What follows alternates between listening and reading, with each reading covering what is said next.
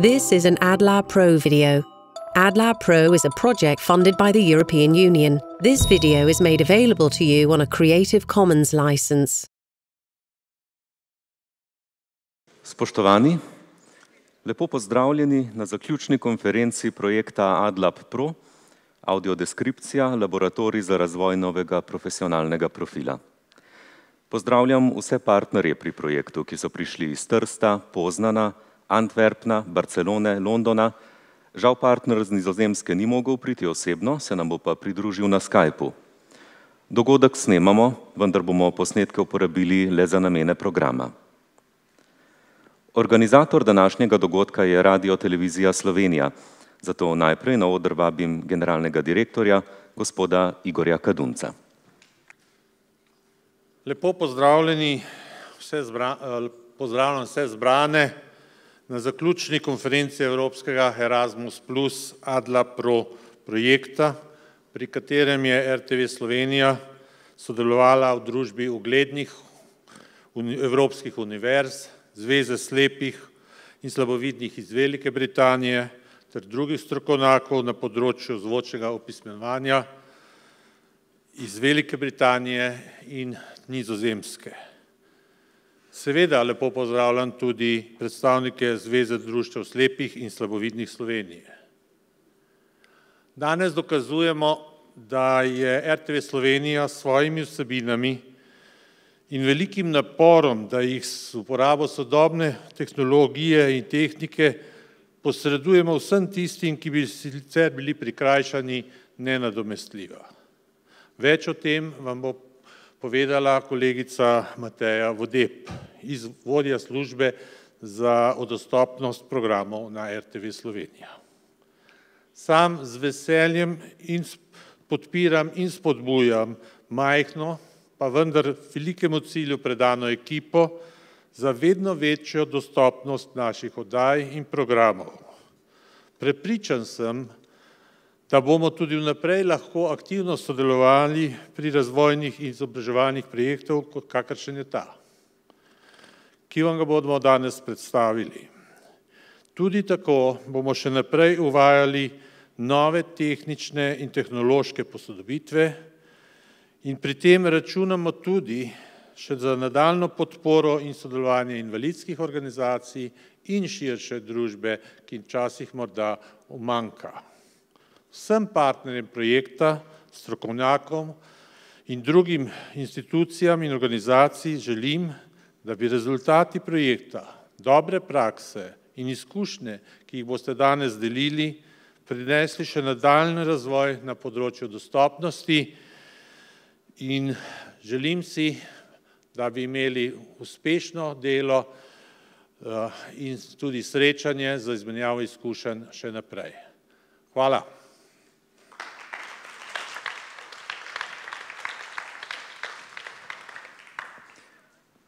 Gospod Kadunc, najlepša hvala za vaše uvodne besede in tudi za pozornost, ki jo na Radio Televiziji Slovenija posvečate dostopnosti do programov za vaše gledalce, poslušalce in bralce. Več o tem pa nam bo zdaj povedala Mateja Vodeb, vodja službe za dostopnost programov.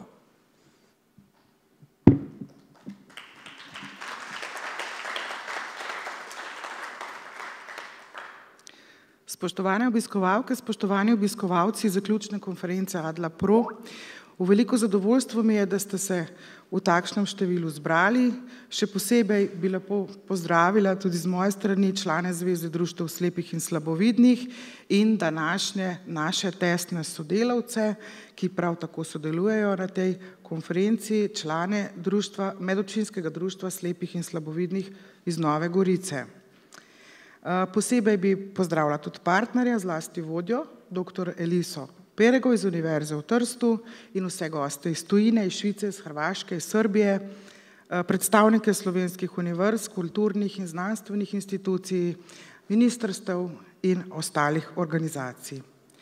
Med številnimi poslanstvi RTV Slovenija je tudi ozaveščanje družbe o pravicah in potrebah ljudi z različnimi oblikami invalidnostmi. Dvig splošne ozaveščenosti je odvisen tudi od zaveščenosti njih samih. Naša dožnost pa je, da jim omogočimo dostop do informacij, ki opredeljujejo njihove pravice in dožnosti in naše poslanstvo je, da slovensko javnost dosledno upominjamo, da želijo invalidi doseči boljše razumevanje invalidnosti v družbi, uveljaviti svoje pravice in se vključevati v politično, socialno, gospodarsko in kulturno življenje v okolju, v katerem živijo in delajo. Današnji dan je namenjen v prvi vrsti ljudem z okvaro vida. Ti so pri spremljanju vizualnih medijev, med katere spada seveda tudi televizija in film in druge audiovizualne umetnosti ter dostopnosti do vsakdanjih drobin, dobrin zelo prikrajšani. To pa nikakor ne pomeni, da bi morali biti iz tega izključeni. Televizijo, film lahko gledamo tudi tako, da jo poslušamo. Na RTV Slovenija imamo dolgoročne in velikopotezne načrte, kako naše programe, naše dejavnosti narediti dostopne tudi za ljudi z različnimi oviranostmi. Temu razvoju posvečamo posebno skrb, zavedamo pa se, da vsega ne moremo narediti sami in takoj. Zgledujemo se po državah, ki so v tem razvoju stopni dostopnosti pred nami.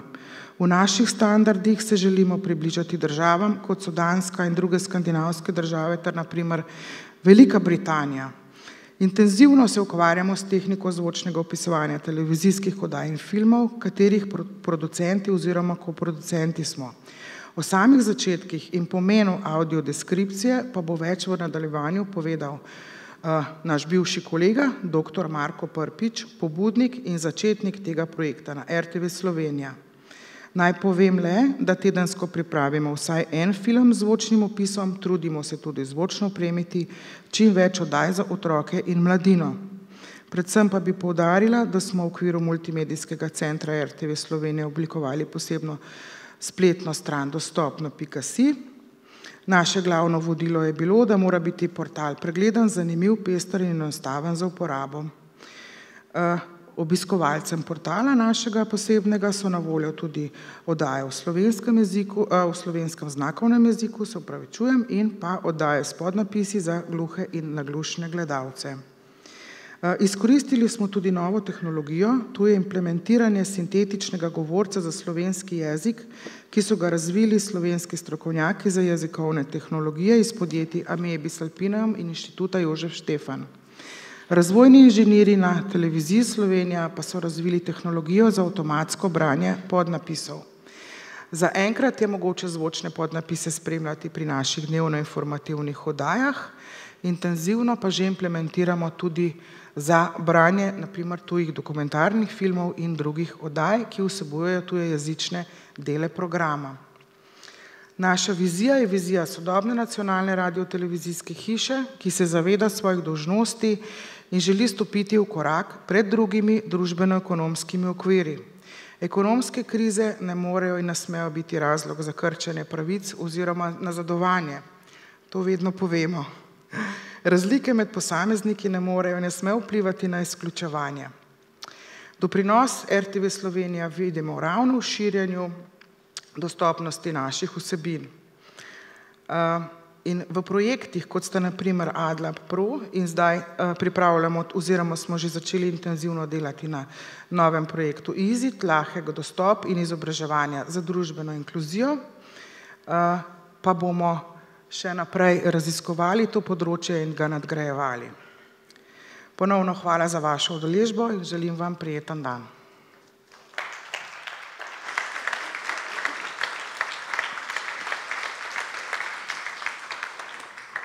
Gospa Vodeb, hvala za vašo predstavitev. Pomembno je, kot pravite, tudi zavedanje, da je pravilen pristop k upeljevanju in razvijanju tehnologij in tehnik dostopnosti sodelovanje s ciljno publiko. V primeru zvočnega opisovanja in govorne sinteze so to slepi in slabovidni uporabniki storitev.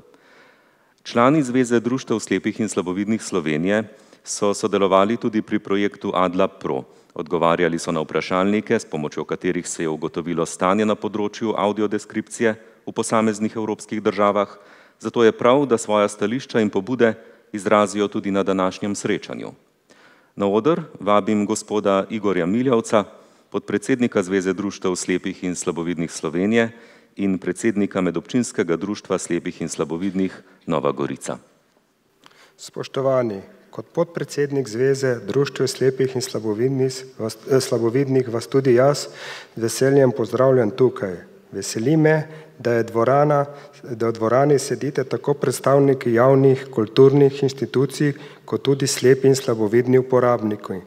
Mislim, da je prav pot, ki jo mi stalno ponavljamo, nič o invalidih brez invalidov.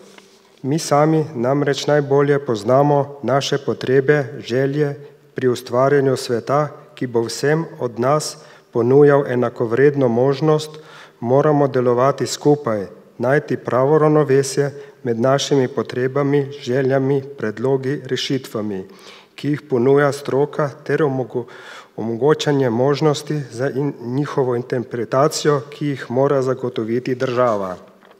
Tudi slepi in slabovidni želimo videti, kaj se dogaja na televiziji, kaj je razstavljeno v muzeju, kaj se dogaja na odru v gledališču in to nam je lahko in tudi mora biti omogočeno.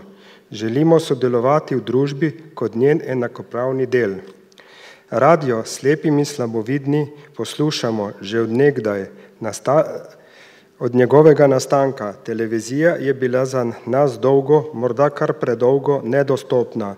Tudi to se v zadnjih letih izboljšuje in veseli smo, da lahko vsak dan programe spremljamo v za nas prilagojenih oblikah. Pozdravljamo nove storitve in jih, ki jih je vpeljala Televizija Slovenija. Govorna sinteza nam omogoča sledenje dnevno informativnim oddajam, s pomočjo nje razumemo, kaj govorijo tudi tuji državniki. Zvočni opisi oddajajo nam širše znanje in odpirajo vrata v nam do zdaj zaprte svetove. Seveda si želimo še več. Želimo si več zvočno opisanega programa, želimo si tudi zvočno opisane tuje oddaje, a razumemo, da se vsega ne da narediti, ne dobiti takoj. Za nove izzive bodo potrebni tudi novi strokovnjaki in upam, da bo v tem programu tudi rezultati projekta. Z zanimanjem bomo prisluhnili današnji in predstavitvi in prepričan sem, da se bomo vsi naučili marsičesa novega. Hvala vsem. Gospod Milevec, zahvaljujem se tudi vam za vaš nagovor pred začetkom današnjega srečanja. Zdaj pa na oder vabim referente prve sekcije, to so dr. Marko Prpič, Veronika Rot in Carmen L. Oven in medtem, ko prihajajo na oder, kar predstavitev prvega referenta, dr. Marka Prpiča. RTV Slovenija morda še ni na tako visoki razvojni stopni glede zvočnega opisovanja, kot so nekatere druge države, predvsem Velika Britanija ali druge države, ki uporabljajo druge vrste tehnologij dostopnosti. Vendar pa so prizadevanja posameznikov in nacionalne radio televizije že obrodila kar precejšnje sadove. Začetnik in pobudnik prilagajanja televizijskih vsebin slepim in slabovidnim na televiziji Slovenija pa je bil dr. Marko Prpič. Dr. Prpič je bil 21 let zaposlen na RTV Slovenija, kjer je opravljal različne funkcije, s svojimi naprednimi idejami spodbudil marsikatero inovacijo. Že na začetku 90. let 20. stoletja se je začel zanimati za internet, dal je pobudo za postavitev prvega internetnega strežnika RTV Slovenija in postal član skupine EBU za internet in nove tehnologije. Ukvarjal se je s podnaslavljanjem za gluhe in naglušne, ter postavil temelje za zvočni opis za slepe in slabovidne.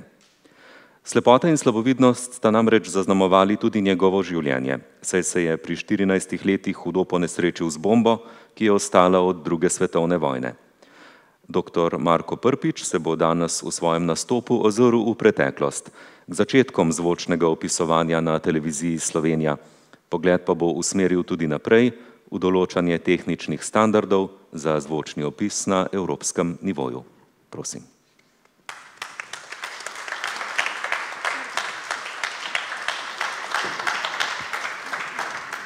Spoštovane in spoštovani, lep pozdrav vsem.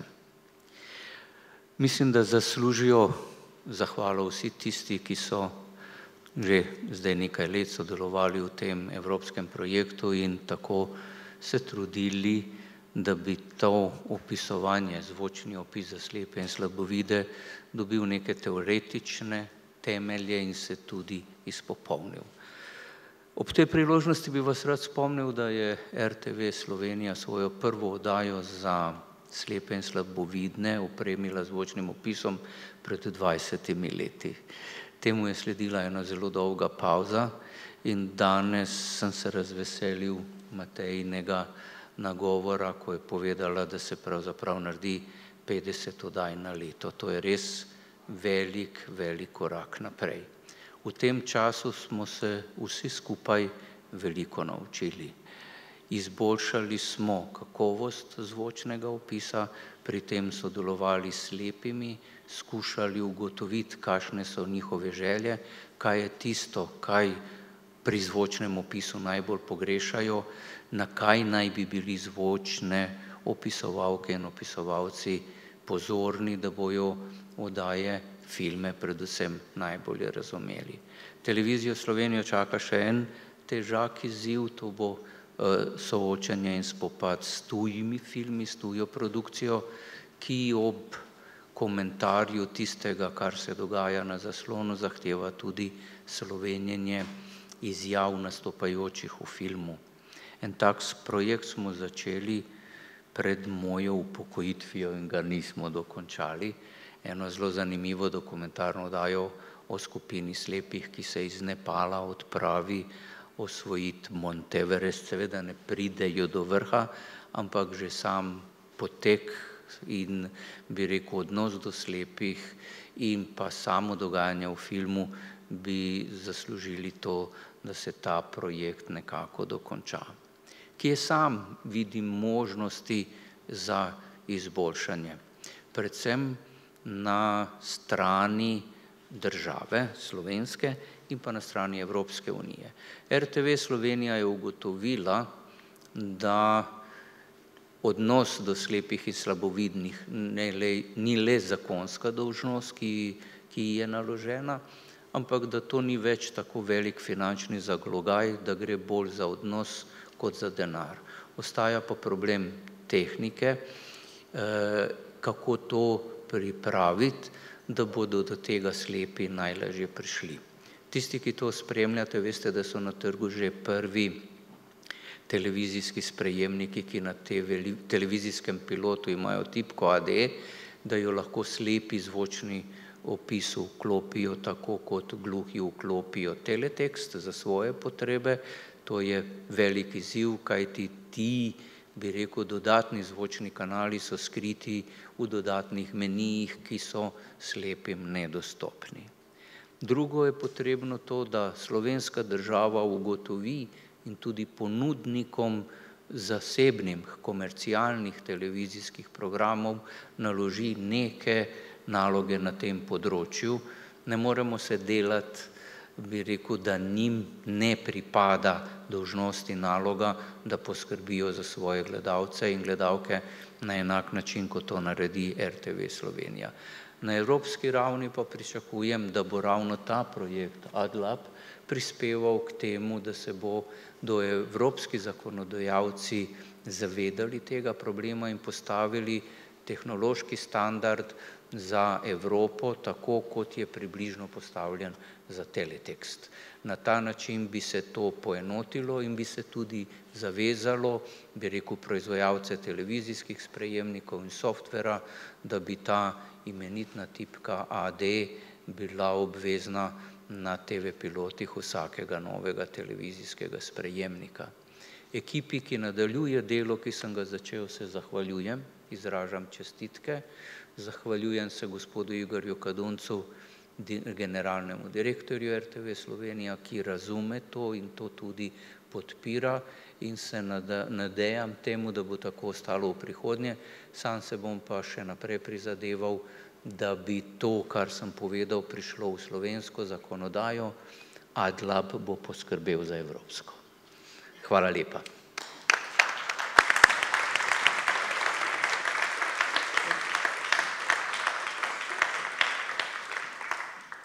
Doktor Prpič, hvala lepa za te poglede v preteklost in tudi za prihodnje smernice, ki ste jih nakazali. Z naslednjo predstavitvijo pa se bomo zdaj pomudili pri sedanjosti. Veronika Rot, ki se v služi za dostopnost programov RTV Slovenija ukvarja tudi z evropskima projektoma ADLA Pro, audiodeskripcija, laboratorij za oblikovanje novega poklicnega profila in IZIT, lahko branje za boljšo socialno vključenost, nam bo predstavila, kako prilagajanje vsebin za slepe in slabovidne na televiziji Slovenija poteka danes. Pozdravljeni lepo vsi skupaj. Jaz bom kar nadaljevala tam, ker je gospod uh, dr. Prpič končal in moram povedati, da smo kar nekaj let nadaljevali uh, prakso, ki jo je on uvedel na televiziji Slovenija, da smo oddaje in filme, za katere smo pripravili zvočni opis, predvajali v posebnih terminih na drugem ali tretjem programu televizije Slovenija. Pri teh predvajanjih so zvočni opis slišali vsi gledalci in gledalke, Eh, saj je bil zmiksan, kot pravimo, skupaj z originalnim zvokom na skupni zvočni stezi. Eh, naša želja in želja naših slepih in slabovidnih gledalcev je bila, da bi lahko zvočnemu opisu prisluhnili večkrat, ne le enkrat ali dvakrat na mesec in z enostavnim pritiskom na tipko na daljincu. To bi pomenilo, da ne bi bilo treba zagotavljati posebnih terminov v programu za predvajanje vsebin, opremljenih zvočnim opisom, obenem pa tudi višji delež dostopnega programa za slepe in slabovidne. Vendar pa je bilo potrebno najprej razviti posebne tehnologije, spremeniti produkcijski sistem in posledično tudi način predvajanja oddaj zvočnim opisom. Oktobra 2018 smo na televiziji Slovenija naredili pomemben korak, priklopili smo dodatni zvočni kanal, na katerem je mogoče prisluhniti govorni sintezi, to je sintetičnemu računalniškemu govorcu, ki bere podnapise, na tem kanalu pa se predvaja tudi zvočni opis pri izbranih oddajah.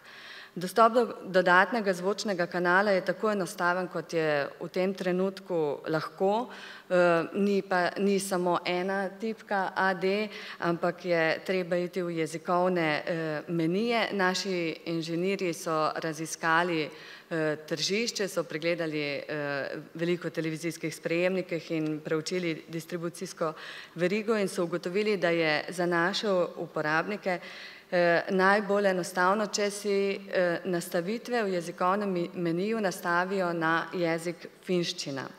In na tem, eh, na tem kanalu sedaj predvajamo te dodatne, dodatni zvočni kanal. Zelo smo se takrat potrudili tudi s kampanjo, zaradi tega, ker bistveno ni samo to, da neko storitev uvedeš, temveč tudi, da ljudem poveš, da ta storitev je na voljo eh, in predlagam kar, da si pogledamo spot eh, s sekujem.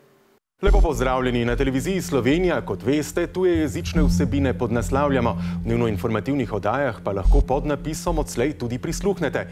Če začnem na primer govoriti v francoščini, tudi tedaj deluje. V katerem koli jeziku. Pod napise bere govorna sinteza. Za vklop storitve na vašem televizijskem sprejemniku si preberite navodila na spletni strani www.rtvslo.si poševnica, dostopno poševnica, navodila. V primeru težav se obrnite na svojega operaterja oziroma pokličite na telefonsko številko nič 80 28 68 klicnega centra televizije Slovenija. E, kot ste opazili, ko voditelj Seko M. Konde začne govoriti v francoščini, se vklopijo podnapisi in z njimi govorna sinteza. E, ne povem, da govorna sinteza bere podnapise, ki so pripravljeni vnaprej, saj obratne tehnologije, to je prepoznave govora, za slovenščino še nimamo. Bistveno je, da se sinteza vklopi s čisto kratkim zamikom, da gledalec, poslušalec ve, da gre za računalniško branje podnapisov, spodaj pa se tudi še sliši nekoliko stišan zvok originalnega govora. E, s pomočjo govorne sinteze zdaj slepi in slabovidni lahko spremljajo e, tudi tuje jezične dele informativnih oddaj na televiziji Slovenija. Poglejmo si še primer iz osrednjega dnevnika iz tedna pred evropskimi volitvami. Bundeskanzlerin einer großen Koalition aus Deutschland sagen kann, dass alle Koalitionspartner das ähm, Thema des Spitzenkandidaten unterstützen und dass ich Manfred Weber unterstütze, aber dies nicht alle Koalitionspartner tun. Mislim, da smo dobili približno sliko, kako eh, deluje. Eh, na dodatnem zvočnem kanalu pa lahko prisluhnete tudi zvočnemu opisu. Tudi to storitev smo napovedali s spotom in v promocijskem, tako da si pogledamo še tega. Na televiziji Slovenija izbrane dokumentarne oddaje in igrane filme lastne produkcije opremimo z zvočnim opisom. Zvijajočo se žival stehtajo v plastičnem kozarcu. Podatke o temperaturi vode, okoli 8 stopinj ima, ter teži in dolžini človeških ribic od 20 do 30 cm zapisujejo v zveščič. Zvočni opisovalec dogajanje v sliki opiše z besedami. Tako lahko tudi osebe z okvaro vida spremljajo televizijske vsebine. Zvočnim opisom lahko prisluhnete na dodatnem zvočnem kanalu. Navodila za nastavitev dodatnega zvočnega kanala so na voljo na rtvslo.si, poševnica dostopno, poševnica navodila. Eh, na RTV Slovenija snemamo zvočne opise za otroške, mladinske in dokumentarne oddaje in filme eh, in to predvsem lastne domače eh, produkcije, zato ker imamo tudi avtorske pravice. Za snemanje imamo na voljo profesionalni studio s kvalitetno opremo za snemanje in obdelavo zvoka. Del snemalnega studija je akustično obdelan prostor za snemanje interpreta zvočnega opisa, oprema pa mora zadostovati profesionalnim standardom eh, in osnovna sestava so DAW, to je Digital Audio Workstation, mikrofonski predojačevalec, mikrofoni in zvočniki. Zvočni opisovalec, ki je pri nas obenem tudi interpret zvočnega opisa, na snemanje pride že pripravljenim zvočnim opisom s tekstom. To pomeni, da zvočni opisovalec tekst, ki zapolni praznine med dialogom v oddaji, pripravi vnaprej, izmeri okvirno dolžino posameznih vložkov ter jih popiše s časovno kodo. Tako znači, eh, kje je določen del teksta potrebno ustaviti. Zvočni opisovalec bere tekst na časovno kodo, medtem ko na ekranu, ko na ekranu teče film. Zelo pomembna je hitrost branja in tudi sama interpretacija besedila. Če je tekst predolg ali se med snemanjem pokaže, da kaj manjka, se ga skrajša oziroma dopolni tam, v, kar v studiu. Ko je tekst prebran, je delo zvočnega opisovalca v studiu končano, zvokovni mojster pa mora posneti zvočni opis zvokovno obdelati, počistiti napake in ga natančno položiti na ustrezna mesta v oddaji ali filmi. filmu. Prebrani zvok je treba na to tudi tehnično obdelati in določiti nivo zvoka, ki mora biti v, razver, v razmerju z nivojem osnovnega zvoka. Na koncu tonski mojster zvočno stezo, ki vsebuje zvočni opis, izvozi v enaki dolžini, kot sta dolga film ali oddaja in pri predvajanju pa se ta zvočni zapis preko naprave Junger avtomatično zmeša z originalnim zvočnim zapisom filma. Temu pravimo broadcast mix in ta način je pač trenutno najbolj ustrezen za slovensko eh, okolje, distribucijsko verigo. Eh, in na dodatnem zvočnem kanalu torej gledalci dobijo končni miks originalnega zvoka in zvočnega opisa brez zamikov, prekrivanja in tudi nivojsko usklajen. In uh, predlagam, da si pogledamo insert iz oddaje Legendarni Drenovci in kar. Arhivska fotografija Drenovca s cigareto med prsti pred polkrožnim vhodom v jamo. V njej je lestev.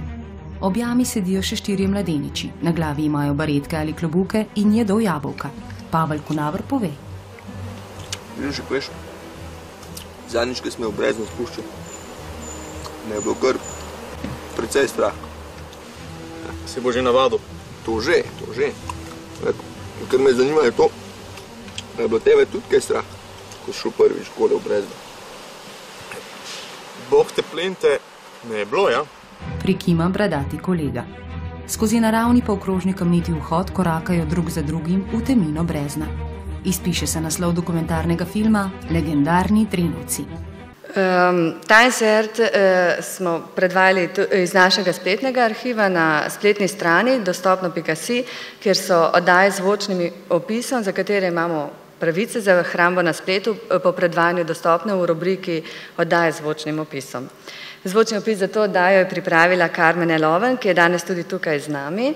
Eh, in namerno pa sem jaz se v, svojem, eh, v svoji predstavitvi sem zvočno, delo zvočnih opisovalcev eh, predstavila bolj z tehničnega vidika, saj se bojo v nadaljevanju predstavili sami.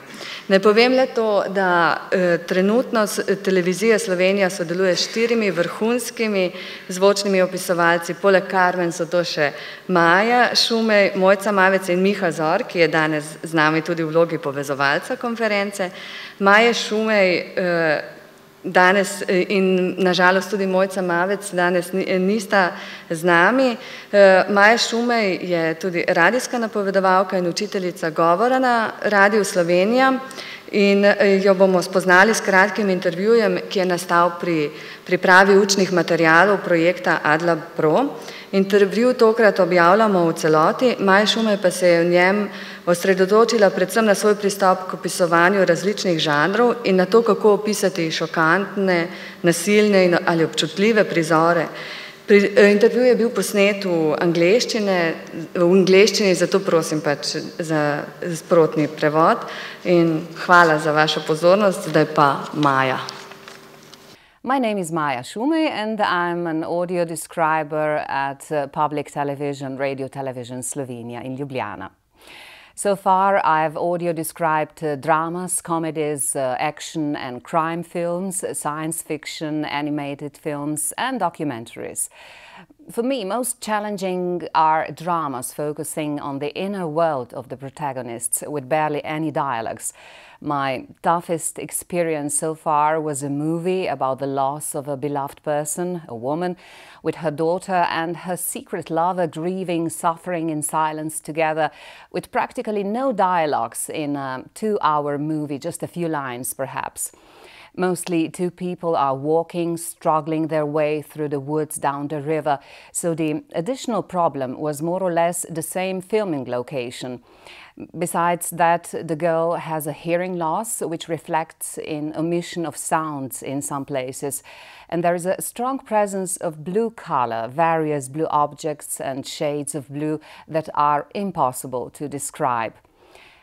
Pain, suffering, happiness are abstract nouns, and I try to avoid using abstract nouns when possible, describing instead the way an emotion reflects in the move of the muscles, wrinkles, eyebrows, lip shaking, trembling, trembling, and so on. But even so, one has only a limited choice of words and must also be careful not to start blabbing, start talking idly just for the sake of filling the space. So sometimes I think too much is lost in translation or is not translatable at all. The role of an audio describer and the language he or she employs change with the genre. Sometimes an audio describer provides some additional information, for example, the place, the city that is not mentioned but you recognize and is relevant for the understanding. Sometimes you're just the guide, pointing in the right direction, interfering as little as possible, just keeping the pace with the atmosphere in the comedy, for example, by using funny idioms, uh, colloquial language. And sometimes the role is educational, recognizing and giving a correct name to technical objects that even sighted would have problems to recognize and to name.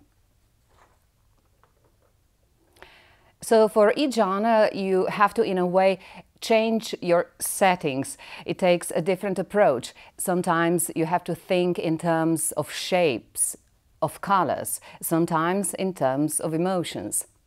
When uh, audio describing sensitive content, I think that the most important thing is to avoid being patronizing in an attempt not to offend the protagonists or the audience or to embellish the truth and uh, instead start describing without prejudice, avoiding, of course, being offensive or judging by using words fat, ugly, poor. Instead, describing, for example, the dirt under the fingernails, messy hair, torn clothes, the buttons on the shirts that are bursting, uh, baroque curves, bodies, and so on. In sex scenes, I would never use an F word. I focus uh, on describing parts of the body that are seen, the way the bodies react to each other, the moves, placed in the context that is um, whether this is an act of joy, fun, satisfaction, aggression, brutality, and so on. I think it takes constant questioning of yourself whether what you see is really what it is because one's mindset might lead one into wrong direction imposing one's own value judgment.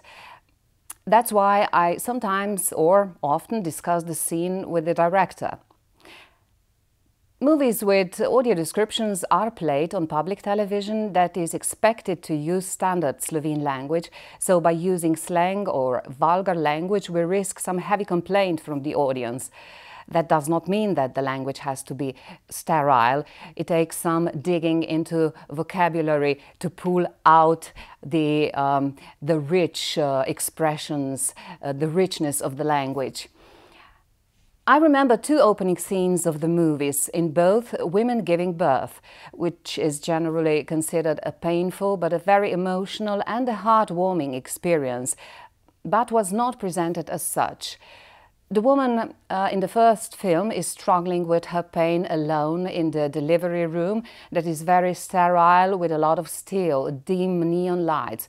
Everything suggests also her mental agony since she's giving a birth to a child whose father is an older, married and a corrupt man. After the birth, uh, she's expecting at least his call that doesn't come, agonizing, deciding whether to put her baby away and looking at him, touching him with total disgust. So this birth is an act of violence and has to be described as such. The other scene was a very explicit scene of giving the birth and I had no other option than to describe how a midwife makes a cut to the perineum. By the way, in Slovene, that is, um, there is another word for it that sounds less Latin and not that medical at all. Only doctors would use the word perineum and the blood gushes between her thighs. The newborn baby is covered with cheesy substance, slime. So this striking effect can be retained in an audio description by simply giving things their true name, not trying to describe things, objects, persons, situations with sugar-coated words, nor is, in my opinion, on the other hand, necessary to use vulgar expressions. Maja je resnično zelo artikulirana zvočna opisovalka, ki daje velik podarek tudi pravilnemu izboru besed in seveda jasni interpretaciji. Zdaj pa sledi malo zvočnega opisa, voditelj bo za trenutek stopil za govornico in postal referent. Eh, tudi jaz sem učitelj govora na Radiju Slovenija, po izobrazbi sem sicer slovenist, literarni komparativist in umetnostni zgodovinar.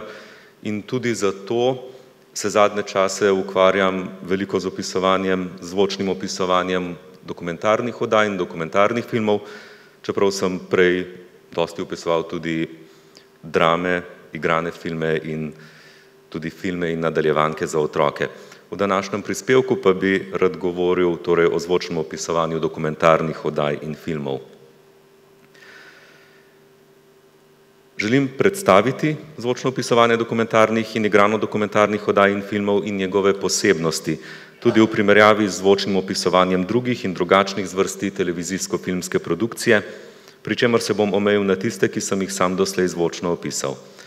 Kot rečeno, moja osredotočenost na, bo na strokovne oziroma poljudno znanstvene oddaje, točne je na njihovo podvrsto dokumentarce.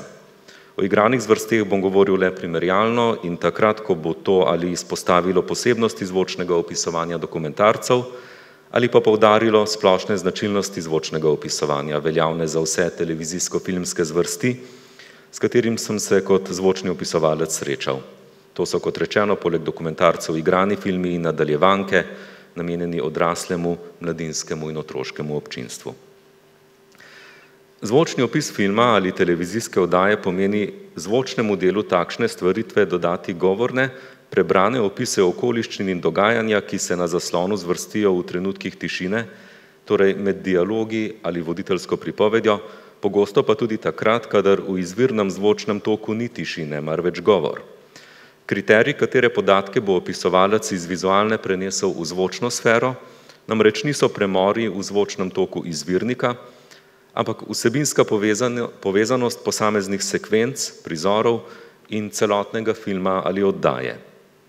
Da bi zadostil temu kriteriju, mora opisovalec najprej ugotoviti, kateri dogodki, ki se zgodijo v slikovnem delu, so za nadaljni razvoj filmske produkcije oziroma filmske pripovedi pomembni, torej so tisti, ki imajo v nadaljevanju takšne posledice, ki vplivajo na razpletanje dogajanja in kateri takšnih posledic nimajo.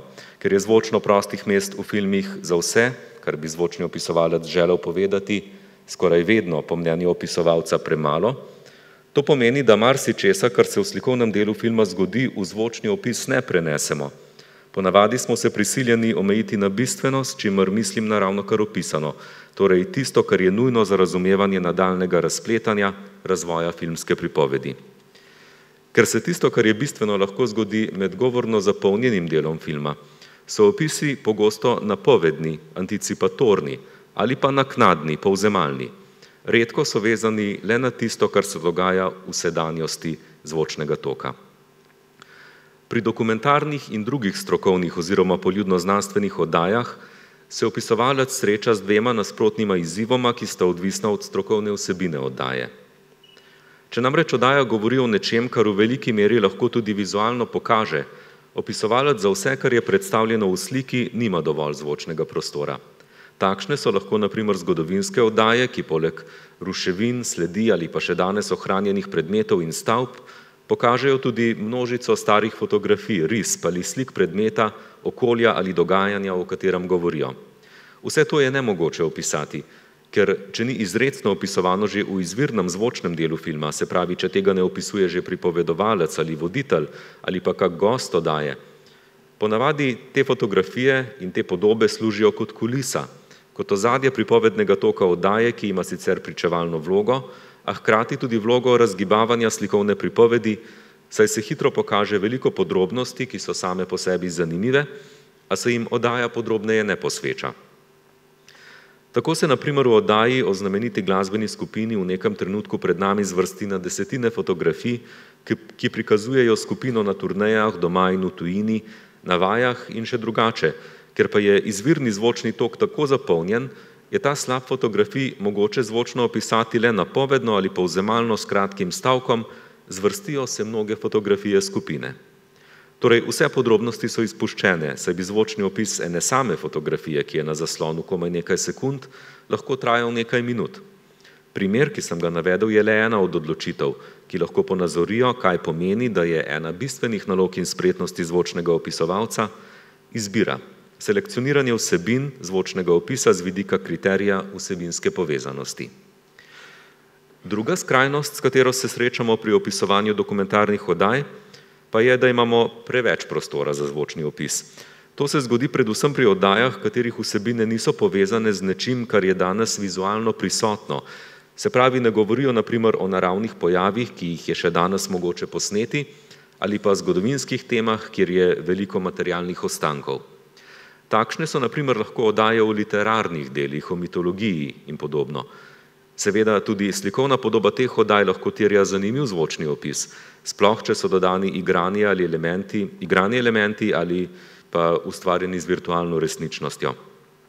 Če pa tega ni, se včasih zgodi, da je slikovni del le ozadje, ponavadi celo ponavljajoče se ozadje za izjave sodelujočih strokovnjakov ali pripoved voditelja – naprimer v oddaji o mitoloških bitjih, ki so po ljudski predstavi živela v gozdu, je zvočni opisovalec soočen z nalogo, da opisuje premikanje voditelja po gozdu, ki sam po sebi z mitologijo nima ničesar skupnega, je le njen lokus. Težava ni le v tem, da je težko zanimivo večkrat, torej med vsemi zvočnimi premori, opisati tako rekoč isti prizor. Včasih so vendarle prisotne podrobnosti, ki jih opisovalec lahko doda, naprimer, kako si je svetloba skozi drevesne liste ali pa kako veje veter, saj to ustvarja v danem primeru skrivnostno mitološko vzdušje. Večja težava je, da taki zvočni opisi kot uloženi deli v izvirni zvočni tok lahko motijo logiko osnovne pripovedi, kjer gre za konkretno zgodbo, vmes pa na to zvočni opisovalec doda opis gozda. Na zadnje naj omenim še dokumentarno igrane filme in sicer prizore, kjer mora zvočni opisovalec združiti dialog iz izvirnega zvočnega toka in svoj zvočni opis. To je potrebno, kadar je naprimer zvočni opis namenjen slovenskemu občinstvu, dialogi pa so v tujem jeziku. V takem primeru opisovalec ne le prebere prevode dialoga v tujem jeziku, ampak te prevode preplete z zvočnim opisom dogajanja med dialogom, tako da izjave pospremi z gestami in obraznimi izrazi junakov, z njihovim opisom seveda, s kratkimi opisi prostora, v katerem dialog poteka, če je to smiselno, in podobnim. Če sklenem, zvočni opisovalec mora pogosto spreminjati formo filma, ki ga opisuje, da bi do poslušalca prenesel nujne vsebinske povdarke spreminjanjem forme, mislim zlasti na časovne manipulacije, če jih lahko tako imenujem, torej na opise, ki niso sočasni z dogajanjem na zaslonu, ampak ga napovedujejo ali povzemajo. Hvala lepa.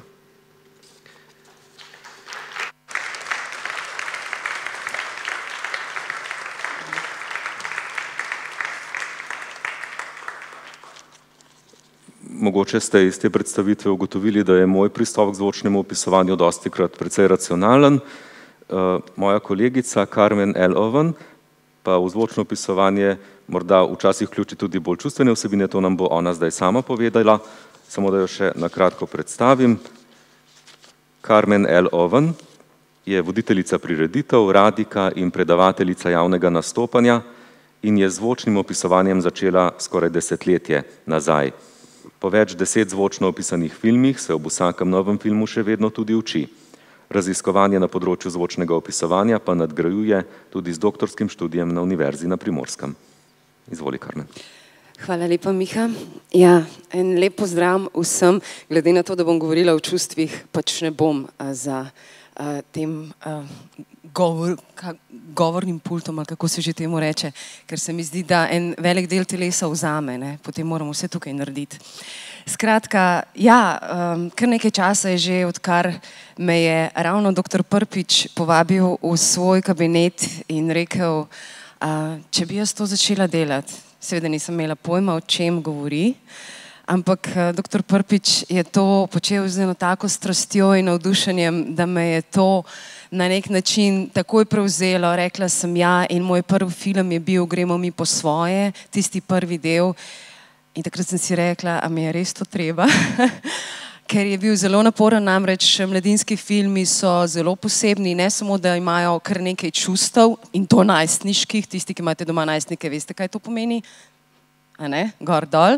Uh, hkrati se pa dogaja vsaj sedem stvari naenkrat, pa sedem sekund imaš največ zapovedati vmes. Skratka, to je res tako delo, da filigransko zbiraš, kot je Miha omenil, kaj povedati, na kakšen način povedati in predvsem, česa ne povedati, ker ni časa. No, ampak danes se, jaz, eh, se bom pa ukvarjala, kot je Miha povedal, um, pravzaprav z opisovanjem čustev. Um, takole. Naslov sem dala med čustvom in besedo, ker dejansko tudi ko gre za opisovanje čustvenih situacij, prizorov, kjer so zelo, zelo živa čustva, je seveda to treba upisati, prevesti v besedo. Kot veste, audiodeskripcija v resnici je prevajanje slike v besedo. In uh, pogosto se počutim, po, pogosto se počutim, naj uh, opišem to sliko za tiste, ki je ne vidite. Gre za profilni obris vsem zelo znanega detektiva Sherlocka Holmesa in v tem obrisu je tisoč in ena slikica uh, dogajanj. Namreč Sherlock Holmes je tudi tisti, ki ne samo, da išče in raziskuje, kaj pravzaprav je bistveno v primeru, v našem primeru v filmu, bistveno za razumevanje nadaljevanja filma, eh, pač pa tudi mora izbirati pravzaprav, ne, tako kot mi izbiramo, kot je že rekel Miha. Ves čas si na nek način napreži, kaj ja, kaj ne, kaj odvreči kot nepotrebno in predvsem kaj vzeti kot zelo potrebno. Veronika je že povedala zelo bistveno stvar, ki se mi zdi, da je značilna seveda za manjše jezike, ne, recimo, in to je to, da smo mi hkrati avtori zvočnega besedila in hkrati bravci oziroma interpreti. Jaz moram reči, da sem zelo, zelo vesela, da je tako. Namreč zakaj? Zato, ker da jaz si ne predstavljam, da bi dobila zvočno besedilo, ki naj ga zdaj interpretiram oziroma berem. Posebej ne, ko gre za čustvene situacije. Zakaj? ker jaz filma potem ne poznam. Film, ki ga res, da lahko res dobro opišeš film, moraš film poznati do obisti. Jaz priznam, da včasih sanjam dialoge, pogosto čustvene. Um, zakaj? Ker prvo gledanje filma je, vsaj pri meni, vedno gledam film, kot bi ga gledala, če ga ne bi opisovala. Čeprav je to zelo, zelo težko, ker zdaj gledam filme, tudi tiste, ki jih ne bom opisovala, zelo analitično, kar je včasih zelo tečno, ampak tako je. Po desetih, skoraj desetih letih uh, dela, ki ga sicer res neskončno ljubim in jo imam rada, torej zvočnega opisovanja. Drugo gledanje je pravzaprav gledanje filma zato, da začutim atmosfero. Kaj, kaj pravzaprav želim sporočiti z zvočnim opisom? Tretje gledanje pa je že počasi tudi kakšno stvar zavrtim nazaj in si zapišem vprašanja. Maja je rekla, da včasih seveda sodelujemo tudi z režiserjem. Jaz moram reči, da v zadnjih filmih kar praviloma pokličem ali pišem režiserju, um, dolo, zelo, ne vem, pošljem določene vprašanja.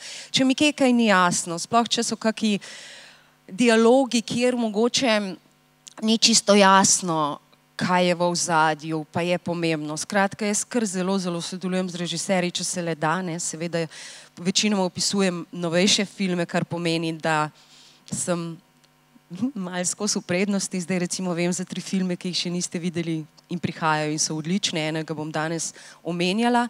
Uh, in seveda to so novejši filmi, kjer so že večji režiserji, kjer pravzaprav se da še marsikaj pomeniti. In to je gromozanska prednost.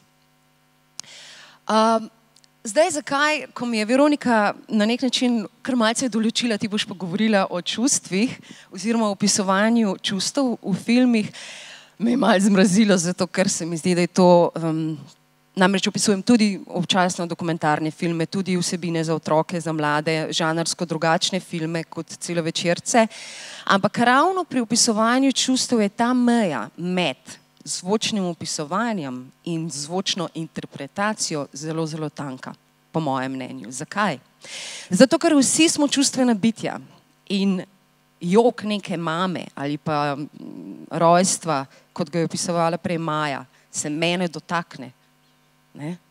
Ampak jaz moram izstopiti iz svojega čustvenega sveta, če želim to opisati in ne interpretirati.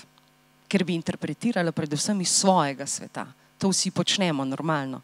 In to mi je en velik izziv, ne, kako pravzaprav izstopati iz tega, da ne grem skozi svojo čustveno prizmo. Seveda grem, se, čisto se izstopiti ne da, ampak vendarle slediti temu, da tisto, kar vidim, opišem, ne tisto, kar ob tem čutim. To se mi zdi tako zelo bistveno. Zato tudi večkratno gledanje filmov in pa mislim, da se bodo vsi zvočni opisovalci, mislim, da ga ni na svetu takega, ki bi rekel, da ni pomembno, kakšnega igralca imamo pred sabo. Posebej, ko gre za čustvene uh, situacije. V Sloveniji imamo v zadnjem času odlične filme, po mojem mnenju. V njih igrajo odlični, izrazni igralci večinoma.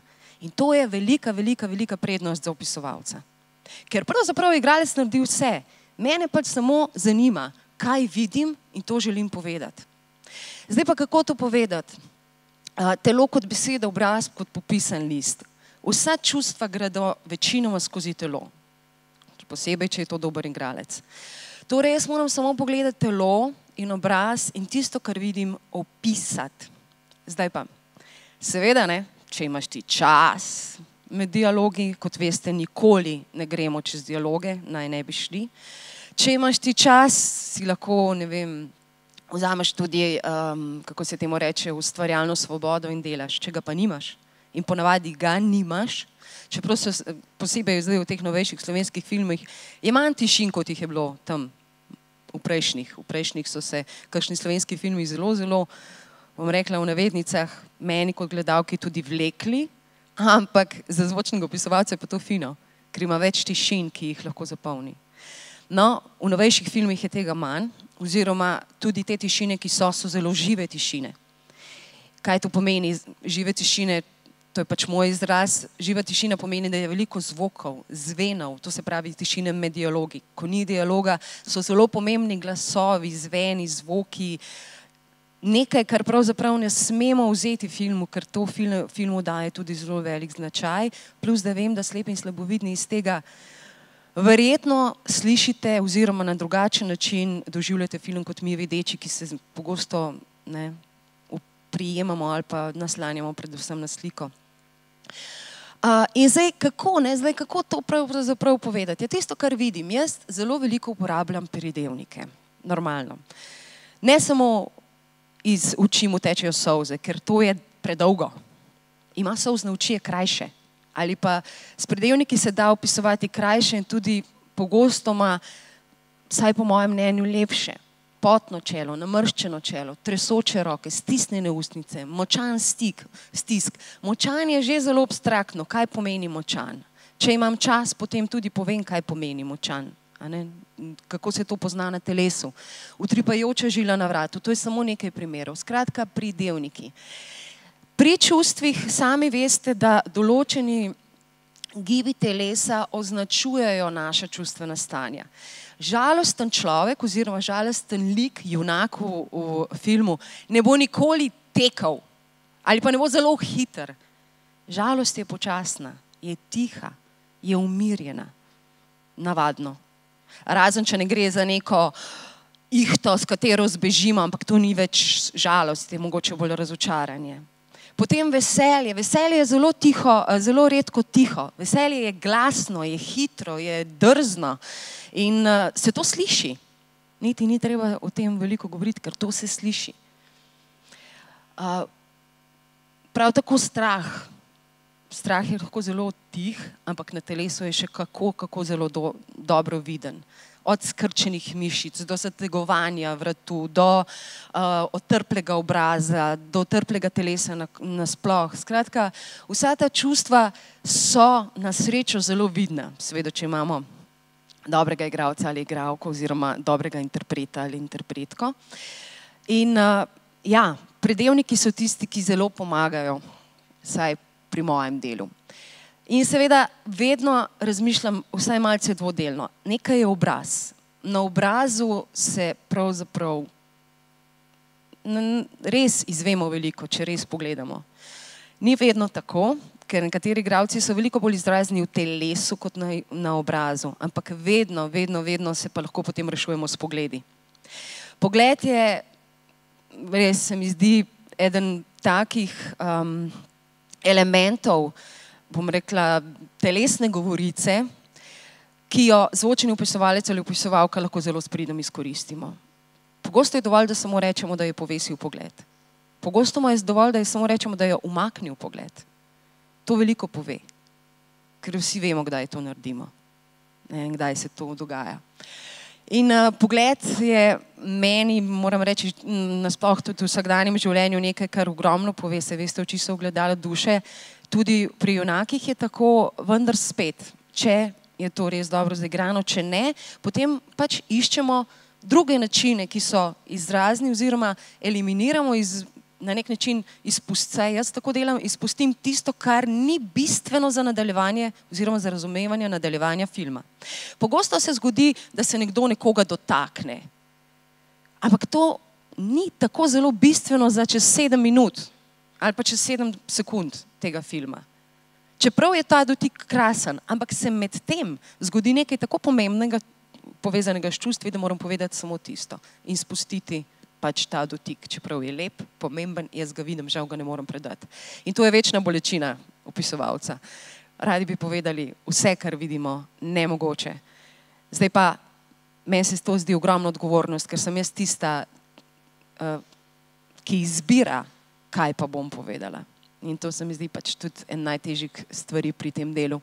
No, uh, torej, čustva stečejo skozi telo, pogosto samo zamah roke, um, pogosto že hitrost koraka, to seveda tudi slišite večinoma. Uh, pogosto ima samo kako hiter je obrat telesa, uh, kako hitro nekdo nekoga pogleda, na kakšen način um, ne vem, zamahne, uh, dvigne prst, karkoli, že veliko pove o njegovem počutju, občutanju in čustvu, ki ga doživlja, da ne bom predolga. Zadrege pri, pri, pri opisovanju telesne govorice Seveda jih je veliko. Izpostavila bom dve. Ena je, da se čustva zelo, zelo hitro spreminjajo. Vsi ste se že znašli, kdaj je v čustveni situaciji, ki jih filmi seveda želijo posnemati, oziroma to je pač resnično življenje. Ko padamo iz, ne vem, osuplosti v jezo in naslednjih čez 20 sekund smo že na pol žalostni, če ne razočarani. Skratka, zelo hitre spremembe. Kako to opisati? Sprememba opišeš spremembo. Pač v teh letih sem se naučila, da je potem treba opisati, kaj je specifično drugače od prej, ker nimam časa opisati celotnega nekega dogodka, če imam pa pač samo par sekund med naslednjim dialogom. Zdaj pa še ena stvar, kako recimo v japonskem filmu, glede na to, da bomo začeli tudi eh, tuje jezične filme delati, recimo neka japonska gesta, pomeni popolnoma drugače na japonskem kot v Sloveniji. Ne? In zdaj, če jaz tu se rešujemo s tem, da gesto opišemo in ne dajemo pomena, ker s tem bi že interpretirali. Torej, če jaz gesto samo opišem, se izognem tudi temu, da sem mogoče kulturno, sociološko naredila eno veliko napako, ker nekaj pomeni pri njih popolnoma nekaj drugega kot pri nas. Velik, velik pomen ima seveda kontekst, Uh, jaz se pogosto zanašam na kontekst, ker vem, da slepi in slebovidni zelo dobro znate poslušati, zelo dobro znate kontekst um, prepoznavati in pogosto ma ni treba opisovati, jaz sem na začetku opisovala preveč. In uh, tako kot je prej gospod rekel, da delo invalid, za invalide naj ne bo brez invalidov, uh, Saj v začetku sem jaz res, res klicala kar nekaj slepih slabovidnih, kaj misliš, kako to posebej, ko gre za recimo spolne odnose, upisovanje, ljubljenje in tega, dokam. Vsi so mi rekli, čim bolj konkretno, pri čustvih pomeni isto, konkretni biti, ne, ne, ne, ne ulepševati, ne, ne, ne iti, ne se veste v okoli, um, ampak biti konkreten. Um, Pogosto sem zelo vesela, da me tudi gospod Vrabar me včasih pokliče in pove, da je bilo v redu in tako naprej. Skratka, to ogromno pomeni, da v navednicah uporabniki izrazite svoje mnenje, poveste, ali je nekaj narejeno dobro ali ne. Uh, torej, absolutno opisovanje in ne interpretacija včasih pomaga dober režiser. Ravno pred časom sem delala Ne pozabi dihati, to je bela film. Um, čudovit film o temi, ki je zelo, zelo redko predstavljena o bratski ljubezni, o ljubezni med dvema bratoma in kaj vse to prinaša, ko en brat začne iz te ljubezni navidezno odhajati. Čudovit film, kjer najstnik Klemen, ki ga tukaj vidite, to je njegov tipičen obraz. Ves čas ima na nek način stisnjene ustnice, ogromno poveša pogled in pol filma ne vemo pravzaprav, kaj si misli. Ker je vse čas je nekje vmes, ni žalosten, ni razočaran, ni, je kar nekaj, bi rekli. Ampak to ne pomeni, da je slab igralec, ampak tako se počuti. On pravzaprav zelo, zelo dobro na nek način ilustrira svoje občutanje. In kaj je naredil režiser Martin Turk? Njegovo občutanje je vse čas s prizori reke ilustriral, risoval. To pomeni, da je meni kot zvočni opisovalki dal krasne izhodišče, da sem opisala recimo tišina nad reko ustraja, nebo nad reko se temni, reka se temni z njim, ko se je začelo komplicirati, ko je začelo klemno postajati vse težje, jaz pri spodobo reke, prebila reka Kolpa, v reki Kolpi se dogaja v Beli krajini, čudovita narava. Kako mi je to žal, da včasih tega ne moremo prenesti, ker ni časa, pa toliko bi lahko povedali o tej naravi. Seveda potem povemo delčke. In um, Bela krajina je res eh, zelo, zelo, zelo simpatična oziroma zelo slikovita. Snemali so lansko poletje, ki je bilo krasno in iz reke, je, ki, ki je svetla, nad katero so svetla, um, svetlo nebo, ob njej so svetla drevesa, se to začne temniti, tako ker se pravzaprav občutja klemnova začnejo na nek način krčiti, krčiti v žalost, v razočaranje, v to, da izgublja misli, da izgublja brata, starejšega brata, ki mu je vzor, ker je brez očeta. Oba sta brez očeta. Skratka, zelo, zelo um, lepa pomoč in v bistvu sem klemnova čustva lahko opisala skozi občutanje reke. To je zelo, zelo lep način, zelo redek, ampak um, men, tega filma se lahko veselimo. Je res, mislim, da je lep. Mislim, res je lep, pa tudi zdaj se že, je že po festivalih uh, po svetu, mislim, da nam pride, oziroma bo projekcija septembra. Potem je pa še ena zgodba pri nanizankah in nadaljevankah, je pa um, spet ena prednost. Uh, zdaj, verjetno se spomnite ekipe Bled, predvajala se je že, zdaj jo vseh 18 epizod bomo zvočno tudi opisali. Uh, gre za kriminalistično nadaljevanko na Nizanko, RTV Slovenija, kjer je glavni igralec Janko Man Mandič um, v vlogi in kriminalista mladega Luka Glažarja, vse čas, če ne na mrgodan, je pa ni. Pravzaprav njegov, obraz zelo malo pove. Vsaj takrat, ko je v komunikaciji z drugimi. Je zelo, ne vem, vse čas je na nek način ena taka enoznačna slika na njegovem obrazu. In seveda je to, on je v tak v vlogi, ne, se je prav, da je tako, ne, pač tak resen, ima težko preteklost, tisti, ki ste gledali, veste, da se bori z notranjimi nekimi demoni, spomini, kakorkoli. In seveda on tega, to se, to se kaže le v določenih prizorih, zelo redko. Večinoma je pa, ne vem, popolnoma medlo se odziva. In kako zdaj to opisati? Znotraj pa veš, da se mu dogajajo neka čustva, nekaj karkoli. No in um, pomaga, ko gre za nadaljevanko na nizem, kako se ta lik pojavlja večkrat, da pravzaprav neko, uh, nek tip čustven že ustvariš z njim. Niti ni treba več prav veliko govoriti o njem, ker ga že na nek način poznamo, ker se ponavlja. Bistvene so pa potem spremembe, ko je pa Luka, oziroma igralec Janko sam sabo v vlogi Luke, takrat pa pravzaprav pridejo na plan tiste njegove resnična občute, občutja, resnične um, notranja, resnična notranja dogajanja in spet opisujemo spremembo, opisujemo, kako je pravzaprav, kakšen je zdaj. In to, to je na nek način tudi pomoč. To se pravi, da če je vse čas neka stena na obrazu, oziroma nekaj, nekaj, kar ni prav močno za opisati, potem, pa, potem pa naredi nekaj zelo specifično drugačnega. In um, tam pravzaprav dobimo nadgradnjo tega karakterja, tako lika kot junaka, kot seveda tudi eh, čustvene slike tega človeka. Uh, skratka, no, to se zgodi takrat, ko mora vzeti spet tableto bole, proti bolečinsko ali pa ko je svojo Saro, v katero seveda ni zaljubljen. Ne? tja do sedmega, osmega dela, uh, potem se tudi to začne mehčati. Skratka, lepo je tudi spremljati skozi nadaljevanke, kako se lik spreminja, tudi čustveno in to uh, je zvočno lahko opisljivo. Te spremembe so lahko opisljive. In seveda, če imaš čas in pri tej nanizanki je kar nekaj tišin, tako da se da to lepo opisati.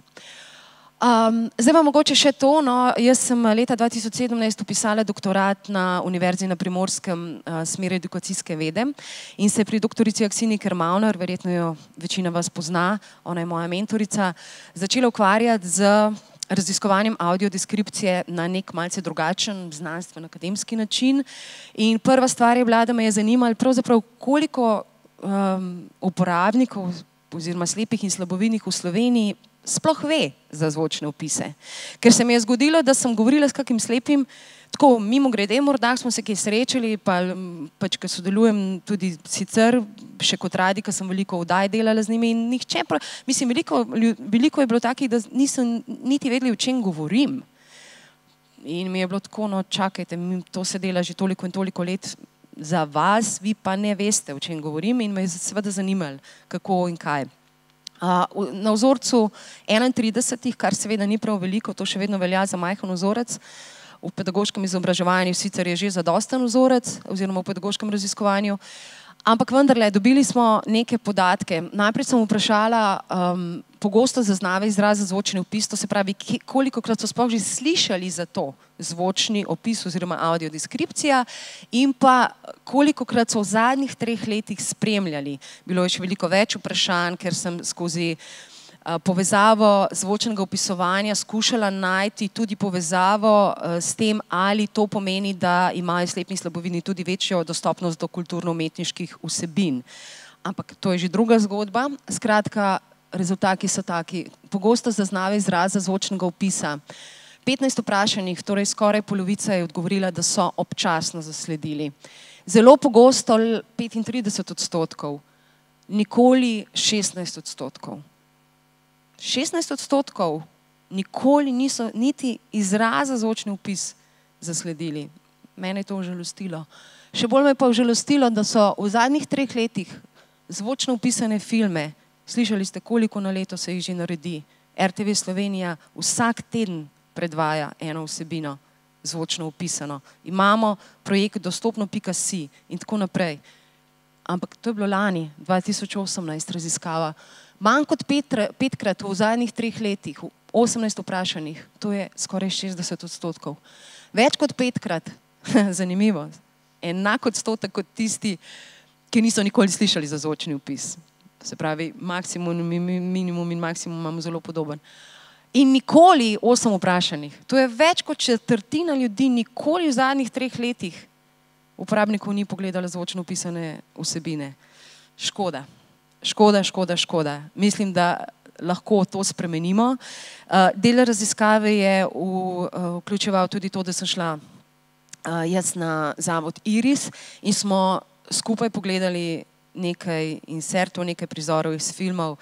Mladi so bili navdušeni, večina njih mi pa rekla, pa zakaj, zakaj jaz tega ne vem. Ne? Tudi jaz sem se spraševala, zakaj tega ne veš, ampak to je naša, to je, kot je rekel že gospod Kadunc, to je dolžnost tistih, ki to počnemo, oziroma videčih, da na nek način povemo, da to je še glasneje, še glasneje, še glasneje. Um, slepi in slabovidni, vi pa to širite, prosim, naprej, da to obstaja in povabite na kakšen, ne vem, večer filmski koga, pa uživajte v tem.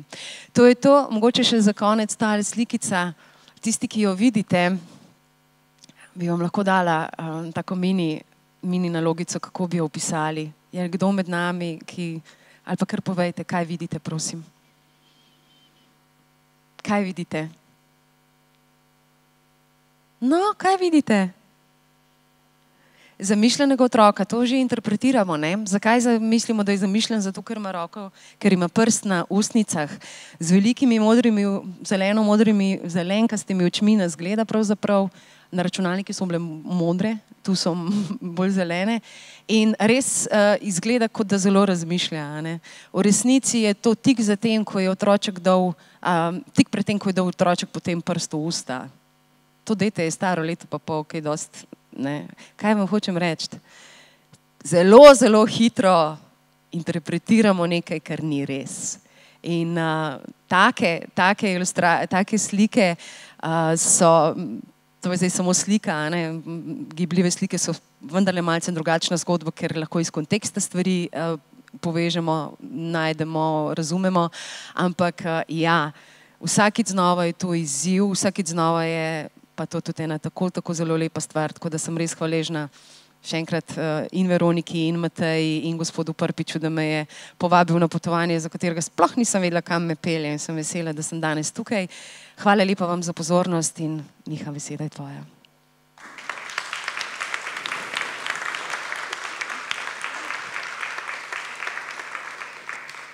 Hvala lepa, kot je povedala že prej Veronika, je pri nas dejavna še ena zvočna opisovalka, jo želim vsaj umeniti, Mojca Mavac. Zdaj le sicer nimamo časa, da bi pogledali en kratek video o njej, ker bi rad teh nekaj minut, ki nam jih je zdaj še ostalo do predvidenega odmora, vas povabil, da zastavite kakšno vprašanje, če želite, govornikom te sekcije. Ima kdo kakšno vprašanje? Boris Keren z Inštituta za slovenski jezik. Preko smo gledali ta posnetek, um, ko je govorila Angela Merkel. Ne? Zdaj tega podatka, da je to govorila Angela Merkel, če sem prav razbral, ni bilo. Kako rešujete te situacije?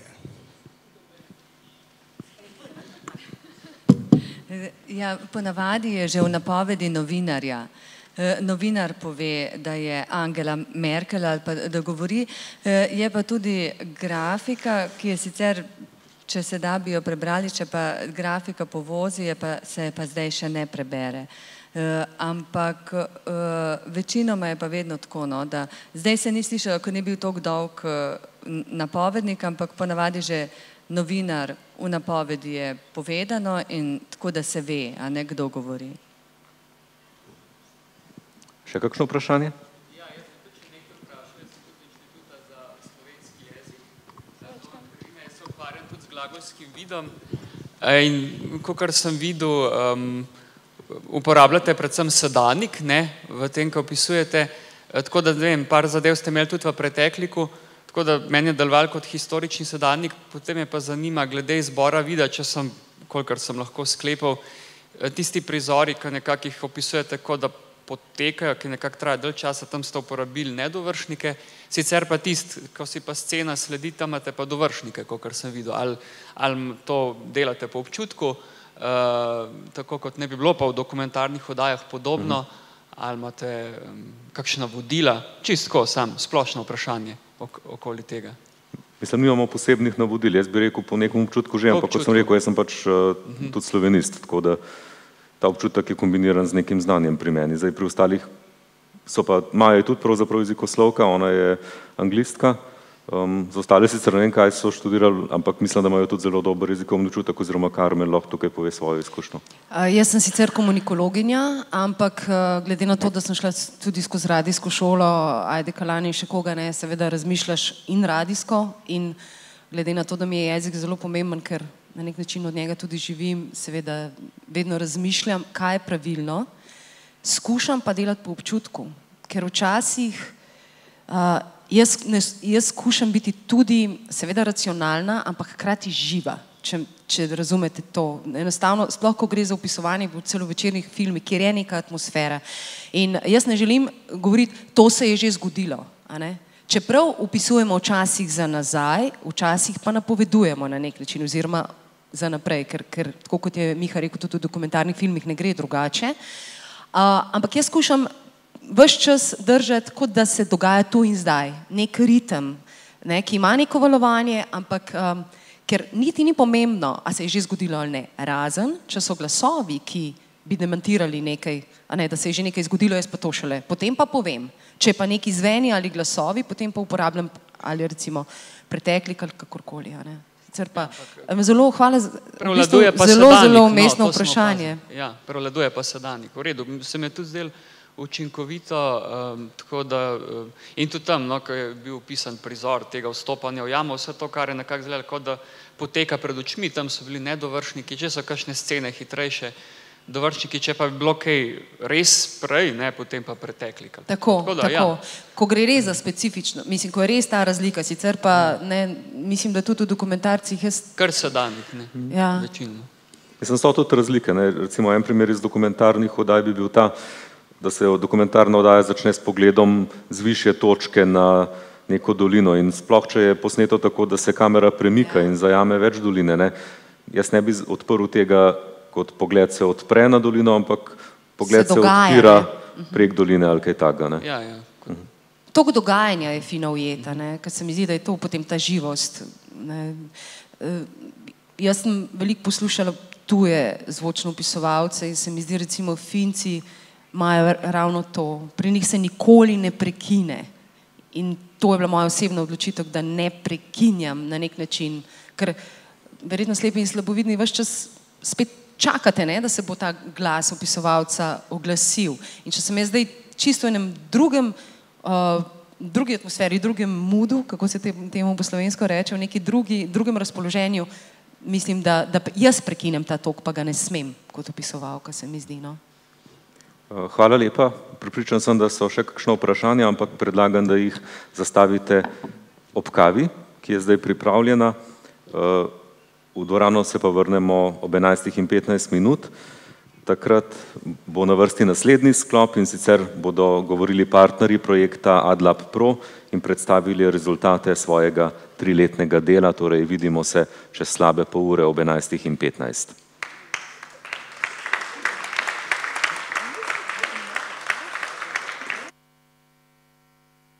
Okay, thank you very much for introducing me. I would like, I will be very brief. I would like to, uh, however, at the very beginning, thank Kino Šiška for having us today and for allowing us to have our closing project event in this beautiful place. I like it very much. And I would also like to thank uh, RTV uh, television for joining the project in the first place and for their contribution, which has been uh, invaluable, just like the contribution of the other partners, of course. Uh, what I'll be doing now is giving you a very brief overview of the AdLab project, uh, and then I will leave the floor to my colleagues who will present our outputs. In particular, they will be presenting the materials we have created as the main output of this project. The project is a three-year project. It is about to end. Uh, it will and uh, at the end of August. And it, is, it has been financed by the European Union under the Erasmus Plus program Key Action 2 Strategic Partners, Partnerships. The University of Trieste, where I come from, has been leading the whole team and uh, I will not linger on uh, the details of the project because there is a poster in this, uh, somewhere in this room uh, where you can have a look uh, and, and, and, read the details. And we also have a website uh, which, by the way, is accessible where you can find all the information about the project. What I'd like to focus on is the partnership because it has been very important. We were eight partners, four partners from academia, Trieste, Barcelona, uh, Antwerp, and Poznan, and four pa partners from the non-academic world. Uh, these partners were basically service providers and user associations. And our partnership has been uh, very important to put together very different, different competencies and to get to where we eventually got, uh, producing our outputs in general and our materials.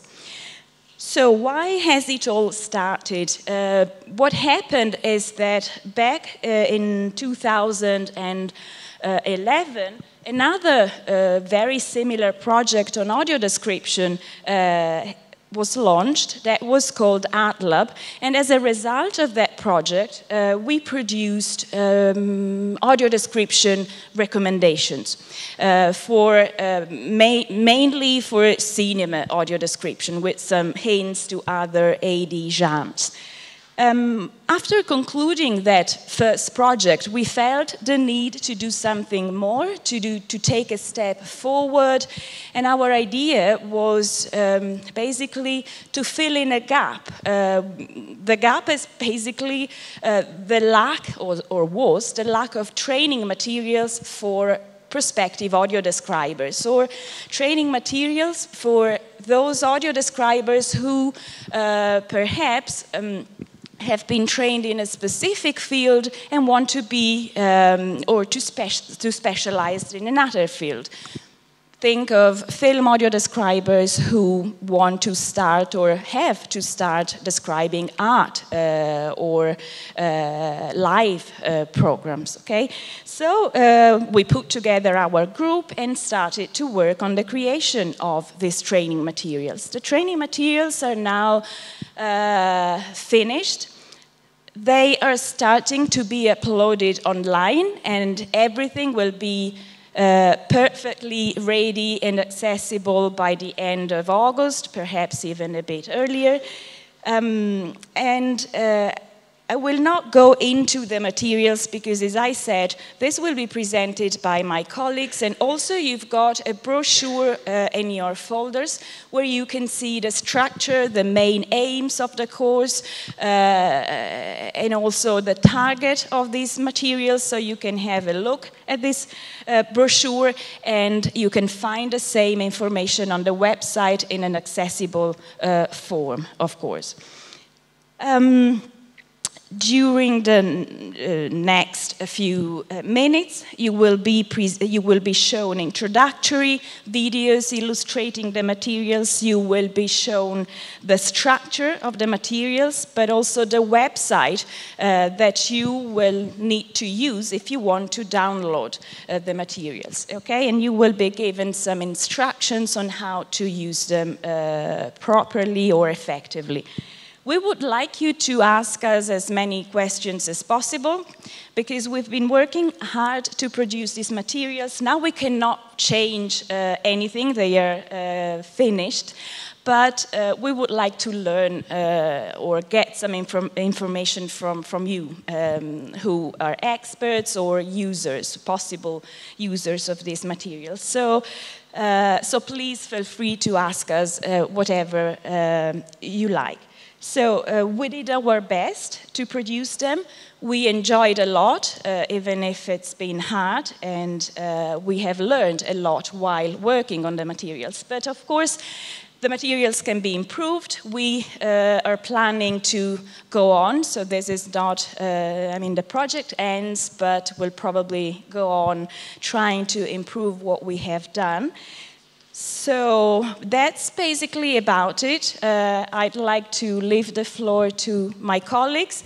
Thank you again for being here, and we really hope uh, that someone, some from this audience, uh, will be able to use and appreciate uh, at least some parts of what we have produced. Thank you very much.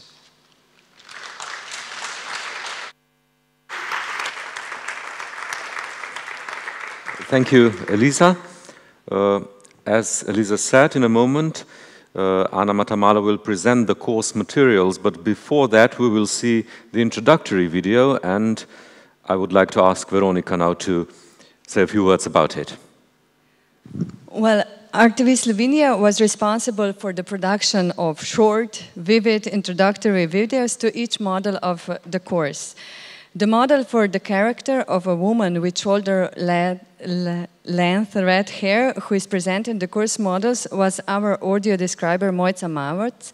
Unfortunately, she is not here with us. Otherwise, you would you would recognize her in well in person and uh, in the video. And um, the subtitles were made by Sound Focus, our partner from Netherlands. The introductory videos tell the basic information about each module and are accessible on are accessible on the website of the project. And uh, we will now have a look at the general overview introductory video. Hello, and welcome to the AdLab Pro website. I'm an animated character of a woman with shoulder-length red hair. I have big eyes, and I'm dressed in a figure-hugging dark dress. I'm your host for this short AdLab Pro introduction, illustrating the training materials produced as a result of the AdLab Pro project, a European project that has created a wide range of different materials to use when teaching AD. These materials are free and they are designed to be flexible and used both in professional and academic contexts, depending on the needs of the learner. They come in different types and formats, and they are organized into six modules each subdivided into units. You'll be able to use all modules and do a full course or to pick, mix and match the modules or even the units to fill in gaps in your knowledge or build your own personalized course on a given AD-related topic. Module 1 offers a general introduction to AD and it illustrates notions that are indispensable for all the other modules. Module 2 focuses on recorded AD for the screen, in particular television and cinema. Module 3 deals with live or semi-live AD of dynamic performances and events such as opera and theatre plays. Module 4 deals with live, semi-live and recorded AD for static arts and environments, including reference to touch and touch tours. Module 5 focuses on additional services necessary to make a product fully accessible. It covers audio subtitles, voiceover and dubbing. Finally, Module 6 deals with technical issues and emergent practices, including the translation of existing ADs, text-to-speech, and machine translation. For each module, a wide range of materials will be available. These include core videos, additional videos, reading lists, tasks, and a trainer's guide. Core videos illustrate key aspects of AD. They include subtitles and a transcript, and are based on slide presentation that trainers can reuse and adapt. Additional media offer supplementary information using a blend of audiovisual material. Reading lists are organized by module and include the most important references in relation to each topic. Tasks provide suggested activities and exercises to use in class or at home. The trainer's guide describes the contents of each module, and the way trainers can use them. Finally, you can also practice your skills by accessing the relevant link. Ready to start? We are sure you will find the materials that are more appropriate for your needs.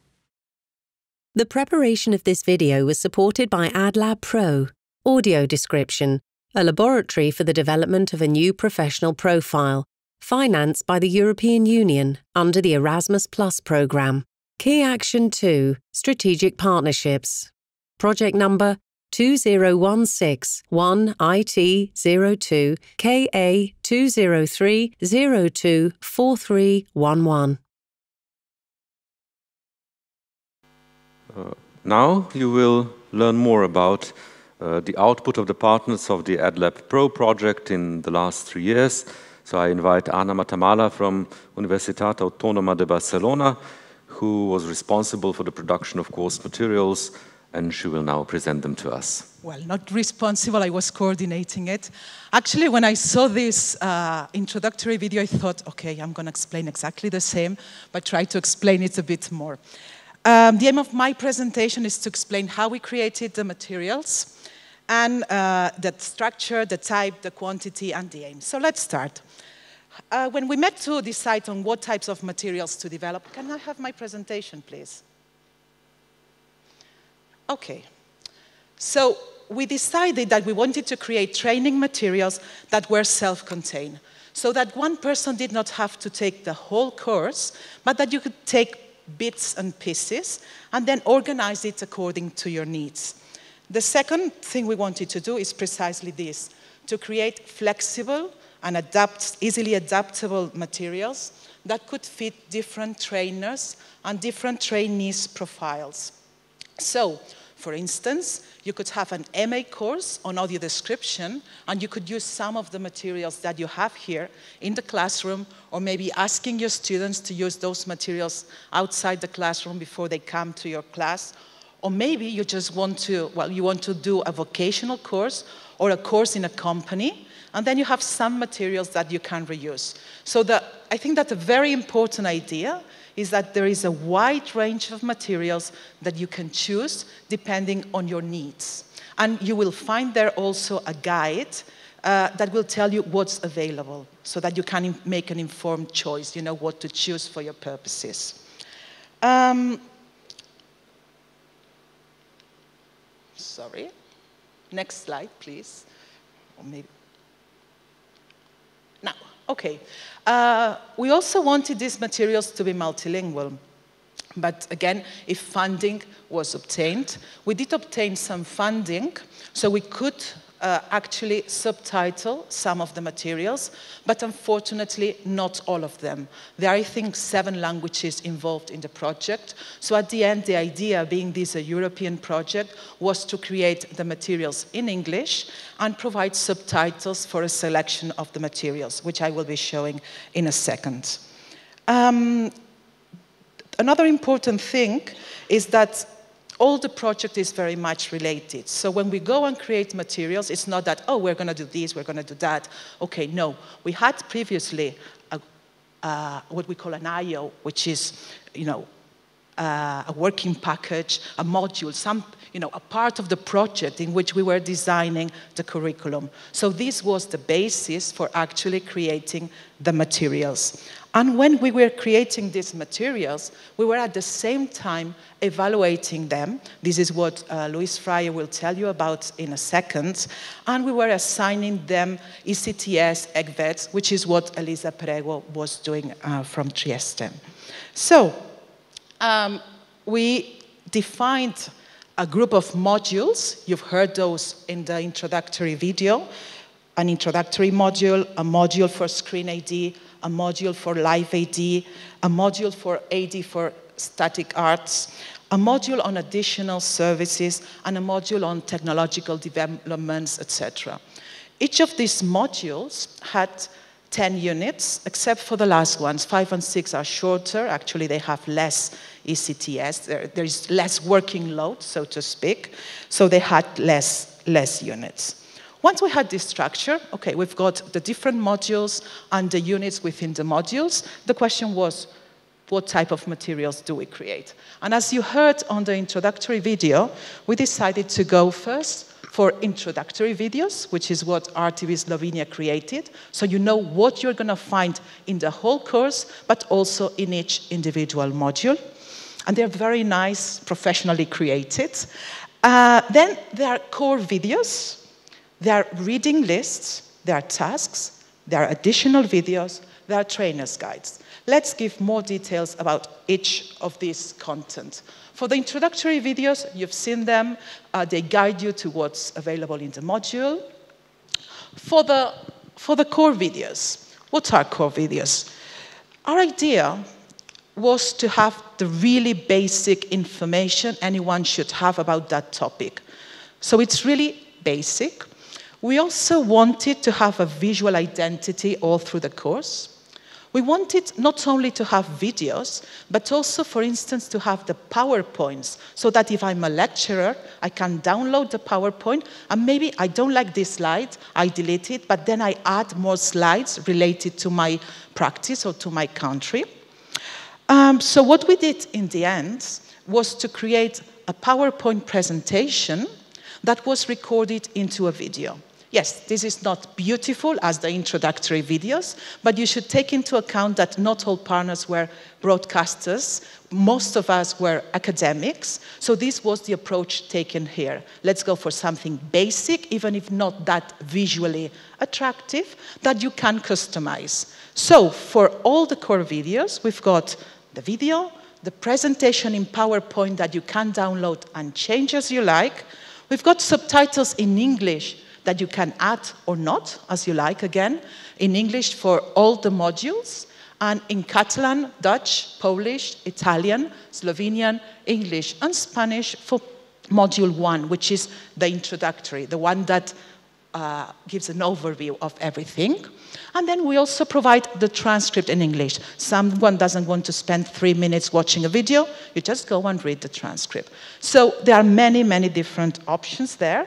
And I would like to show you the first one, which is a video created by our colleagues from Poland on the language of AD. As I said, it's very, very basic. This would be a nice introduction before the talk we had uh, before, you know, for someone who doesn't know about audio description and language. So if you can play the first video, please. This is an AdLab Pro video. AdLab Pro is a project funded by the European Union. This video is made available to you on a Creative Commons license. Hello, I'm Agnieszka Chmiel from Adam Mickiewicz University in Poznań, Poland. In this AdLab Pro video, I will present the basic information related to language in audio description. This is Unit 7, Language, in Module 2, Screen AD. The words in audio description replace images so they should be vivid and paint a picture in the mind of the blind viewer. The language used should also be brief and as descriptive as possible due to time constraints. Don't use meta-language such as we see or in front of us. Use specific vocabulary. When it comes to nouns, it's better to say a dachshund than a dog. Similarly, a turtleneck will be more telling than a more general sweater. Use specific and descriptive verbs it's more informative to say that the character skips or marches instead of walks. Don't avoid colors in your description. Some blind people who have lost sight have visual memory of colors. Even congenitally blind have certain associations with colors. Adverbs should be used sparingly. It's better and shorter to use a specific verb. For example, say grin instead of smile widely. Avoid subjective and ambiguous adverbs that do not describe anything, such as characteristically or appropriately. Use simple present tense and short sentences. You can vary syntax to match the scenes. Use short sentences and ellipses for fast action. Use longer and more complex sentences for descriptive, illustrative scenes. Similes and metaphors could be useful, but they should be used with caution. For example, the stage stands on end and sinks like the Titanic. He holds the syringe like a dart and inserts it in the buttock. The lightning hits the water, a web of blue zigzags illuminating the raging ocean. It's easy to imagine, isn't it? Remember to organize your description in the appropriate order. For instance, when describing appearance, you can move from top to bottom, wearing a green hat, a pink suit, and dark gray high heels. Watch our additional videos related to describing sensitive content and various genres, such as children's films, comedies, TV shows, and documentaries. If you want to find out more, I recommend reading Remael's audio description for recorded TV, cinema, and DVD, an experimental style sheet for teaching purposes, and ITC guidance on standards for audio description. I hope you have learned some interesting things about the language of audio description from this video. Bye! The preparation of this presentation was supported by AdLab Pro, Audio Description, a laboratory for the development of a new professional profile. Two things about core videos. They're short, so they get to the point. Different lectures, lecturers created them, so we all have our own style. So when I watch Agnieszka's videos, they are calm, nice, with a nice pronunciation. If you watch mine, I'm just rushing. So, you know, we all have our, our, different styles, but also that's the beauty of it, I think. And then we also made an effort uh, that you can actually listen to them as a podcast. So we made an effort uh, that it could be understood without watching, uh, without actually seeing the, the PowerPoint. So that's an example of a core video. Um, I will, there, another type of materials we created are reading lists. You saw that on the video, on the core video, we normally mention one or two uh, interesting references linked to that, to that core video. But we also created a PDF which includes five basic and five advanced references per unit. We had a discussion, okay, should we include content in Catalan, in Slovenian, in other languages? In the end, the decision was to go for seminal English references accepting that when you do a course in your own language, then you will be adapting that. Otherwise, it got too complicated. The other thing was, this is going to be outdated very soon. Yes, it can be outdated. I mean, it can be outdated, but there are still some basic references that our students should know. So this is what we aimed at, and maybe we can show now uh, an example of a module reading list, uh, just so that you know what, what it, it looks like. So it, if we can go for to module one, the PDF of the reading list, um, basically uh, we've got one file which groups all the references for the module. So if the module has 10 units, it will be uh, all the references. So you've got the different units in the module. This module one on screen now has 10 units. And then for each, uh, for each unit, we've got five basic reading recommendations and five additional reading recommendations. So in this case, this file includes all the modules. So for each unit, it is exactly the same. The point of me showing is not for you to check the, the references, just so that you have an idea of what this is about.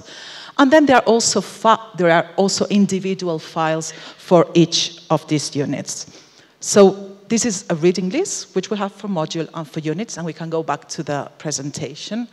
Uh, please, we don't need to show the other one because it's basically just for, for, the, for the unit.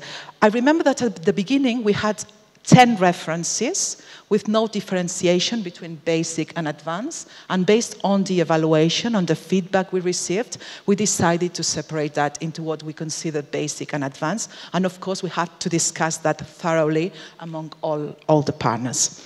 Okay, um, another example are tasks. We've got between two and six tasks per unit in one file. So what are the tasks? The tasks basically, we've got a multiple choice for each unit, a question with five possible answers, and you know, just one of those is correct. And then we suggest different tasks. And for this task, what we do, tasks are exercises. Um, we say, what's the aim of the task? If it can be done individually or in group. Uh, how long it will take you to actually do that task with your students. Um, the material and the preparation that you will need. Will you need a handout? Will you need some videos? Uh, how it will develop this task, so the, the steps to be taken by the trainer. If there are any additional comments or a student handout to be given, this is also included. Um, on my presentation, I put two links, but I will not be showing them, I think, uh, because it's PDF. So basically what I was telling you, on a PDF, you have all this information uh, with the task, and I'd rather use my time to show you a few more videos. So that's those are tasks which, in fact, you can also use as assessment. Okay, so if you are a lecturer, you may want to use that task during a class, or maybe you want to ask your students to do that and then assess.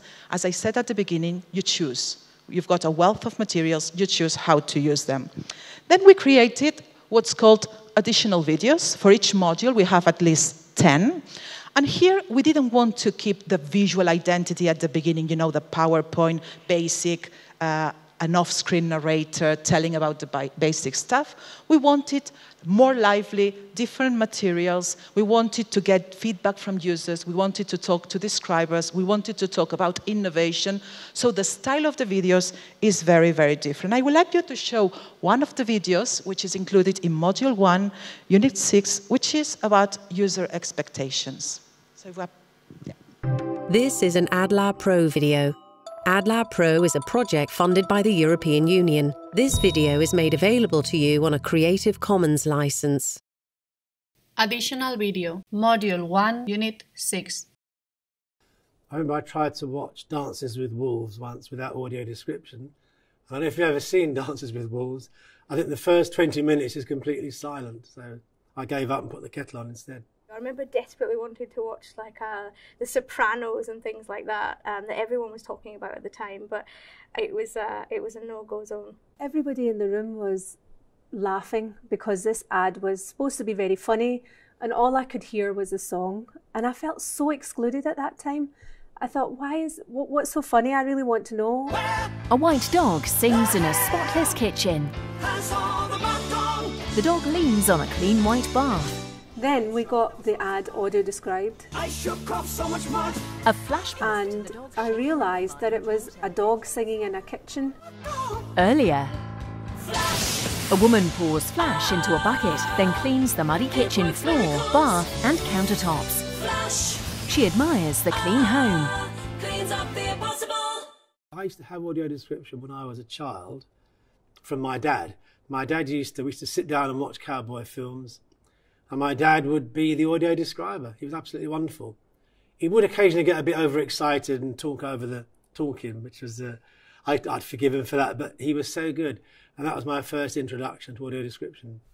When I was growing up in the 70s and 80s, you know, TV was fairly easy to follow because there was lots of dialogue, but now there's lots of visuals, and you really need to know what's going on. Inside the dark house, Hopper walks down the hallway with a flashlight. I, I, definitely say Orange is the New Black, Stranger Things, and Game of Thrones have been my audio description highlights. Eleven closes her eyes. Elsewhere in the lab, the man from the photo sits at a table with a piece of paper. A, a lot of those little subtleties in the way a person looks or something they do with their hands is actually a massive part of the story. Eleven steps out wearing the dress and wig. Lucas gives Dustin an impressed look as Mike gawks wow. at her. If it's a gentle film, they'll have a perhaps a gentler voice. Mike blinks, tilting his head. And in the action films, they'll have a harder edge description. It drags dried growth and a piece of shepherd's suit across the floor, leaving behind a trail of blood. All that tension, a lot of that is based in, in seeing what's happening and getting a sense of the, the, the atmosphere. And, and that's really brought to life as well by audio description. You know, uh, when you're at the theatre and you hear parents telling the kids what's going on on the stage and you're you're like you know you're helping them to understand and obviously without audio description i can't but audio description explained it to me, and then I could explain it to them at the panto. So that was a really wonderful experience. At a football match, um, I, I, get a, I get a radio receiver that I plug my headphones into, and then there's a commentator sitting somewhere else in the ground that will commentate on the match, and so that I can en- enjoy it just as much as the other people.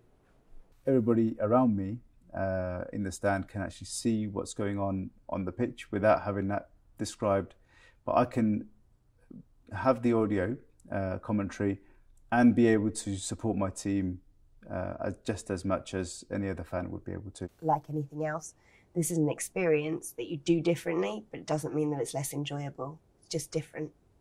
And it's not been less enjoyable for me. RNIB. See differently.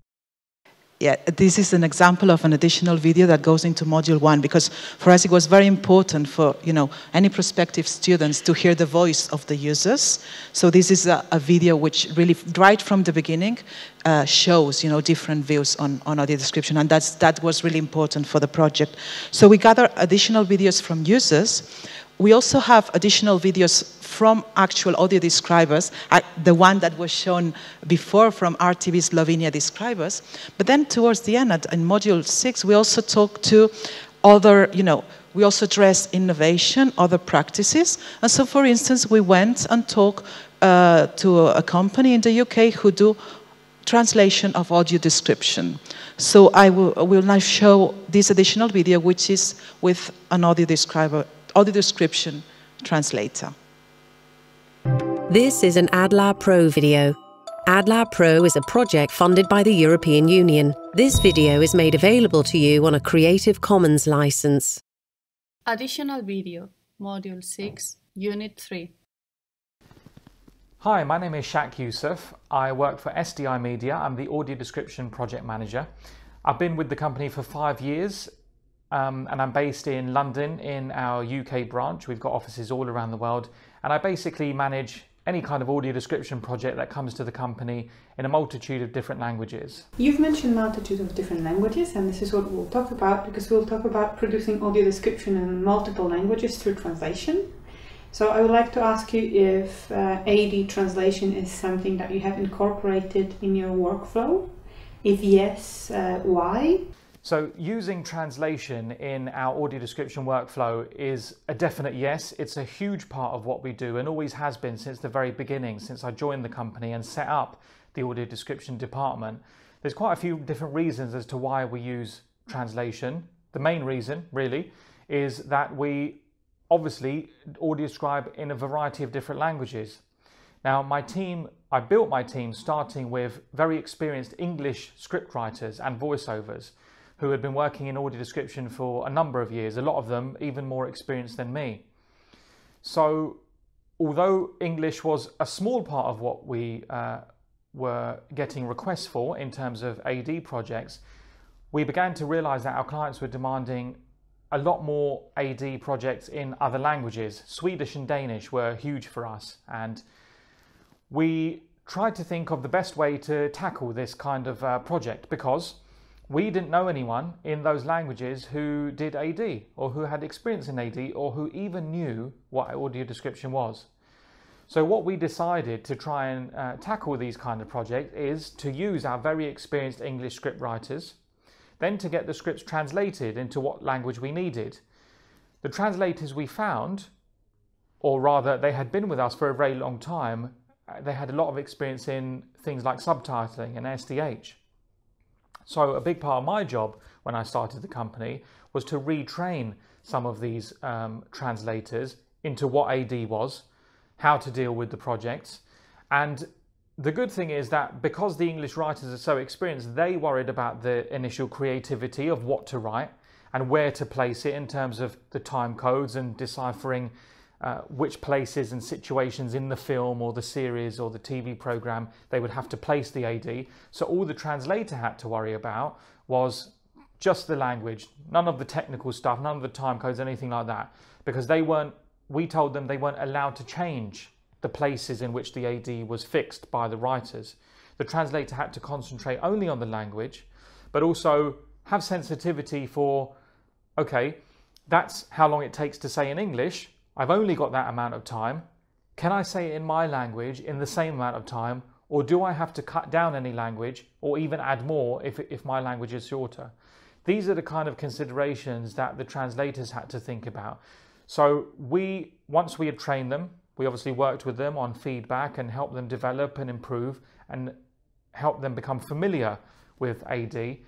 Um, and again, the reason why we employed the the AD, uh, the translation workflow, I beg your pardon, is because the experience that we had was in English, and we just didn't we didn't have many people that we knew in other languages who had that much experience in AD. So we needed to train them in what they were good at, translating, before moving them on to eventually being able to write AD. Additional video, Module 6, Unit 3. Okay, so for instance, this additional video, you may agree, you may not agree with translating audio description, but it's set within a unit in which we talk about translation, then we give different views, and then tasks as students to discuss this. Um, so additional videos provide additional food for, for thought. Let's move to the, to the next. We will not be showing the other presentation. We'll keep. I, I, okay. Um, the, the last type of materials we created are trainer's guide. So as I said, this is addressed to trainers who want to use training materials in their courses. So what we created is one trainer's guide per module, which gives advice to trainers on how to use the materials. So in each trainer guide, you've got an introduction uh, and the module structure, so who is the trainer's guide addressed to, the aim of the module, the structure of the module, the type of learning materials that they will find in that module, the learning outcomes, so what the students will learn if they do everything that has been planned, the training, the actual training materials, how many videos, etc. And also, we included here the key, the replies to the tasks that we prepare. So this is document specifically for the, for the trainers. In terms of numbers, what we've created are seven introductory videos, six plus the general one, 50 core videos, which include subtitles, transcript, and the slides in PowerPoint, um, reading lists per unit and per module, so 56 altogether. Additional videos, we have 122. So you've got a lot to choose from. Uh, tasks, we've created 197 tasks distributed along all the modules and units, and we've got one trainer guide per module. So I think we've worked quite hard, and we hope that you will be able to use those materials. Uh, where will those materials be found? Uh, will uh, explain that in a minute. And they can also be accessed from an open access repository at Universitat Autònoma de Barcelona, which guarantees the sustainability. This is a permanent link. So I really hope you will be able to use these materials and that you will be providing feedback. Thank you very much.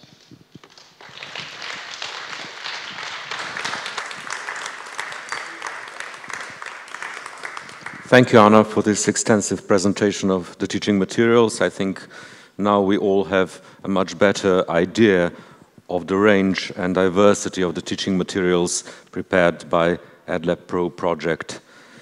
Uh, it's time to move on and now we will see a presentation also connected to what we've just heard about. The creation and organization of the web page of the AdLab Pro project was the task taken up by Sound Focus, a post-production company from the Netherlands, specialized in sound design and media accessibility. Sound Focus was founded in 2008 by Merijn van der Heijden. A large part of the work involves the production of audiovisual translation, translation, subtitling, and audio description. Sound Focus also designs and develops software solutions for media accessibility. Merijn is not here with us in person, but he made a video presentation about the web page and hopefully we will be able to join, he will be able to join us via Skype later. Let's look at his video presentation now.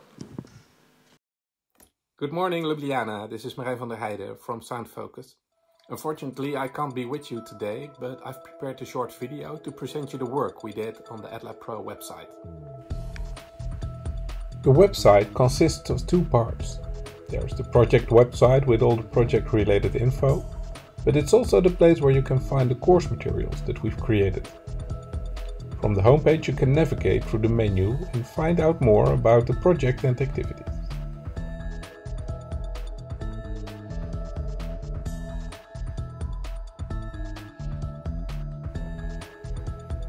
The intellectual outputs and all the people that are involved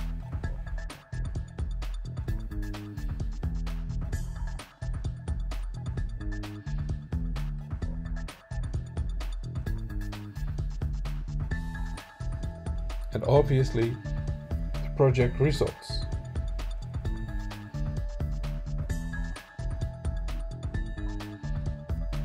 For those who want to get started right away, or those who will visit the website more often to download new materials, it's possible to navigate directly to the course materials on the homepage. This is the main page of the AdLab Pro course materials. It starts with an introductory video about the complete course and it's also possible to download all the materials at once. There's also the course structure, which will guide you through all the materials. It's also possible to choose one of the modules available. In total there are six modules. Bottom of the page it's also possible to practice your own skills by opening the online audio description editor. If you want to find out more about a particular module, just go into one of the modules and watch the introductory video about this particular module. The video itself is accessible as well and comes with closed captions and download alternatives including an accessible video. There's also a video transcript of the complete animation.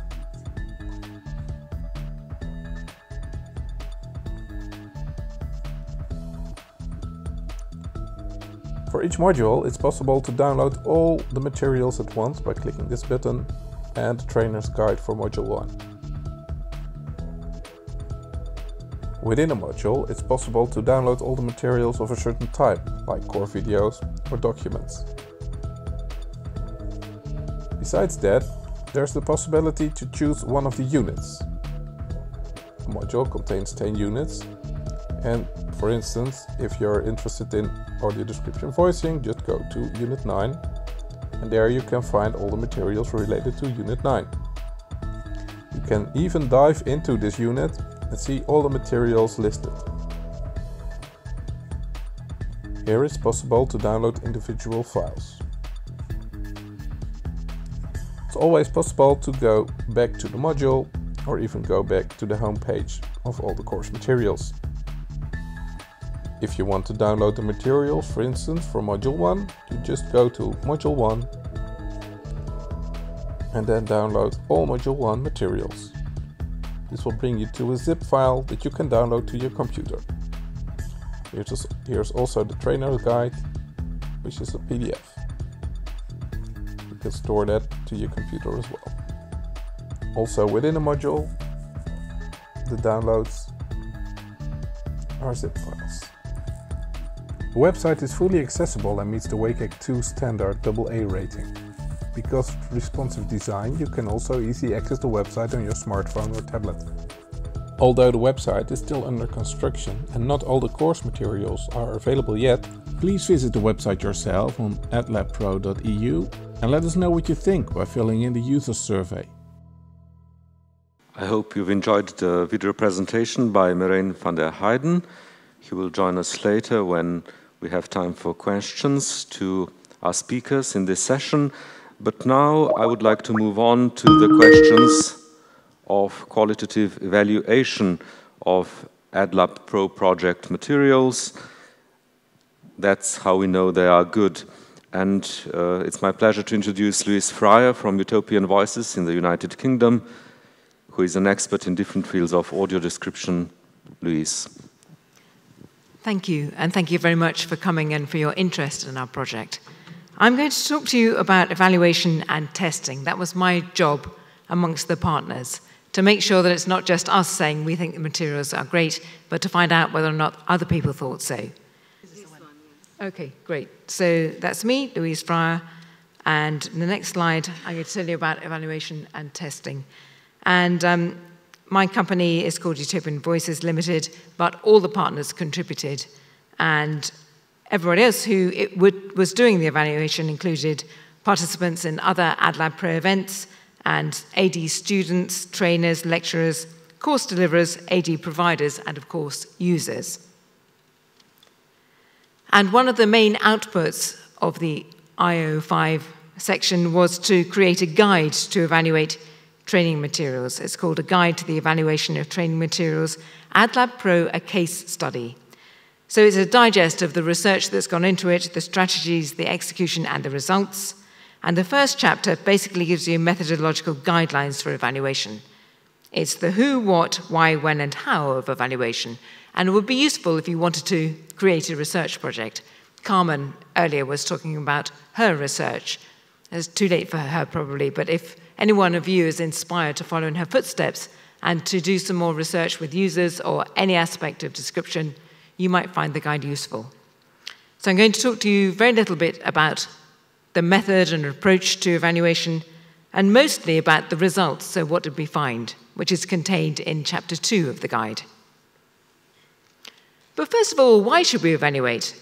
Well, evaluation provides evidence that justifies the value and viability of training programs. Its aim is to improve a project, to check it's meeting its goals, to better communicate its achievements, and also to come across any serendipitous gains or unexpected insights to show what we've done and to celebrate what we've achieved. Hooray! Essentially, there are two types of evaluation or assessment. It can be formative, which means that you assess ongoing results, or it can be summative, assessing the end result. Formative assessment is when the chef tastes the soup as she, he or she makes it. So you keep tasting it. Is it better? Shall I add a bit more salt, a bit more pepper? And summative is when everybody else tastes the soup when it's ready. And then you can decide whether or not to use that recipe again or never go near that restaurant again. Sorry, mentioning all this before lunchtime. Anyway, the other broad division is between quantitative analysis and qualitative measures. So with the quant version, you collect and analyze numerical data, things like percentages, averages, the mean and the mode, and standard deviation to tell you how much variation there is between your respondents. It's supposedly objective, you have large sample sizes to overcome individual variation. It can be generalized from participants to the population at large. It's supposed to be scientific because it's replicable, and it can determine questions of cause and effect. The other type is qualitative measures, which mostly analyzes textual data from surveys, interviews, focus groups. I've put observation and ethnographies in brackets because we didn't use those particular types of qualitative analysis and research. But the problem with qualitative measures is that they're seen to be subjective because they're less scientific, less rigorous, less replicable, and less easy to generalize. But they do ask questions of real people in real situations. They can produce richer data, and by providing thick description of a specific context, the reader can apply the findings to their own situation. The comparison between the two is that quantitative measures takes a hypothesis and tests it. The ideal is a randomized control trial. So we might say, we think these materials are great, and then we test whether or not other people agree, but with qualitative research, you uncover what the hypothesis should be, so you find out what your question should have been. It's collaborative and it's about listening. It doesn't have to be either or. There's a slow revolution, a quiet revolution, according to O'Cathain, to do with mixed methods, because the number of studies combining quantitative and qualitative approaches in health research has increased from 17% in the mid 1990s to about 30% in the early 2000s. The advantage of having both types is that you find discrepancies between the two. The disadvantage is that it takes more time, more resources, more effort to organize. So, who does your evaluation? Well, the stakeholders in AdLab Pro. A stakeholder is any group or individual who can affect or is affected by the achievement of the organization's objectives. So that might mean students of description, teachers, tutors, trainers, and lecturers who are going to use these materials, people who provide description, and users of AD who are principally people with sight loss, but not always. So you can think of the AdLab Pro materials as a rock being thrown into a pond and it ripples out to a hierarchy of stakeholders. So you throw in the materials, and first person to catch the stone or be affected by the ripple are the AD trainers because they'll use them to train their students. The students then will go on to become describers and provide description for providers of AD such as RTV Slovenia. And then ultimately those descriptions will be broadcast and used by people with sight loss to enjoy their TV programs.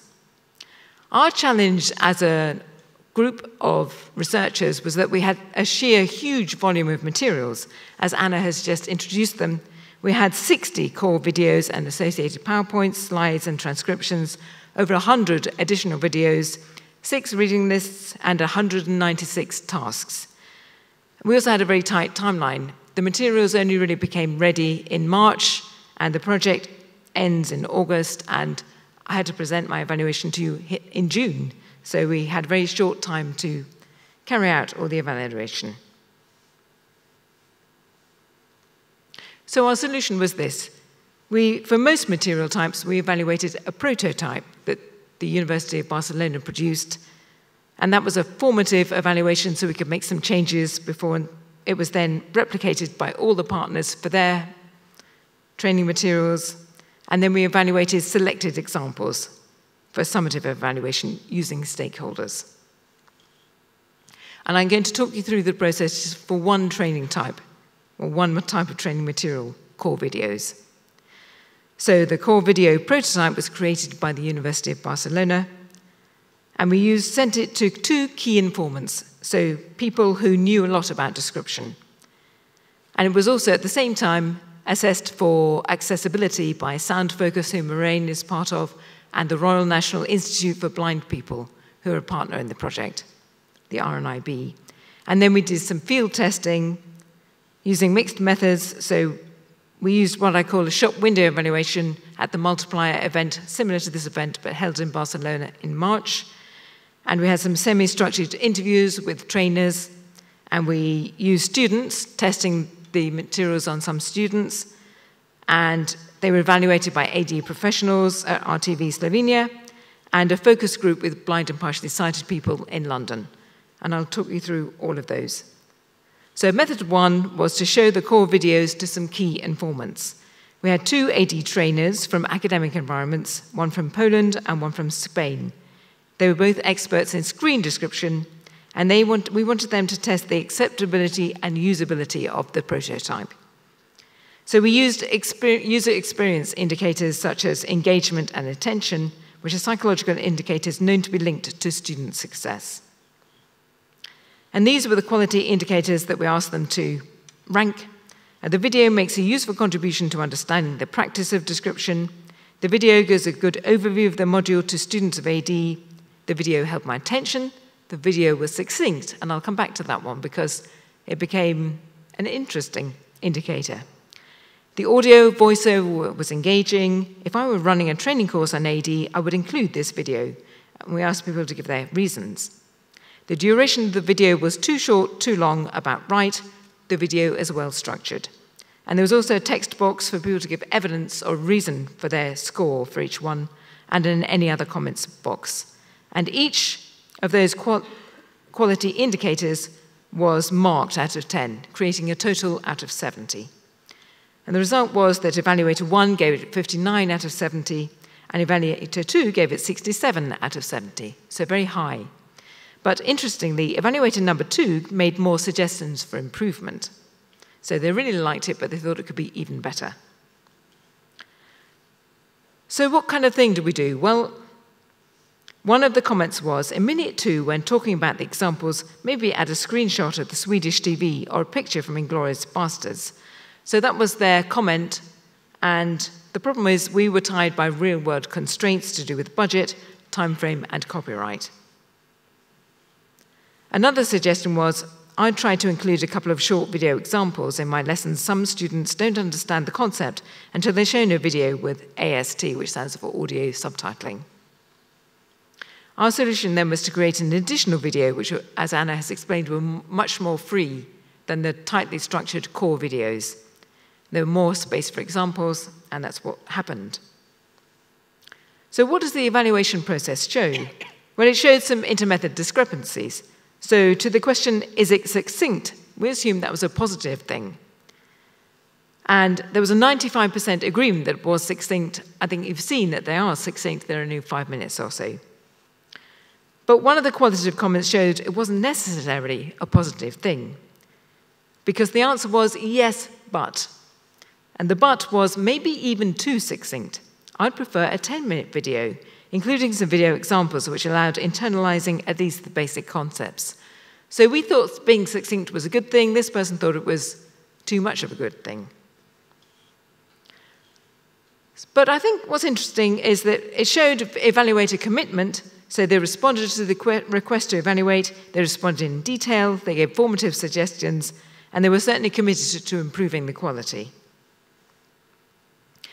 The next method was completely different. It was what I call a shop window evaluation, very much like you've just experienced. So the people who attended the last multiplier event were shown these videos and then had to fill in an evaluation form. And mostly that was due to a hard copy questionnaire, but an online version was also available to make it accessible. And who evaluated? Well, there were 36 people at the multiplier event. It included people who were describers, one user, several academics and researchers, tutors, teachers, and lecturers, a provider of AD content, students, and lots of people who had multiple connections. So, very much like Karmen, people who are describers maybe also research the description. People who research the description often also teach it. So, there are lots of people who have multiple connections, and they were the people who we asked to fill in the evaluation form. And they came mostly from Europe, 30 of them from Europe, but a couple from Asia, a couple from Australia, and one each from North and South America.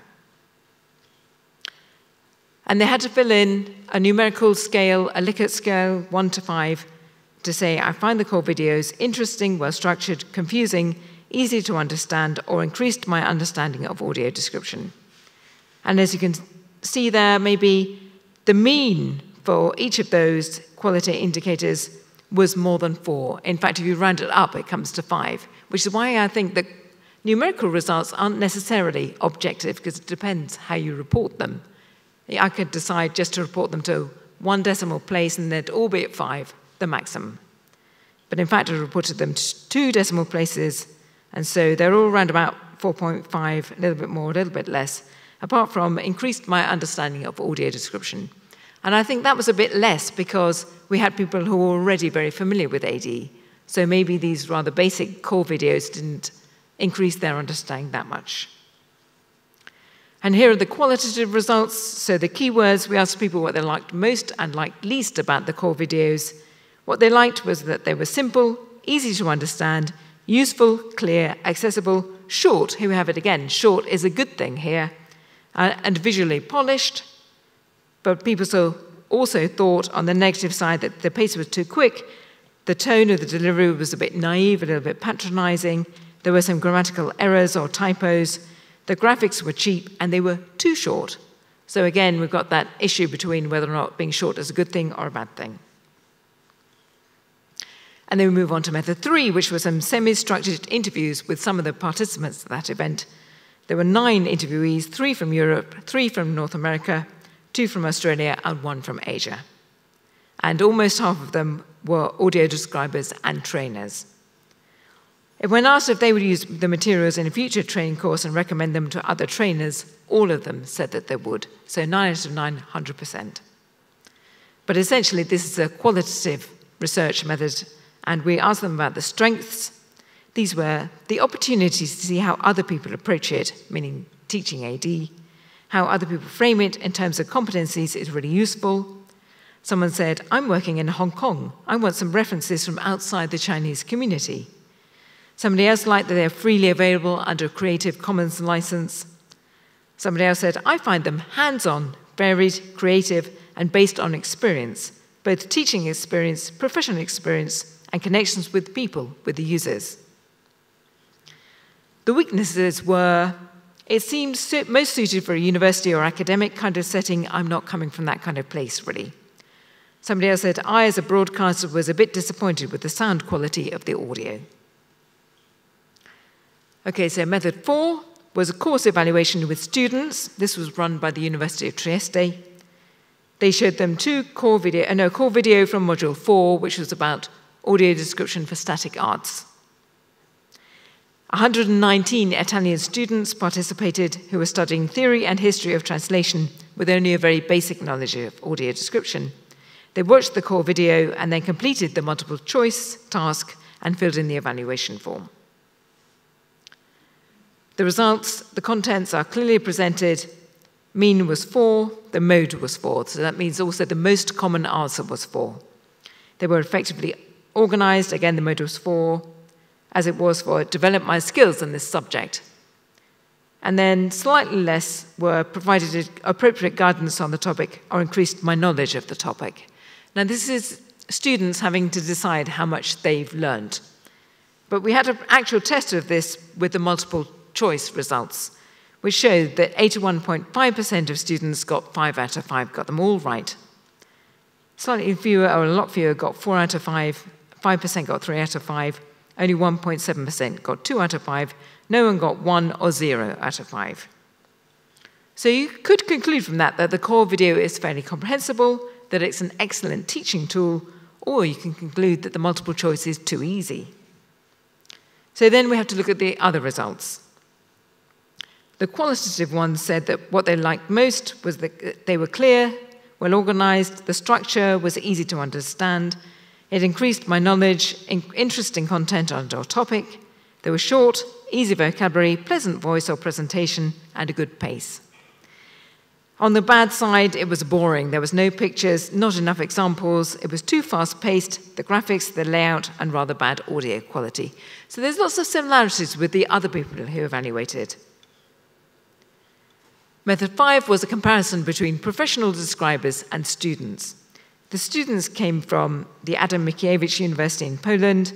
They range in familiarity with description from one, it being completely new to me, to five, being extremely familiar and the four experienced audio describers here at RTV Slovenia. And they watched core video and filled in an evaluation form, and the professional describers watched a different core video. In fact, they watched two.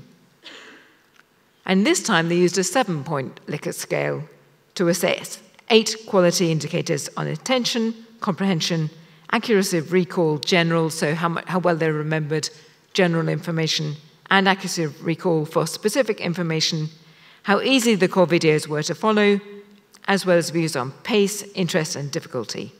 All those points were labeled, which also makes a difference. Uh, if you're interested in that, it's explained in the evaluation guide. But in addition, a nine point unlabeled scale was used for mental effort.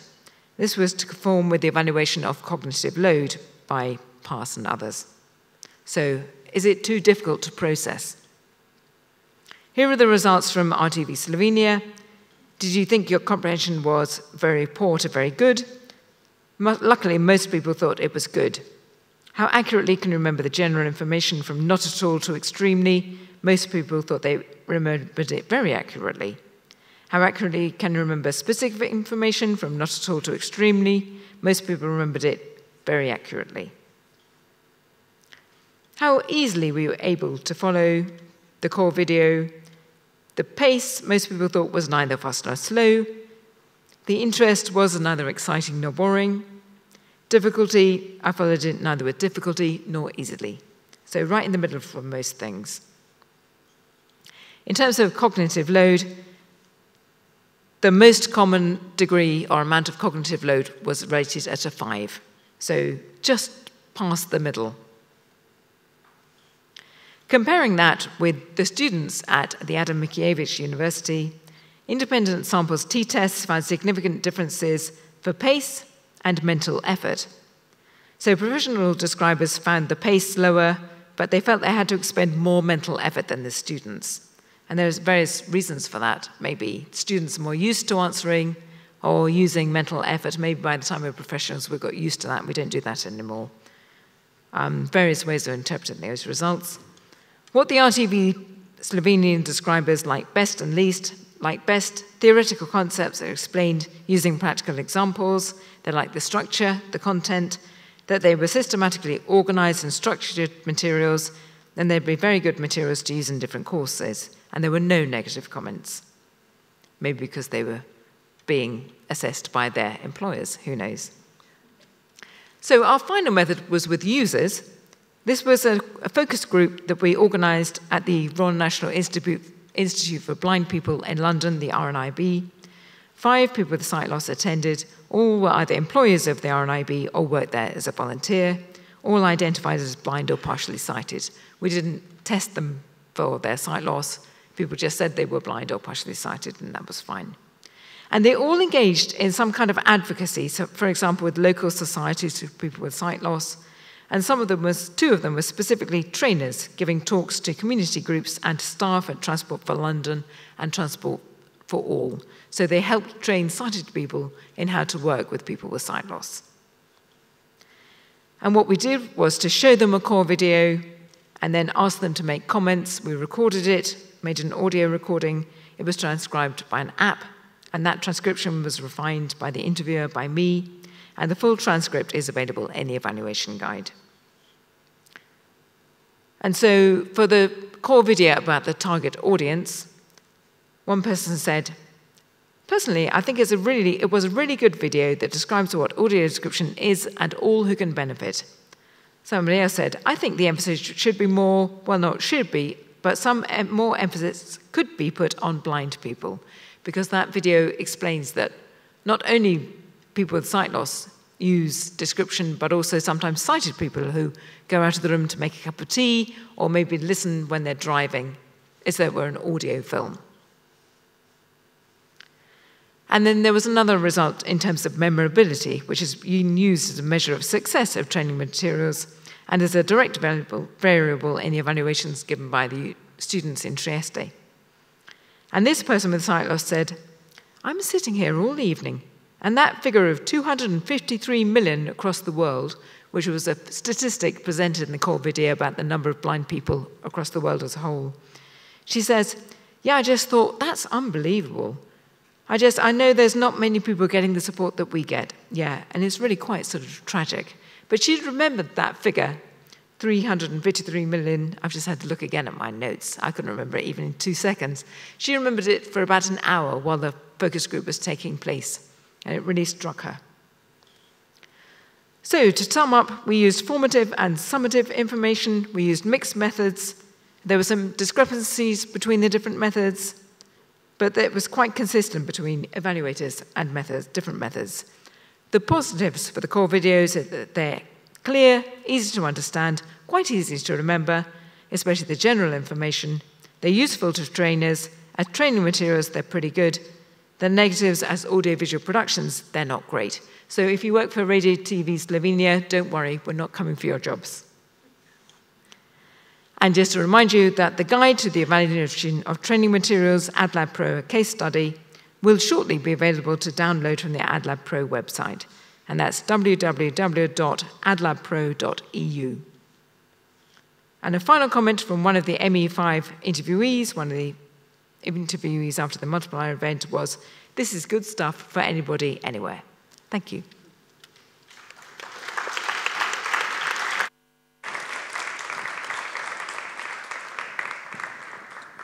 Thank you, Louise Fryer, and thank you to all the other speakers in the session. Hvala Eliza Perego, Ana Matamala in Merein van der Heiden, s katerim bomo zdaj skušali vzpostaviti stik prek Skypa za vaše vprašanja. Za njih imamo približno 15 minut časa.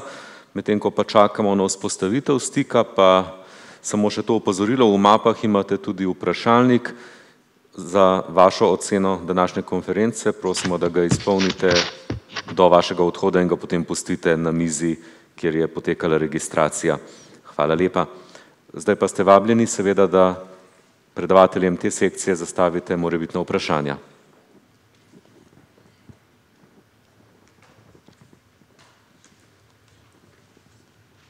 Ima kdo že kakšno vprašanje, morda?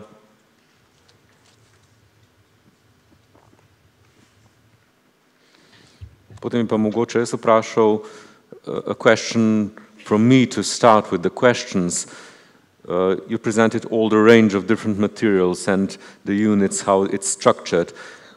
Uh, are there any uh, indications already which show that it could be even translated into a, a study program or something like that at a university?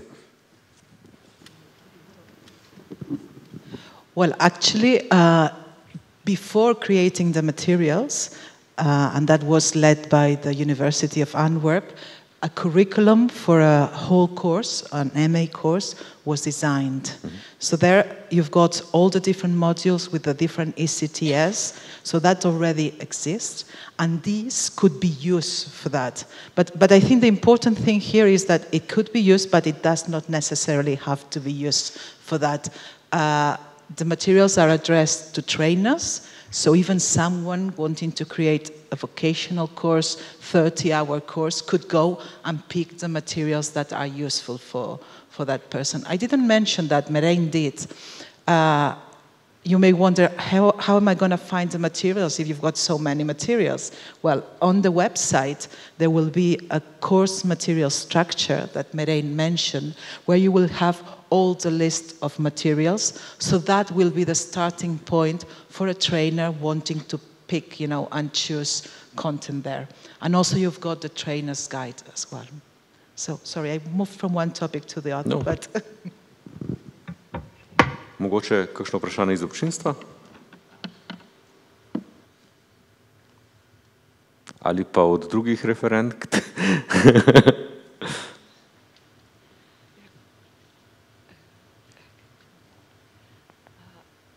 Well, maybe I say something. Can I say something?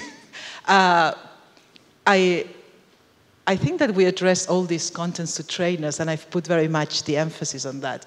But I also believe that, for instance, uh, an, a BA student or someone interested in audio description could go, download the core videos, and only with that, it would allow for some self-learning. Of course, you will not learn to audio describe and actually write the descriptions. For that, you need a trainer together with our materials, okay?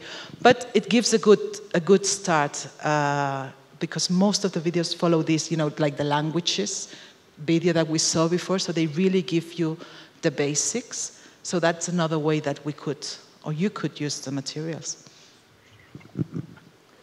May I ask, uh, is there any plan how to make people more aware of the existence of materials? I mean, at universities, of course, but general, the general public probably doesn't really know about audio describing if they don't have any contact with it.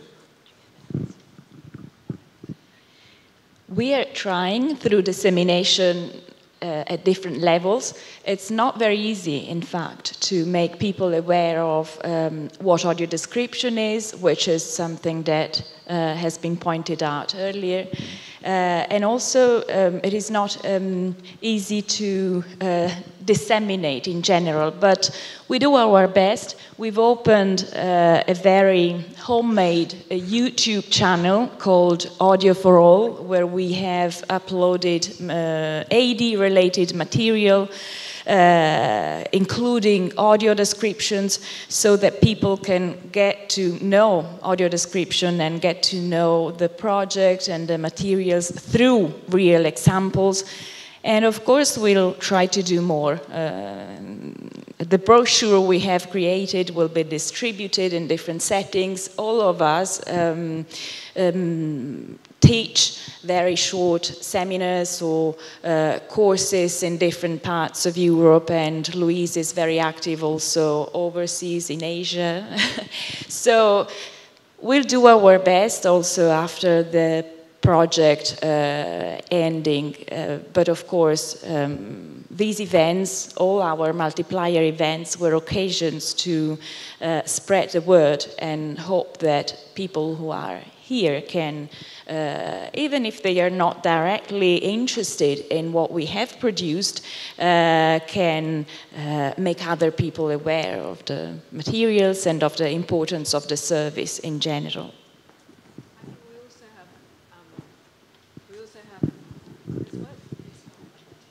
Okay. So we also have um, stakeholders who are supporters of the project.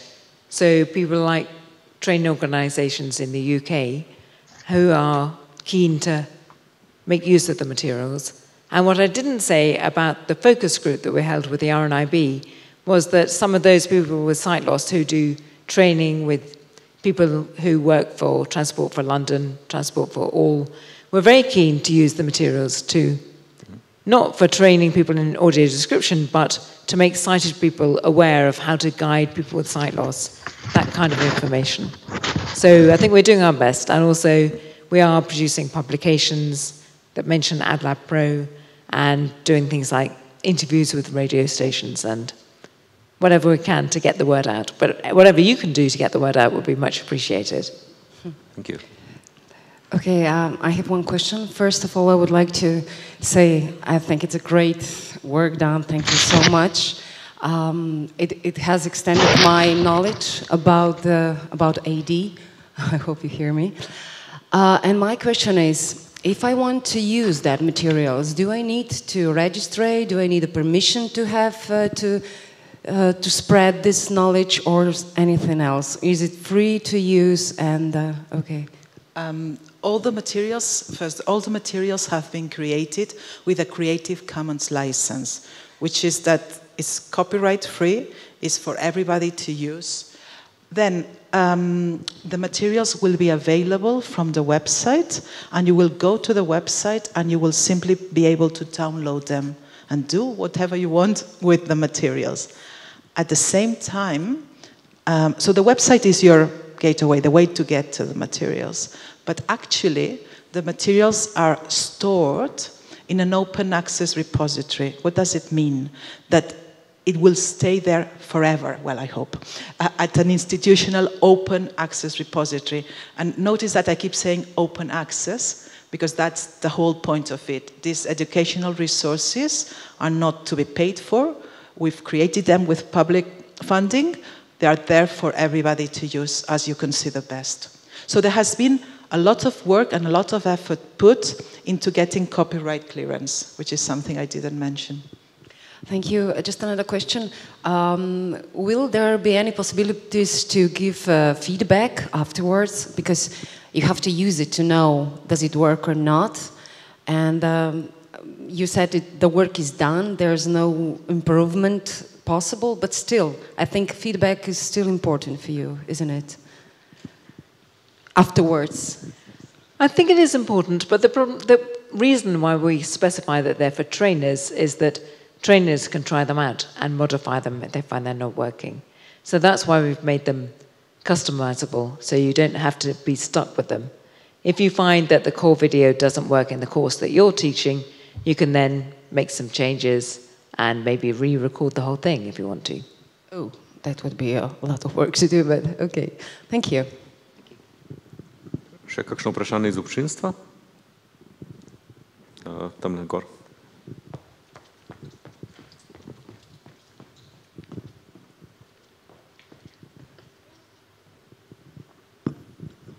Thank you.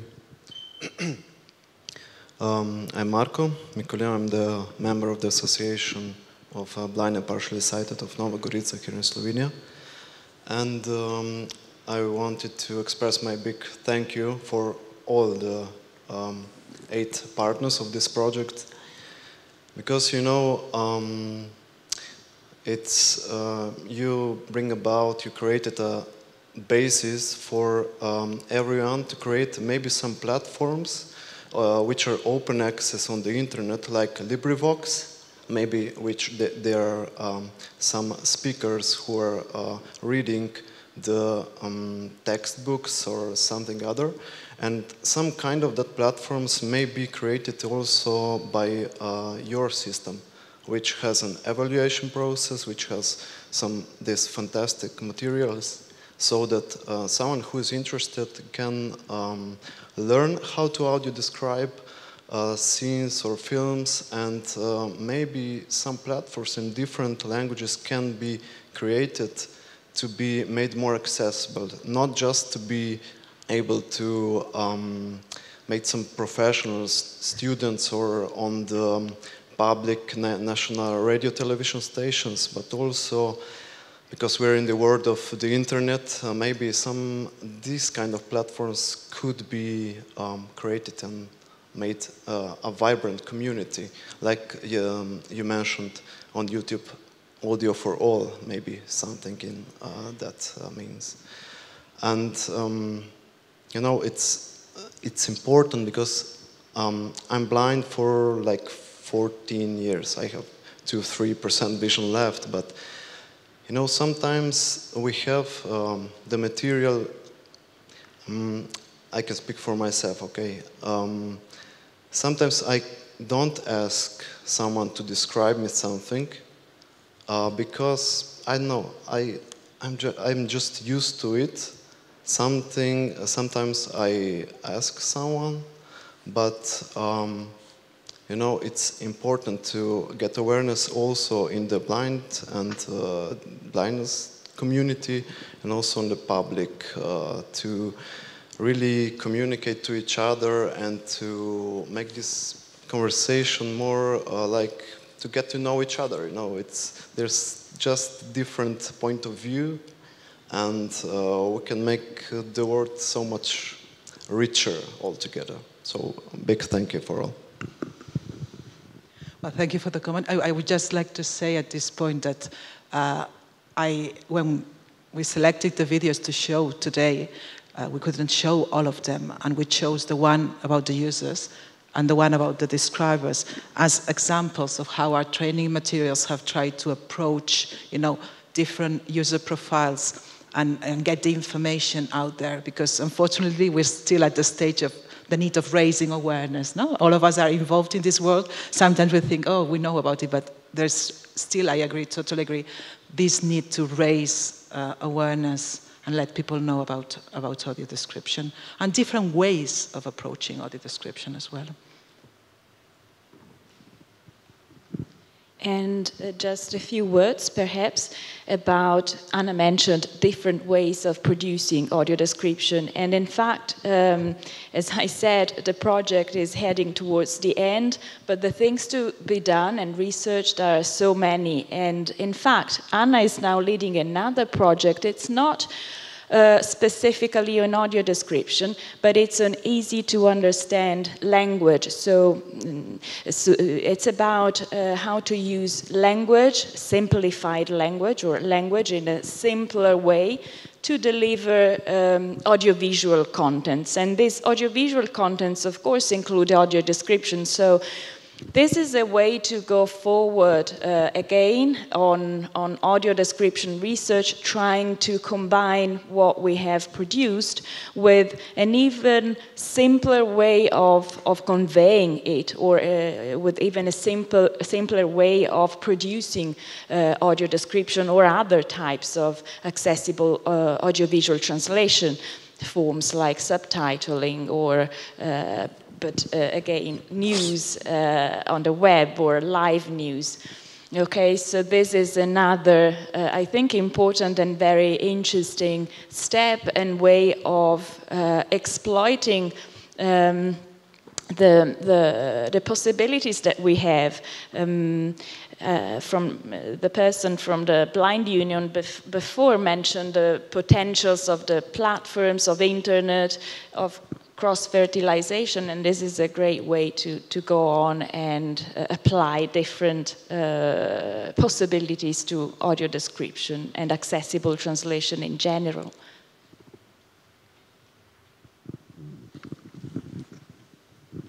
And just to add to that, I think that description in my lifetime, I mean, I've been describing for 20, 30 years um, in the UK, and now I mostly describe for live performances, so theatre, opera, that kind of thing. And the big change that's happened in my life of describing is not only that description has happened at all, but now directors of theatre plays want their productions described. They want to make it accessible. So they now come to me rather than us having to go to them and saying, we think you should make your, your production accessible. They'll come and say, we want to make our description, our theatre play available with a description. How can we do it? And if you can work with the directors from the start, and the same is true for film and possibly for TV, then it means that everybody is committed to getting the message out there that it will be accessible and that it will be accessible for every performance because in the theatre often you just have one or two described performances in a run and that means the person with sight loss has to be free on that particular day whereas if it's integrated so it's created from the start by the actors with the director's involvement then it's there for every performance and everyone can enjoy it can I ask one question to Merijn? Because we're passing the mic and, and we're not asking. Uh, Merijn, maybe you want to, to tell us a bit more about the accessibility of the website because we've paid a lot of attention and Merijn has been, has been leading this. Merijn, I pass you the mic. Yeah, thank you very much, Anna, and uh, welcome to you all. Uh, it's very nice to be here digitally with you. Um, yes, we uh, did put a lot of attention to the accessibility of the website because um, if you uh, teach something about accessibility, it's important to be accessible yourself as well. Um, and um, uh, we here at Sound Focus do have a lot of experience with uh, the accessibility of uh, online content, besides the fact that we do audio description for film and television. Um, so um, at the start um, of building the website, we uh, were thinking about accessibility already. Um, so also the, the web developers are familiar with building in an accessible way. Um, and what I did not mention in uh, the video is that when uh, the work is done for us, so all the files are uploaded, all the, all the download packages um, are there, um, then we will um, bring the website to uh, uh an uh, uh, independent company who will check the complete accessibility. So we know for sure that we are accessible and we'll get the mark that it will be uh, accessible by the WCAG guidelines. Um, so this means um, all the material on the website itself, for instance, the video that you can play on the website is accessible um, with um, subtitles, um, text alternative, and also the possibility to download the video. Um, but also underneath, so all the coding is accessible which means that you can uh, use the material and the website on several devices. So um, it will work on, on almost every device. And um, uh, for instance, uh, a text reader that can be used by blind or partially sighted people um, can read the complete website without using uh, your screen and a mouse. So navigation and also uh, all texts are accessible as well. So we paid a lot of attention to that and it will be checked after the complete website is finished. Uh, thank you for that. I think we're almost out of time for the questions, so I would like to thank again all the speakers and thank you, Merijn, for joining us from the Netherlands. Best greetings. Sledi odmor. Danes so nam nekaj za podzop pripravili slepi in slabovidni člani zavoda Gost. Njihovo delo in jedi, ki so jih pripravili, bo predstavila gospa Metoda Likar. Just a short translation to English. What follows is the lunch break and the lunch was prepared by uh, blind and visually hindered uh, members of the institution The Guest. And now uh, Mrs. Metoda Likar will present what they do and the dishes they prepared for today. Lep pozdrav vsem zbranim na tej konferenci, namenjena prav nam, slepim in slabovidnim. Sem metoda likar zavoda, gost, katerega ustanoviteljica je medobčinsko društvo slepih in slabovidnih Nova Gorica. Sodelujem že od prvega začetka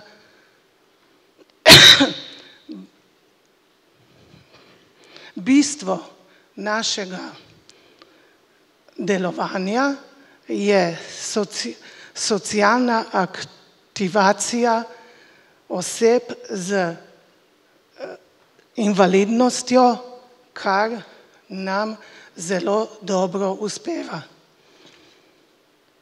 Ukvarjamo se z raznovrstnimi dejan, dejavnostmi, gojimo zelišča, pripravljamo oglede vrtov, predavanja in izobraževanja ter pripravljamo domače jedi na naš, iz naših zelišč za po, pogostitve. Danes smo vam pripravili uh, žlikrofe z uh, bak, bakalco. Bakalca je mes uh, omaka, omaka z divjačninskim mesom in zelišči. Zdraven tudi sirne namaze z našimi zelišči in uh, na koncu pa še uh, posladka, slaščice z sladko rolico, z okusom vrtnice ter uh, zelišne kekse z okusom janežem, janeža in mete. Vabljeni.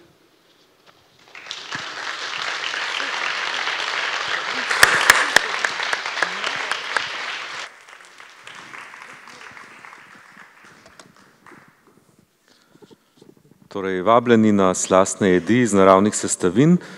Konferenca se nadaljuje ob 14. znova tukaj v dvorani. Sledil bo del, ki ga boste s predstavitvijo o dostopnem filmskem ustvarjanju odprla Gerhard Pročka in Gabi Rechsteiner.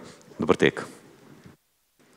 Gerhard Pročka studied German and Romance philology and language in Heidelberg and has been working in international scientific publishing. Since 2004, he is working in the field of disability, first as head of the department, Accessibility and Inclusion, of the biggest self-helping organization for the disabled in Switzerland, and from 2006 also as the director of the International Short Film Festival Look and Roll, focusing on related topics. He produces descriptive subtitles, SDH, and audio descriptions since 2006 with a group of three blind women amongst them Gabi Rechsteiner. Together with them, a team of visual, hearing, or physically impaired colleagues, he offers consulting for cultural events, festivals, and locations. Gabi Rechsteiner went blind due to a degenerative illness of the eyes. She started to work as an occupational therapist, then studied psychology at the University of Zurich, and worked for several years at the Institute for Applied Psychology at ZHAW Zurich. Today, she works in her own psychological practice in Zurich, cooperating there with Dr. Julia Wagner. She will soon receive her degree as psychotherapist. For daily life, she trusts in her guide dog, Willow.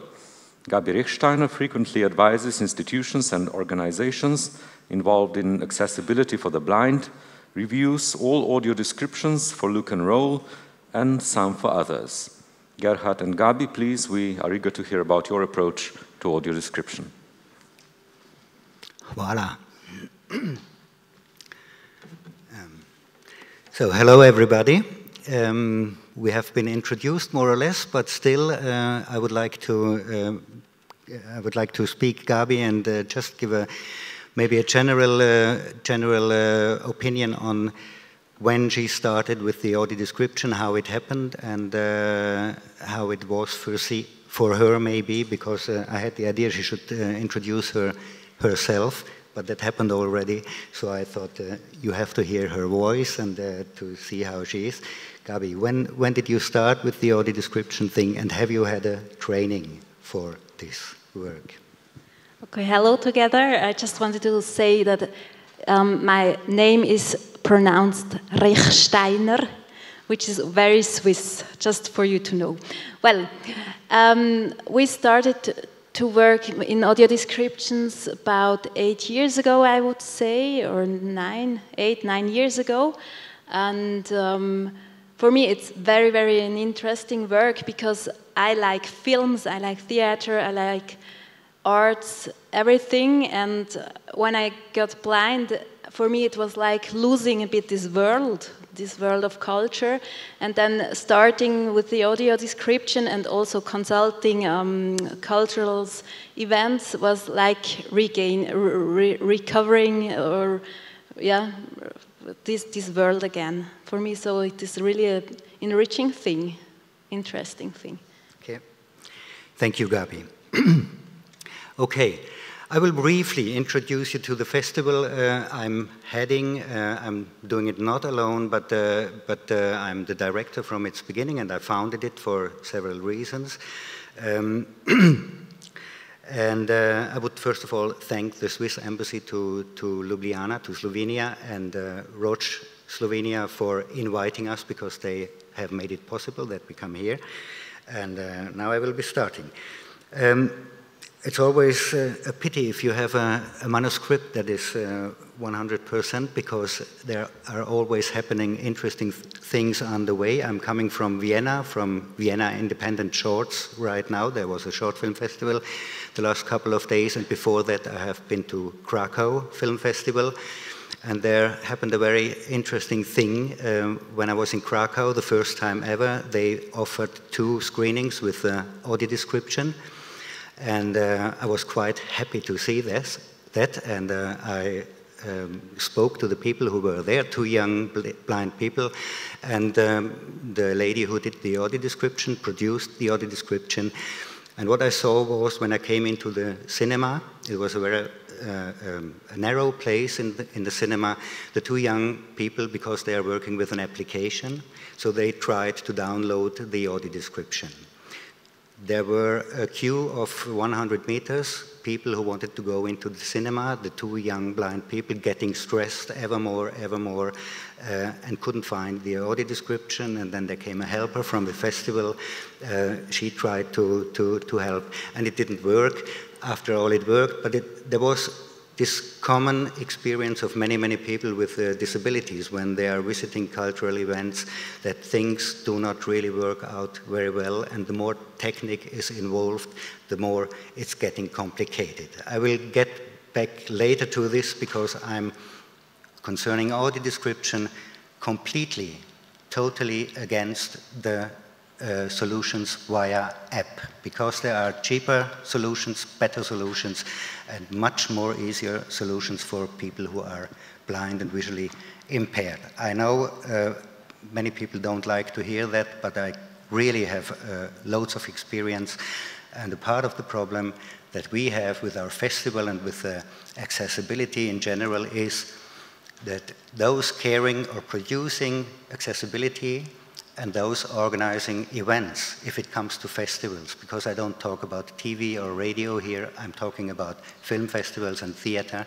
If it comes to the practical implementation, there is a huge gap between the people from the, from the event and the people from the, from the uh, visually impaired scene or social organizations. They don't understand each other, and, and that's really a problem, I think. Okay, Look and Roll. Look and Roll started in 2006 because um, we were uh, working with schools and we did um, train young people with uh, different um, impairments or disabilities to get to the microphone and to talk about their life and how they are living and, and what their needs are. And um, we always started with a short film because that's always a good, uh, good measure to talk about. And uh, have you seen this? And, uh, uh and, and, and, the people at the microphone, they could talk about the film and coming from the film, going to their own lives. So that's how it all started in 2006. And I thought uh, all the world would be very happy to have a festival like this in Switzerland because we are focusing on disability and aging and the elder, because there's a huge affinity between the two fields. And meanwhile, now, uh, with my experience, I always say when people ask, why are you doing that festival, I always tell them it's an investment in my own future, because with every little bit of accessibility, my life will be easier later. And uh, many of us are getting older and getting much older these days, and we all be very, very happy later on to have subtitles because I'm hard of hearing now, and for me, for instance, when I'm looking German films, I would like to look German films. They are never ever with German subtitles, so I go to festivals abroad where I can watch them with English subtitles, which is grotesque. Nobody thinks about it that deaf people and hard of hearing people need the subtitles in their original version in original language. I don't know how this is handled in, uh, in Slovenia, in TV, or in cinemas, or in other countries. Anyway, I had no idea about, uh, uh, about um, how, to, how to do a festival in, a, in an inclusive way or in an open way, open cinema, that's what we call it. Uh, and as everybody in the world, if you have no idea about this, you look to England or you look to the United States because they are 20 or 30 years ahead. It has been mentioned this morning several times. And so did I. And I, um, well, I did some research and I uh, met Marcus Weisen. If there are people from RNIB from the UK, will probably know him. He was a consultant to the Royal National, National Institute for the Blind in England and he made the contact, and I went one week to London to talk with the people there in charge about audio description and how to do it. That was the first step. The second step was I went to Roehampton University, also in London, because they are offering um, um, an education in accessible filmmaking. That was, uh, in a way, very interesting. In a way, it was a bit disappointing. I will come back to that later. But it was very helpful, and I certainly listened to a lot, a lot of uh, audio description on DVDs and so on. And uh, then I dared to begin. And I didn't know Gabi then. You have heard we only are working for eight years now together. And that's a, a third important point. Uh, who, who of the blind with can you work by producing the audio description? Because what we always say from the festival, it's in our wording, uh, an impairment alone or a disability alone is not a qualification.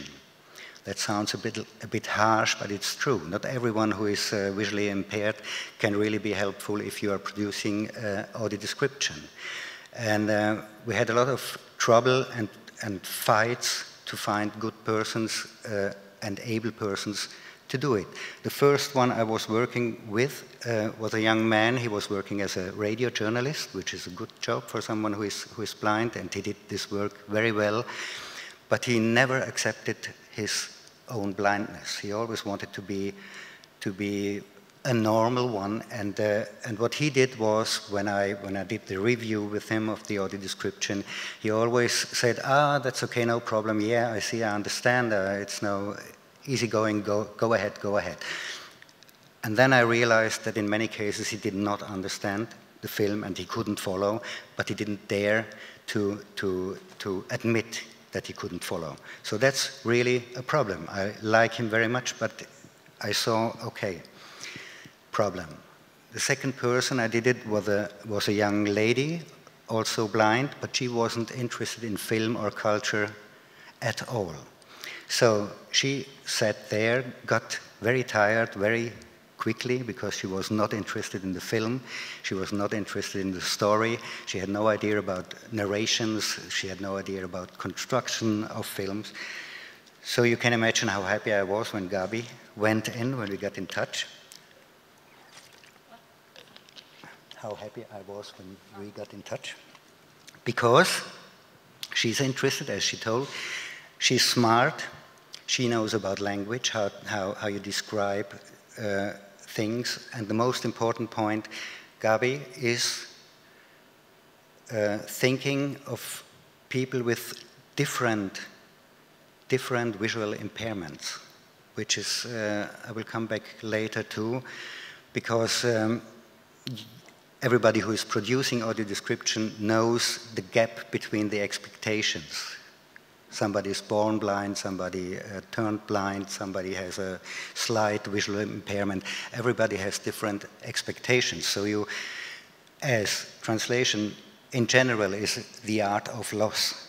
You can, you can uh, lose a lot of things and you always have to do these compromises. We, we heard that this morning everybody who is producing it knows it. So you need someone who would accept a certain limited um, certain limited informations on the film in order to, to get the rest of the film. And okay, so we started work together, Gabi, and uh, I will quote now one feedback from blind people. I think that's that's a problem also with uh, with um, audio description. At least in my case, in Switzerland, where we are a, a developing country, if it comes to accessibility, because sometimes I have the feeling blind people or uh, also deaf people or whatever kind of people with impairments, they are so grateful that someone is doing anything for or something for them, they never would criticize you,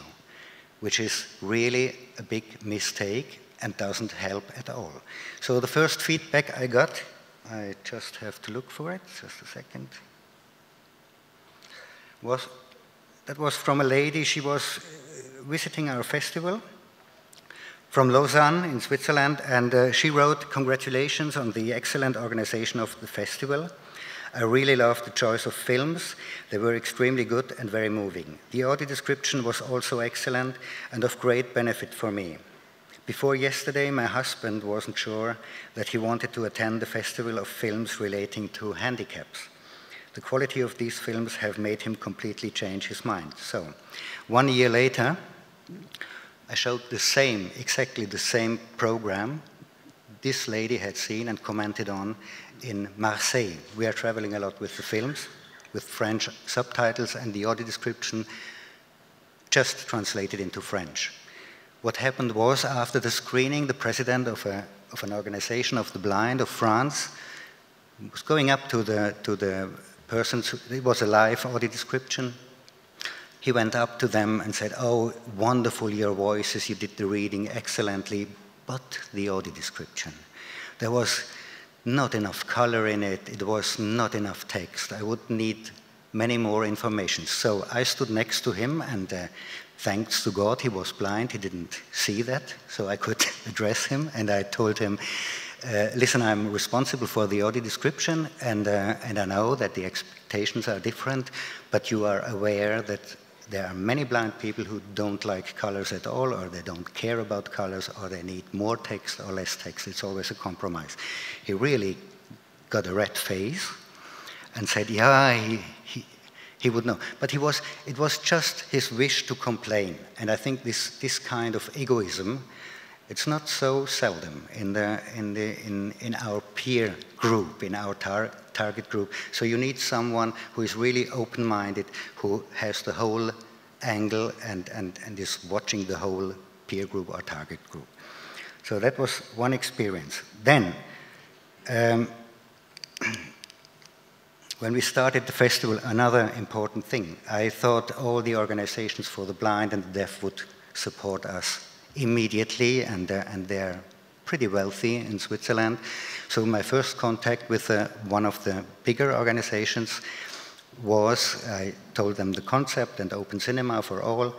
Uh, the president of the, oh no, the, um, how do you say, chief uh, executive officer of the organization, he told me, well, um, according to the statutes of our organization, we only support uh, projects for the blind and uh, we can't give you money because you are working for the deaf also. So that was my first contact. The second one was with another organization in Switzerland, active for the blind and visually impaired. And there the president told me, I hate audio description, care about guidelines or tactile pavement in the streets. That's much more important. Leave me alone. So that's that's uh, how we started. It was the same with the, with the deaf. And uh, so we did it on our own. We, got, we did the fundraising and we worked with, uh, with foundations. But that is to this day a big problem, that you always get immediately support if you single out one kind of impairment and you do a project for them, awareness raising things, but never, ever you get support with one exception, who is the founding organization of the festival, uh, you get support from from the organizational world. I think it's very sad and not in the interest of their members, but I can't help it. So we started, and I admit the first audio descriptions weren't good at all. Maybe you know, or the international ones of you know Heide Völz, who is working for Hörfilm in Deutschland with uh, Bernd Benecke. She did live readings with me of audio description at several festivals and screenings. And uh, once she said, uh, Oh, I would have loved to audio describe this film in a proper way. That was it was my audio description. So, but still, she was kind and friendly, and she was open. That was I, I really I like I like that very much. Anyway, so we got going. Things are, I think, really better now, and the feedbacks are coming in are really good. One of our main problems, and here I envy all of you who are working for television, is the technical implementation of audio description at festivals and at theaters and at opera because of an absolute lack of interest of many, many of the organizers because accessibility means an additional uh, effort that you have to give and most of them are not very open to it. it I, have, I have to say it frankly, like like this. Some of them are, as long as you can do uh, additional fundraising for the accessibility measures, but the money very often flows into uh, administration and overheads and things like that. And if you, if you watch, at least in Switzerland, at the festivals and, uh, and events, how little, how little the part of the programs is that is being made uh, accessible. It's really sad in one of the richest countries of the world anyway. Okay.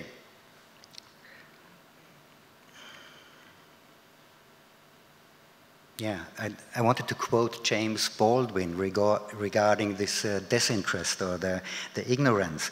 James Baldwin, when he wrote about, uh, about the problems uh, dark-skinned people have in American countries, he, he once said, or one of his characters in the book said, um, I'm feeling like being an animal in a zoo. Some people like zebras, some people don't like zebras, but nobody asks the zebra. And uh, that is one thing I, I, recognize very often also that the, there are so many experts now, because now is money coming in for inclusion in Switzerland, so many experts. I think even more experts than blind people, actually, in Switzerland, um, who know now we can, we can set up huge projects. Very, very few blind people are actually involved in the whole thing. And, uh, and many people are working on the, on the same topic in their projects.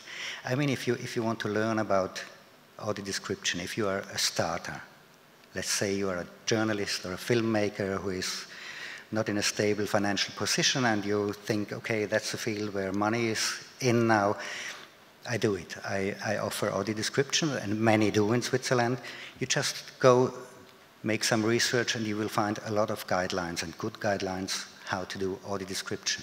And then you talk to someone who is blind, and you spend time with him or her. And not only 10 minutes for reviewing some audio description, really participate in, in the life of blind people for, for quite some time, and you will learn a lot a lot about the differences in perception between people who see and people who don't. Uh, and I think there's really a lack of, of, interest actually in the, in the life of people with uh, visual impairments. And on the other hand, too many people who pop up now and say, okay, we, we can do it. It's, uh, it's just translation. Ah, funny enough, when, I, when I'm reading the AdLab uh, guidelines, there's one funny thing, and I, maybe we can come back later in the discussion to it.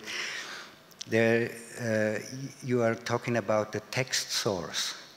Text source, uh, you, are bringing into a, a, target source or a target text, but I don't quite understand. The text source, or source text, is a, is a source visual uh, in my understanding, and uh, maybe I'm completely wrong, I'm, but I, I find that somehow irritating. And the other thing is that I think maybe it has to do that many linguistic departments are working in the fields. And I would wish for many reasons, but for one reason specifically, that the film institutes would be involved much more. Because, because they have to learn, the directors and the producers and the distributors of film, they have to learn how important it is and how it has to be done.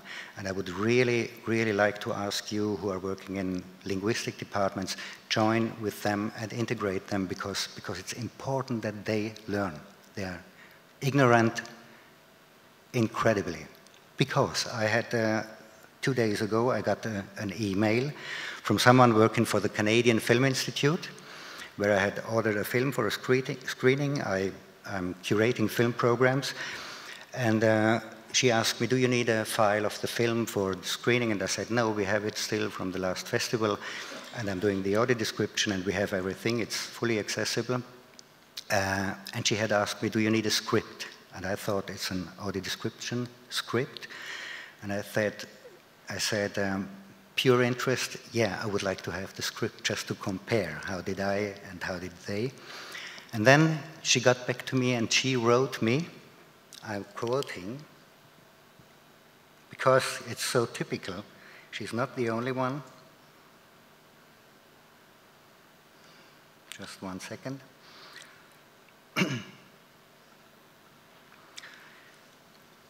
um, we are experienced that all the time. She was writing, um, I can't find it now, but uh, almost 100%.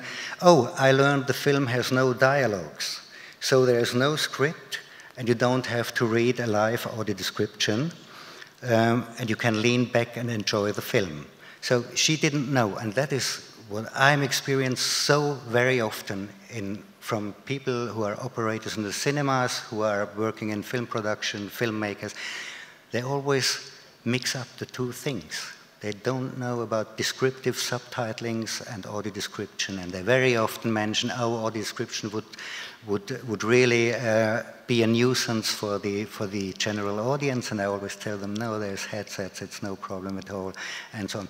They really are not interesting and not knowing, and as long as it's not part of the curriculum of people who are studying filmmaking, I think uh, nothing will change. So please get in touch with them. Uh, it's, it's, it's really important. I mustn't forget the time. Huh? The accessible filmmaking, very briefly, I've worked with uh, Michael Achtman, maybe the British uh, know him. He's a director, um, a film director, and he's caring a lot about accessibility. Oh, I'm really late. I'm sorry. Um, Gabi. No, just one minute, one last minute.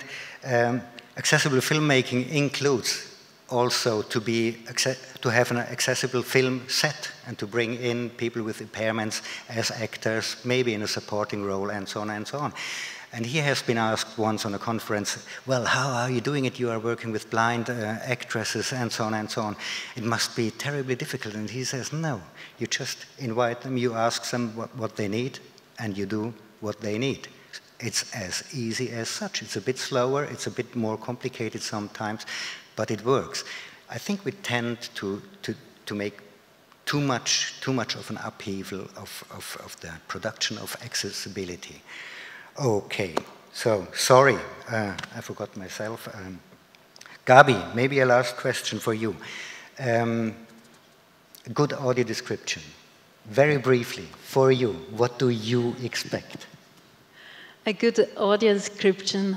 Well, first of all, it's one that exists because often I, as a blind person, I don't have a choice because there is perhaps one film or one piece of theater, but I cannot choose.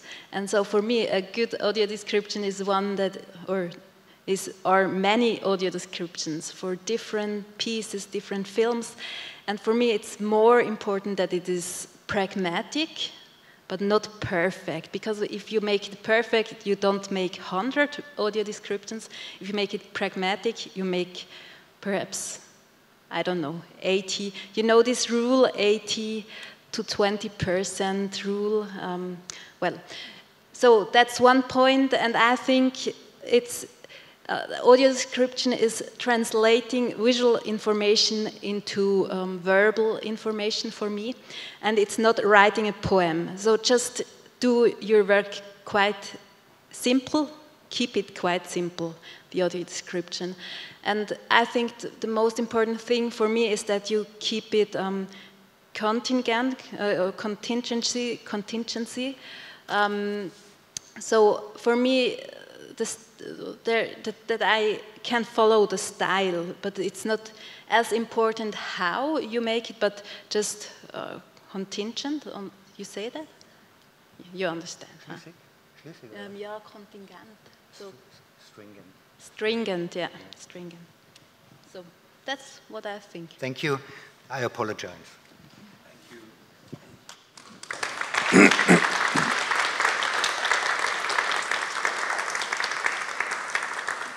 Thank you, uh, Gerhard and Gabi, for your contribution.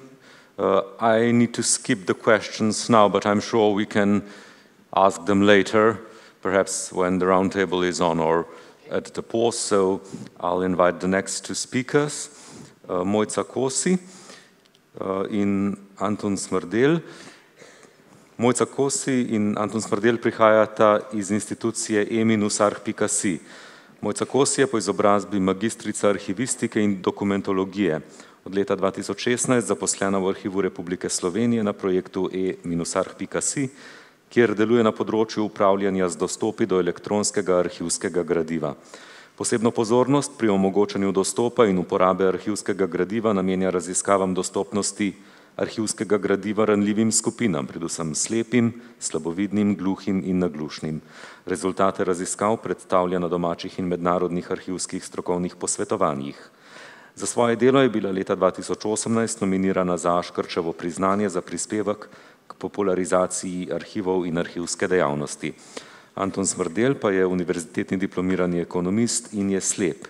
Z ocenjevanjem in svetovanjem glede dostopnosti se ukvarja od leta 2012, ko je začel sodelovati z Urbanističnim inštitutom. Leta 2014 je postal beletrin in mentor za fizično, komunikacijsko in spletno dostopnost v projektu Razširimo obzorja kulturnega. Od takrat se s tem področjem poglobljeno ukvarja, predvsem pa s spletno dostopnostjo. Udeležuje se izobraževanj na temo zvočnega opisovanja, V lanskem letu se je zaposlil na Arhivu Republike Slovenije na projektu earh.si. Mojca Kosi in Antun Smrdel bosta govorila o izzivih prilagajanja arhivskega gradiva za slepe in slabovidne. Nekoč je skupina žab organizirala tekmovanje. Njihov cilj je bil doseči vrh visokega stolpa. Zbralo se je že veliko gledalcev, da bi se ogledali to tekmo in navijali tekma se je pričela. Če smo iskreni, od gledalcev nišče ni verjel, da je možno, da bi žabe lahko priplezale na vrh stolpa. Vse, kar se je slišalo, je bilo, oh, kako naporno, nikoli jim ne bo uspelo, tega res ne bodo zmogle, stolp je previsok. Žabe so začele obopavati, razen nekaterih, ki so plezale naprej.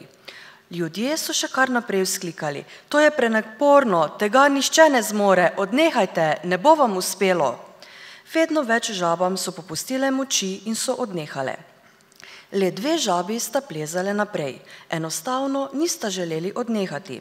Na koncu so omagale vse, razen ene žabe, ki je z velikim naporom edina dosegla vrh. Žabe je seveda zanimalo, kako to, da je uspelo. Ko so pristopile do nje, da jo vprašajo za recept, so ugotovile, da je žaba gluha. To zgodbo rada povem zaradi tega, ker točno tako sem se tudi sama počutila pred nekaj leti, ko sem se pričela ukvarjati s to temo, kako arhive in arhivsko gradivo prilagoditi oziroma narediti dostopno tudi za ranljive skupine, za slepe, slabovidne, gluhe, naglušne. Vsi so mi govorili, to je brez veze, to nima smisla, nikoli ti ne bo uspelo. Kaj bodo slepi sploh počeli v arhivu? Danes vam s Tonijem tukaj z veseljem predstavljamo, kaj nam je uspelo in kako je, če včasih ne slišiš tega, česa ne zmoreš.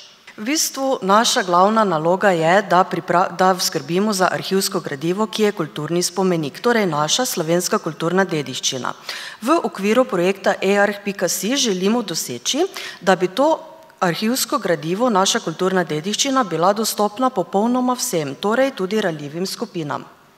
Naš cilj je, da bi bili vodilni arhiv ne samo v Sloveniji, ampak v celotni Evropi.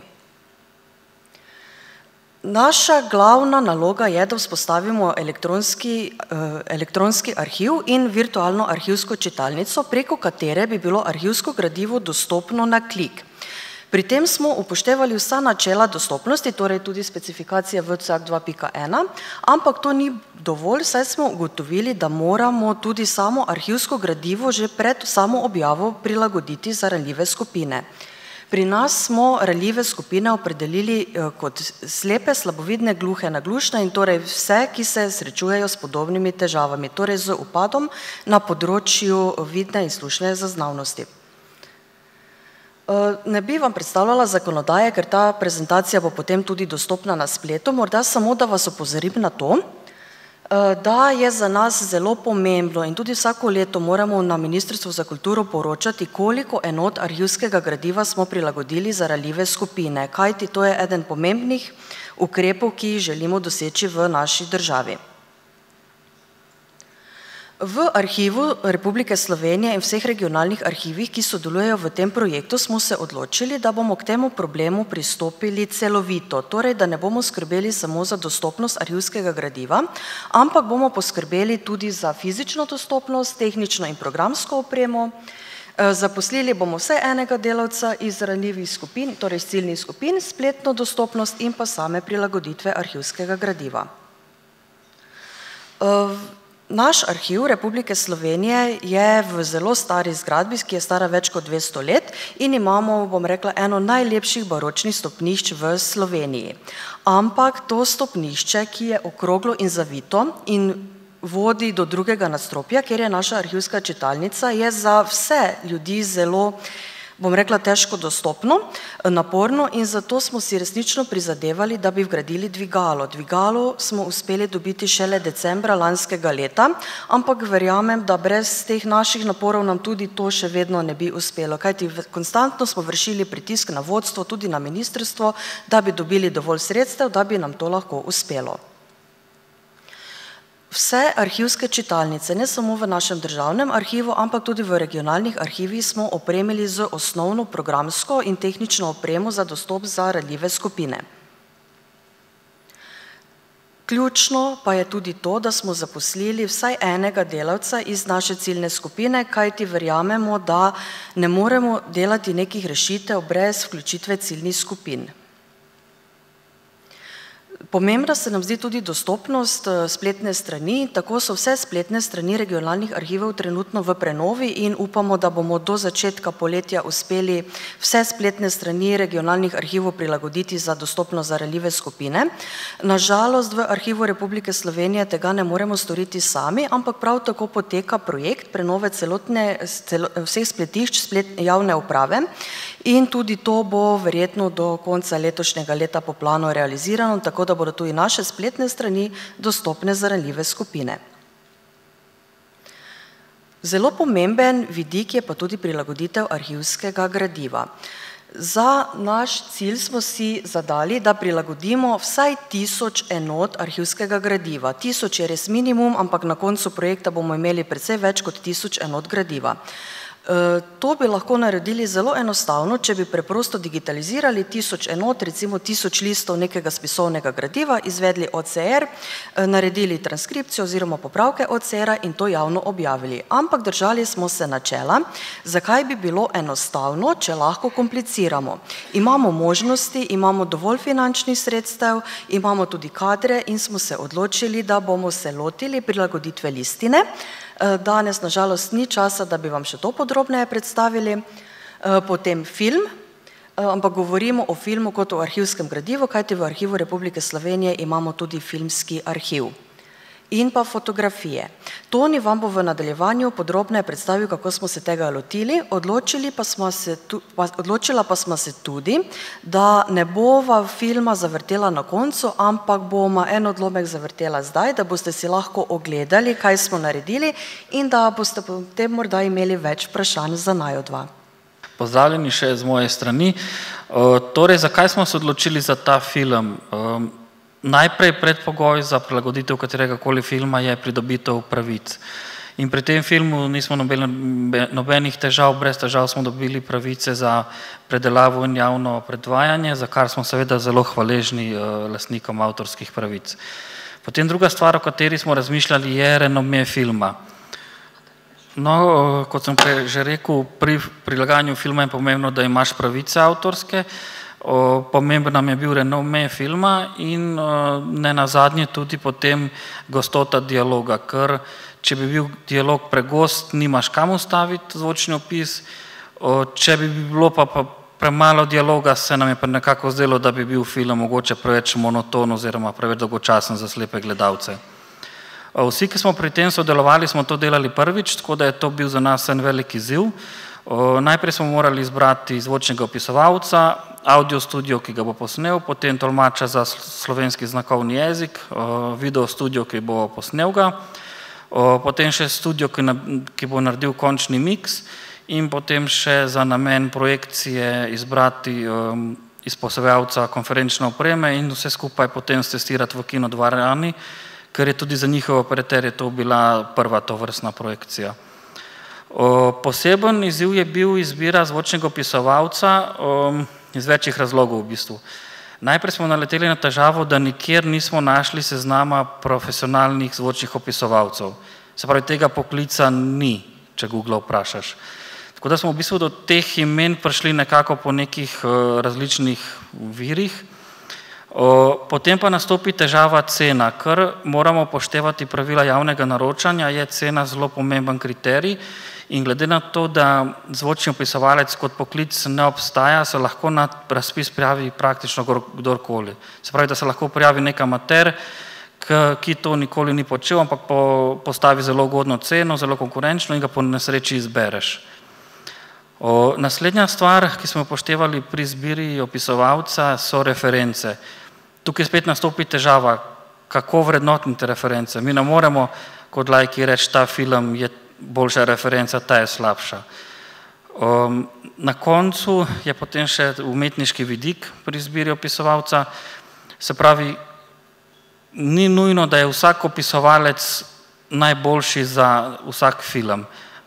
Tako kot vsi ostali tudi opisovalci imajo svoje neke priljubljene žanre, priljubljene filme, in če moraš ti neki film pogledati pet do desetkrat, da ga prilagodiš, verjetno ni, ni vseeno, a, a ti gre na živce medtem, ko ga gledaš ali ga gledaš z veseljem. Zna biti, da to tudi potem vpliva mogoče na končni izdelek. Pomemben je tudi glas pri izbiri opisovalca. Verjetno neko grozljivko ali pa erotično delo ni vseeno opremiš z istim glasom ali ne. Bi pa mogoče ena stvar, ki smo zelo pogrešali, delno vsaj odgovorila na te pomisleke, na ta vprašanja in to je avdicija. Če imamo lahko avdicijo pri pevcih, plesalcih, igralcih, zakaj ne bi bila še pri izbiri zvočnih opisovalcev. Tako da na tem področju vidimo še veliko možnosti za razvoj, še veliko priložnosti za v bistvu razvoj tako storitve kot poklica zvočnega opisovalca. Ko smo razmišljali o projekciji, smo rekli, da hočemo narediti projekcijo, ki je dostopna vsem, pri čemer pa prilagoditve ne smejo biti moteče za tiste, ki jih ne potrebujejo. Zato smo zvok zvočnega opisa zmiksali na ločen kanal zvočni, ki se je slišal samo na slušalkah. Se pravi, tisti, ki so hoteli slišati zvočni opis, so ga lahko, ostale pa v dvorani ni motil, ker na ozvočenju je bil samo zvok filma. Kar se nam zdi zelo fajn, na kar smo zelo ponosni, je to, da smo imeli skoraj polno dvorano. Še bolj pomembno je pa to, da je večina gledalcev bila pripadnikov ranljivih skupin, kar je zelo, zelo redka zadeva pri nas. To vem iz osebnih izkušenj, ker sem se tudi sam ukvarjal z organizacijo raznih dogodkov. Po projekciji smo gledalce povprašali o njihovem mnenju, o odzivih.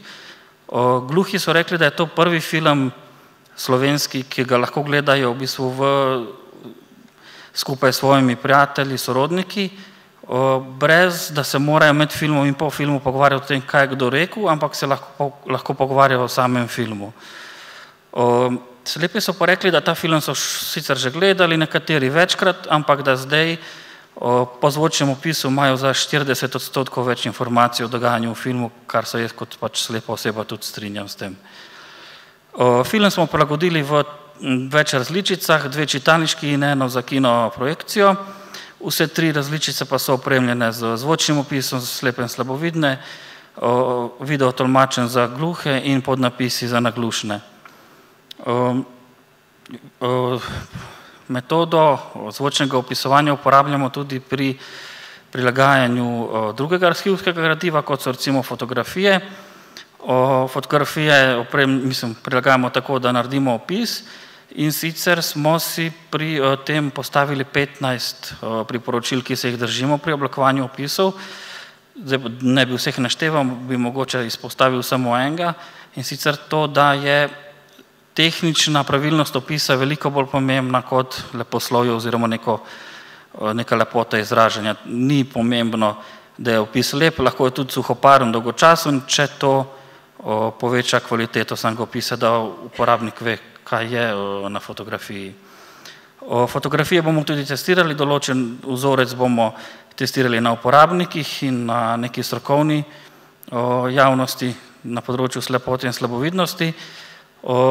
Kar je pa tukaj kar nekaj strokovnjakov s področja zvočnega opisovanja, imava midva za vas en izziv, in sicer prosila bi vas, če lahko naredite opis fotografije, ki je na prikazana gor, in če nama lahko ta opis pošljete po mailu, ki je napisan do desetega junija.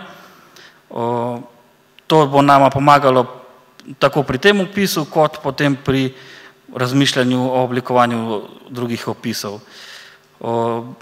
Tisti, ki bo naredil po najinem mnenju najboljši opis, bo pa tudi nagrajen z eno malenkostjo. Za, za konec morda naj rečemo samo še to, verjameva, da invalidnost ne sme biti ovira, da posameznik ne bi spoznal svoje preteklosti in slovenske kulturne dediščine. Za več informacij smo vam z veseljem na razpolago na teh elektronskih naslovih. Hvala. V življenju ne gledamo le filmov in televizije, temveč vsaj občasno radi obiščemo tudi muzeje. Še ne tako dolgo nazaj se je dostopnost dojemalo zgolj kot prilagoditev prostora, v Slovenskem etnografskem muzeju pa se dobro zavedajo, da je dostopnost veliko več. Bojana Rogel Škafar, doktorica socioloških znanosti, univerzitetna diplomirana etnologinja in umetnostna zgodovinarka, je muzejska svetnica in kustodinja za zbirke ljudske likovne umetnosti in slikovne vire v Slovenskem etnografskem muzeju SEM. Bila je direktorica SEM med letoma 2005 in 2015. Bila je tudi vodja projekta Dostopnost do kulturne dediščine ranljivim skupinam. Potekal je med letoma 2013 in 2015, sofinanciranje ESS in MK. Bila je tudi vodja projekta Switch, Sharing the World of Inclusion, Creativity and Heritage od leta 2014 do 2018 v SEMU, sofinanciranje Evropska unija, ustvarjalna Evropa. Naslov njene današnje predstavitve je Dostopnost v Slovenskem etnografskem muzeju s poudarkom na kopijah muzejskih predmetov. Izvolite. Hvala lepa za besedo. Prav lepo pozdravljeni v mojem imenu, v imenu Slovenskega etnografskega muzeja.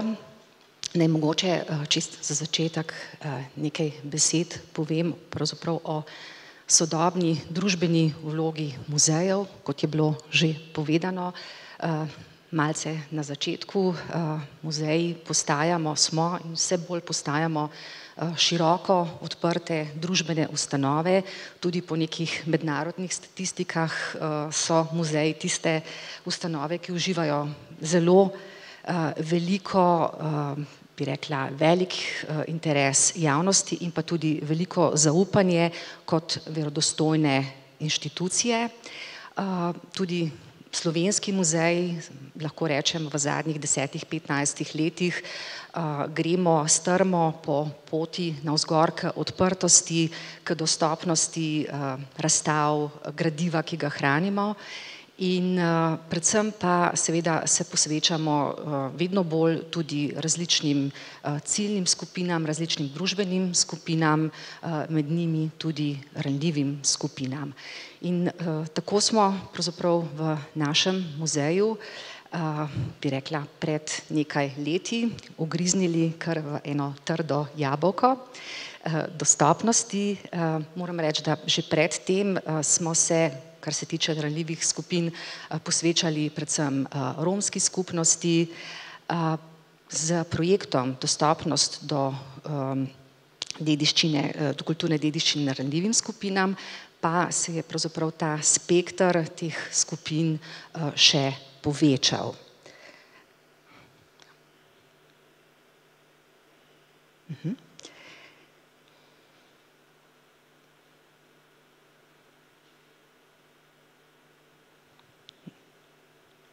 Se ne, nič premika. Aha. Tukaj le eh, pravzaprav eh, vidite eh, logotip projekta, v katerega so bile vključene nacionalne muzejske inštitucije, ki so predstavljene tukaj le spodaj, vsaka z svojim logotipom. Nekaj kratkih informacij o projektu. Kot vidite, eh, nekako upravičenec za sredstva je postal Slovenski etnografski muzej. Um, pridružili pa so se Muzej novejše zgodovine Slovenije, Narodna galerija, Narodni muzej Slovenije, Prirodoslovni muzej Slovenije, potem Slovenski gledališki inštitut, ki je bil takrat še muzej, Tehniški muzej Slovenije in pa uh, nekako eh, sama struktura tega, eh, kar se tiče financ eh, tega projekta, je bila sledeča, da je pravzaprav 85 odstotkov sredstev prispevala Evropska unija iz Evropskega socialnega sklada, 15 odstotkov pa tudi Ministrstvo za kulturo Republike Slovenije, ki je tudi pravzaprav na samem začetku eh, napravilo nekakšen razpis, na katerega smo se mi tudi prijavili. Kot muzej, ki je imel do takrat na tem področju eh, največ eh, referenc, smo bili izbrani pravzaprav za nekako nosilca tega projekta. Trajal je pa, kot vidite, od aprila 2013 do konca novembra 2015 in tam je pa izpisana tudi številka pač sredstev, ki smo jih dobili za ta projekt. Zdaj pa uh, tako, ta projekt je bil zelo kompleksen. Uh, obsegal je res številne naloge, ki so nas čakale, da jih izvedemo v dveletnem obdobju. Uh, in bom tukaj le mečkan jih samo predstavila, potem bi se pa pač osredotočila na kopije muzejskih predmetov, ki so povezane z tematiko audiodeskripcije. In sicer Predvsem prvi cilj je, bilo vključevanje in usposabljanje oseb iz ranljivih družbenih skupin, ki so tam naštete, se pravi priseljenci, pripadniki etničnih manjšinskih skupnosti, Romi, senzorno in gibalno ovirani, mladi diplomanti, iskalci prve zaposlitve, brezposelni in starejši nad 55 let v muzejsko delo, ne, ker s tem pravzaprav z vključitvijo v projekt, zaposlitvijo na projektu, uh, naj bi se pravzaprav povečale možnosti kariernih poti na področju varstva kulturne dediščine in pa pridobitev strokovnega naziva kustos. A ne s tem, da smo pravzaprav v projekt vključevali ne samo te zaposlene, devet in pa koordinatorka projekta, ampak tudi kar precejšnje število študentov.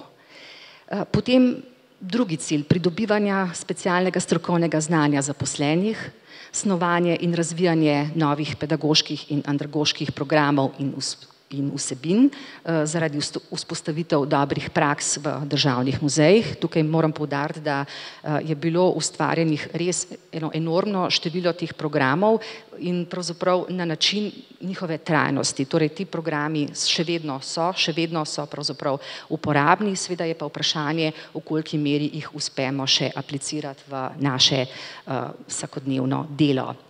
In pa potem zelo pomembno izobraževanje za muzejske delavce, delavce z področja varstva kulturne dediščine in pa tudi za ostalo zainteresirano javnost za delo z ranljivimi družbenimi skupinami, ob seveda uporabi tudi novih tehnologij ter znanj z področja menedžmenta kulturnih vsebin, se pravi tudi to. Ne? In pa potem v nadalje, nadaljni cilji pa potem, zlasti kar se tiče Slovenskega etnografskega muzeja, zagotavljanje tehnične dostopnosti muzejskih prostorov in spletnih strani, zagotovitev mobilne indukcijske zanke, lup, tipnih kart, potem urejen dostop gibalno oviranim osebam in poudarjeno tukaj pač izdelava kopij in ponazoril izbranih muzejskih predmetov, prenova spletne strani muzeja, nadgradnja audiovodnikov in pa tablice s tolmačenjem besedil v slovenskem znakovnem jeziku. Seveda zelo pomembno, kar smo tudi danes še že srečali, je bilo pravzaprav tudi informiranje in obveščanje ter ozaveščanje javnosti o vključenosti ranljivih skupin v družbo. Tukaj smo se zelo angažirali z informiranjem medijev, s sodelovanjem televizije, radia, tiskanih medijev. In pa potem nekakšen končni cilj pa je bilo oblikovanje temeljne strategije za integracijo ranljivih skupin na področju dela muzejev in varstva kulturne dediščine, kar pa se je potem sčasoma izkazalo pravzaprav za rahlo preambiciozen cilj, kajti mi smo bili pravzaprav neki pilotni projekt, da tako rečem, na področju muzejske prakse in v končni fazi smo izdali elaborat, ki je pravzaprav bil nekakšen povzetek vsega opravljenega dela, hkrati pa tudi nekakšna evalvacija našega dela. Da se zdaj pa osredotočimo na kopije in ponazorila muzejskih predmetov, kot veste, muzeji hranimo materialno dediščino, ki jo vedno bolj povezujemo z nesnovno kulturno dediščino, ampak pravzaprav za večino ljudi je muzej je enako zbirke tista sintagma, ki jo poznajo. In tudi v tem projektu je bil za nas priložnost, da na neki način obogatimo našo muzejsko ponudbo in odločili smo se, da pravzaprav izhajamo iz iz obstoječega, iz zbirk predmetov na naših stalnih razstavah in pa tudi ene občasne razstave, ki je bila takrat aktualna in posvetili smo se, se pravi izboru in pa izdelavi šestnajstih taktilnih kopij in ponazoril. In sicer štirinajst od teh predmetov v obliki razstave v sami stalni razstavi Med naravo in kulturo, ki predstavljajo značilnosti določenega zgodovinskega obdobja, tehnike izdelave in načina življenja pri nas in po svetu. Postopek je bil tak, da smo jih primarno izbrali kustosi muzeja v sodelovanju s tiflopedagoginjo Aksinjo Kermauner in pa njene napotke in smernice so upoštevali tudi izdelovalci kopij. Sicer smo se zavedali, da pač ta izdelava kopij zahteva tradicionalna obrtniška znanja in pa spoštovanje do ohranjanja kulturne dediščine, ne, in glede na poznavanje predmetov, tehnik in načinov izdelave jih so večinoma izdelali kar restavratorji Slovenskega etnografskega muzeja, zunanji izvajalci so bili pa izbrani na podlagi poznavanja obrtniških znanj in referenc s področja izdelave muzejskih kopij, seveda potekalo pod mentorstvom restavratorjev in pa kustosov. Zdaj zaradi ohranjanja te pristnosti in avtentičnosti izvirnih predmetov so kopije in ponazorila po velikosti materialu, se pravi les, kovina, tekstil, glina in pa strukturi čim bolj podobne, ne. In namenjeni so pa seveda taktilnemu ogledu, saj pač obiskovalcem z dostopnostjo omogočajo neko drugačno spoznavanje muzejskih predmetov in izvirniki pa pač kot tisti primarni nosilci številnih spominov in pač del kulturne dediščine pa ostajajo v vitrinah. In seveda hranjeni pod čim bolj optimalnimi pogoji za razstavljanje predmetov kulturne dediščine.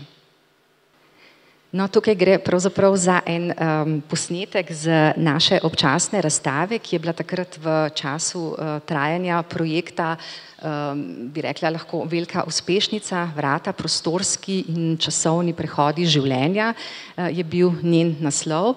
In uh, nekako smo izkoristili ob predstavitvi te teme in ko pač možnosti uh, v okviru projekta, da uh, naredimo kar celo um, serijo uh, kopij sestavin vrat, to se pravi od polnil, ključavnic, ključev, kapitlov in kovanih elementov. In kot vidite tukaj le na tej fotografiji, tudi tam le gospod Vraber, zraven avtorice uh, razstave, uh, je bilo možno te sestavine seveda se dotikati uh, in tudi uh, na samih vodstvih uh, je bilo to no, tak, zelo um, dobro sprejet uh, pripomoček oziroma del razstave.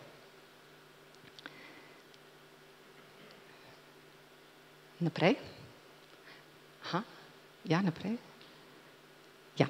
No, tukaj le pa pravzaprav smo že v sami razstavi, stalni razstavi, ki nosi naslov med naravo in kulturo. In kot sem že uvodoma povedala, smo si te kopije zamislili tako, da jih nimamo kar nekje v nekem posebnem prostoru ali pa pač se jih uporabi samo za določene priložnosti, ampak da so kar stalno umeščene v našem razstavišču. Tukaj imamo eh, dva primera in sicer eh, maketo čovna s podporno smučko iz Polinezije, eh, ki je sicer na tistem delu stalne razstave, ki govori o neevropskih zbirkah, ki jih hrani muzej, in pa na drugi strani lončarsko vreteno in pa pekač za perutnino. Eh, in kot vidite, eh, je pravzaprav vsak, vsak tak del, vsak ta sestavina v okviru stalne razstave eh, pač sestavljena iz same kopije predmeta na posebnem podstavku, potem iz informacijske tablice, kjer je pravzaprav opis Tukaj smo ravno v tem elementu smo uporabili uh, znanje, ki smo ga pridobili na izobraževanju v zvezi z audiodeskripcijo. Um, in pa uh, vse te posamezne elemente smo pa povezali uh, tudi z označeno potjo. Vidite te pikice in uh, črte reliefne, ki pravzaprav povezujejo celotno tretje nadstropje uh, razstavne hiše Slovenskega etnografskega muzeja. Uh, en prim, primer, ki uh, pravzaprav uh, bi rekla, smo nekako rešili kar dve muhi na en mah. Gre za čupo, to je pravzaprav čovn de blak, ki velja za najstarejše slovensko morsko plovilo.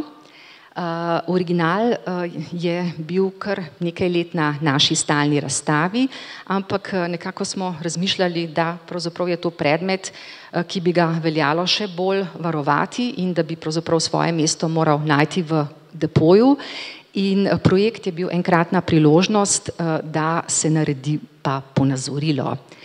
In sicer zakaj ponazorilo? Ker ohranja velikost in strukturo originala, je pač iz lesa, razlikuje se pa v tehniki izdelave, ker prvotno so pač čupe izdobli iz enega debla hoje, Eh, ponazorilo je pa pač iz lepljenega lesa, a ne in to vrstna tehnika izdelave predmetu omogoča daljšo in trajnejšo obsto, obstojnost v razstavnem prostoru glede na ta nihanja temperature in pa vlage. A ne. Uh, tako da se nam je pravzaprav uresničila ta želja, da smo pa lahko original uh, sedaj shranili v depoju. No in uh, tukaj le vidimo Antuna, ki je z nami kar vse čas projekta, bi rekla, zelo plodno in aktivno sodeloval, tudi pri izdelavi kopij in ponazoril, kjer pravzaprav in pa tam le na, desni strani je naš restaurator. In uh, vsi ti predmeti, ki so jih kolegi izdelali, uh, so šli v preverbo, bi rekla, njihovim uporabnikom. No in še en primer, recimo gre za tekstil, ne, šolski vajenici, eh, gre za pač tako imenovane predmete, ob katerih, na katerih so se nekoč dekleta učila različnih tehnik, bezenja in tako naprej. No in v bistvu smo se odločili, da pač dve vajnici, ki sta sicer v vitrini na stalni razstavi, umestimo takole, kot vidite na sliki. Ne, in tukaj pač smo upoštevali priporočila o višini informacijskih tabel in pultov, pa seveda, kot rečeno, te talne oznake so skozi vse tretje nadstropje. No, potem pa audiodeskripcija, tudi mi smo se z njo srečali, nismo pravzaprav tega prvotno načrtovali, ampak prav v sodelovanju z gospodom Tomažem Vrabrom nekako smo to uzavestili, da je to nujno potrebno, da se izobrazimo tudi v tej smeri in na gospodovo priporočilo smo povabili strokovnjaka iz ZDA, Joela Snyderja, ki nam je pravzaprav podal te osnovne informacije o tem, kaj audiodeskripcija je in kako se tega lotevati. In kot tukaj le vidite, se smo danes to pravzaprav že slišali, ne, in tudi mi smo imeli v zavesti, da gre tukaj za premišljeno pripravljena besedila, ki opisujejo predmete in njihove pomembne podrobnosti tako, da lahko večina dojame in začuti njihov pomen in v našem primeru tudi zgodovinsko sporočilo. No in torej priprave teh besedil smo se lotili tako, kot je tukajle opisano. Najprej izbor najbolj teh reprezentativnih predmetov, potem vsak od opisanih predmetov mora biti v bistvu širše reprezentativen za dobo, v kateri je nastal, za njegovega ustvarjalca ali za pomen in sporočilo, ki ga je v tej dobi imel ali pa ga ima še danes. Potem ne, zavedali smo se, da pravzaprav te izbrane kopije in ponazorila morajo biti del rdeče niti muzejske zgodbe in so hkrati povedne kot par s prototo posameznega dela zbirke, torej pričevalne za večjo zbirko. Potem pa besedila smo pravzaprav pripravili tako, da so dostopna v več različnih jezikih preko avdio vodičev in pa s krajšim besedilom v povečanem tisku za slabovidne na stojalih poleg kopij in ponazoril. No, in na spletni strani muzeja, ki je tudi bil deležen prenove v okviru projekta, pa so videoposnetki opremljeni s podnapisi, ki so pravzaprav ta besedila z razstave in so pretolmačena tudi v slovenski znakovni jezik. No, in tukajle je pa en primer, a ne, kako pravzaprav smo se lotili, kako, kako so izpadla ta besedila. In mogoče, a imamo še čas, da jaz to besedilce hitro, ja, saj mislim, da sem čisto že zelo pri koncu.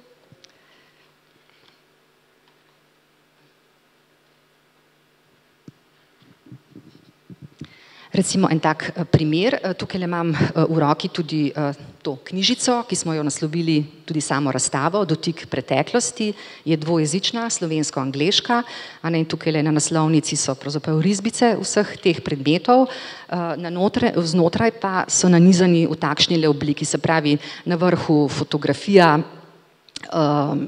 nekega pač, ki kontekstualizira funkcijo teh predmetov, potem sami izbrani predmeti in na desni strani besedilo. Hočem povedati, da je pravzaprav to dostopno tudi drugim obiskovalcem muzeja.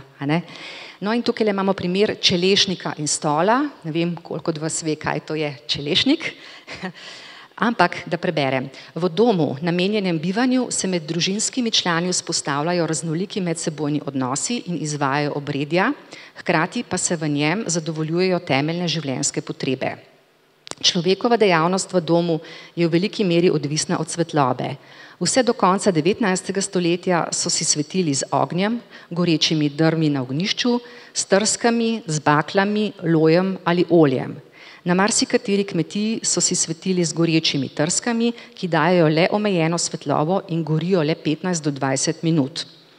Zatikali so jih v kovane klešče na stojalu, imenovanem čelešnik.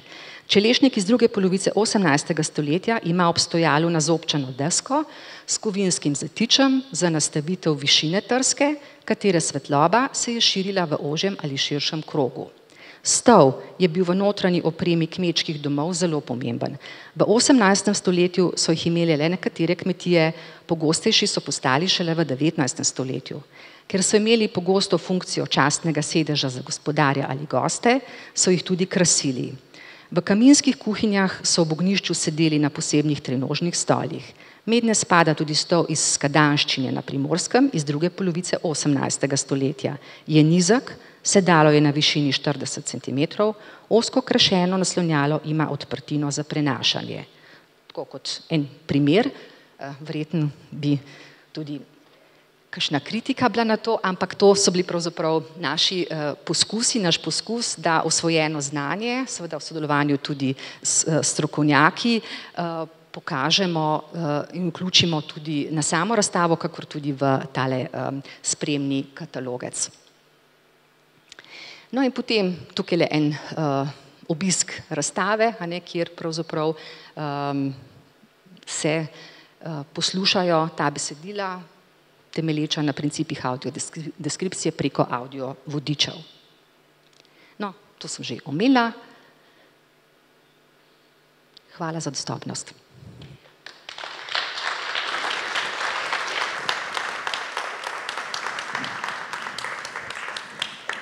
Hvala lepa doktorici Rogel Škafar. Vprašanje boste tudi lahko zastavili na okrogli mizi, pri kateri bo sodelovala. Zdaj pa na odr vabim kar naslednje tri eh, govornike in sicer bodo to Tomislav Juzbašič, Antonijo Pavlovič in Violeta Vlaški. Partnerji projekta Adla prosi želijo, da bi bili rezultati koristni za vse, tiste države in institucije, ki zvočno opisovanje že razvijajo, predvsem pa mogoče tudi za tiste, ki se s temi izzivi šele spoprijemajo. Zato danes širimo krok audiodeskripcije in opozarjamo na potrebe tudi onkraj meja držav partneric pri projektu. Z Hrvaške smo pričakovali Andrejo Veljača, ampak je zadržana, zato je na mesto nje prišel Tomislav Juzbašič. Natančne predstavitve gospoda vam žal ne morem ponuditi, ampak vsekakor nam bo govoril o trenutnem stanju zvočnega opisovanja na Hrvaškem in bo verjetno opisal tudi težave in ovire, s katerimi se soočajo v svojih prizadevanjih za izboljšanje dostopnosti vsebin, ter spregovoril o pomenu profesionalnega multidisciplinarnega pristopa k razvoju standardov storitev zvočnih opisovalcev. Dobrodošli, vas pa prosim, če svoje prispevke skušate omejiti nekako na deset minut, da bomo v, časovnim, v časovnem okviru. Torej, gospod Tomislav Juzbašič je naš naslednji govornik.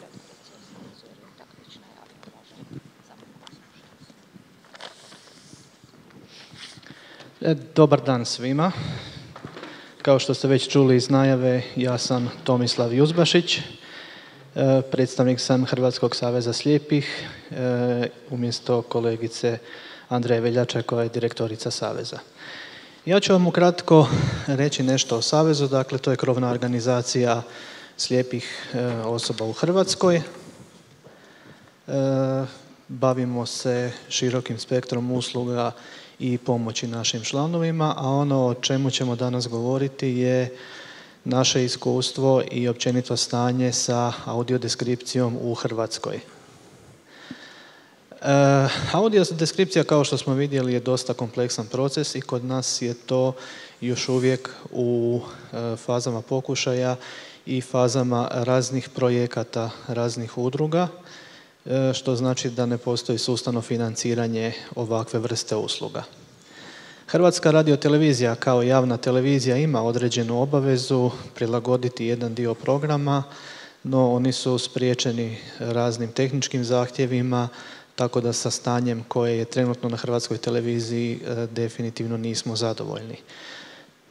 Od tehničkih uvjeta, dakle, stvar je da je teško za televiziju postići te e, tehničke zahtjeve da se audiodeskripcija odvaja na posebnim kanalima, pa smo zato mi u Hrvatskom savezu slijepih u okviru jednog od projekata prije nekoliko godina pokušali tako nešto slično izvesti kombiniranjem i kombiniranim emitiranjem e, filma i audio opisa na određenoj e, radiostanici, radio postaji.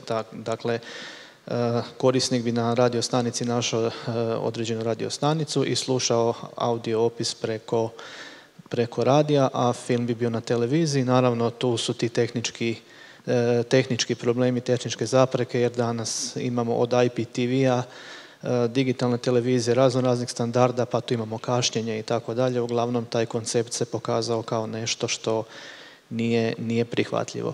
Nažalost, projekt je završio, Hrvatska radiotelevizija na tom polju više e, ne pokušava ništa. Što se tiče ostalih sadržaja kulturnih, dakle, tu će nešto reći i kolega Antonio. Jedan od tih sadržaja jeste uključen u Hrvatskoj, na Hrvatskoj radioteleviziji, a to su bile audiodeskripcije serije Crno-bijeli svijet, koja se isto tako emitirala u prvoj sezoni na radiju, a u trećoj sezoni na trećem programu Hrvatske radiotelevizije.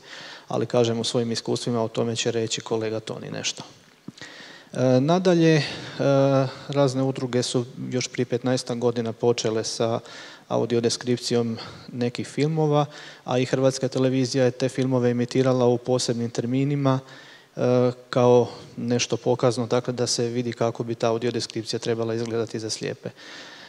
E, dakle, što se tiče televizije, e, stvar se svodi, svodi na pokušaj, dakle nema standarda nego ovisno o, o seriji ili o nekakvom filmu ili projektu određene udruge e, nešto se napravi, no definitivno treba raditi na standardizaciji cjelokupne usluge.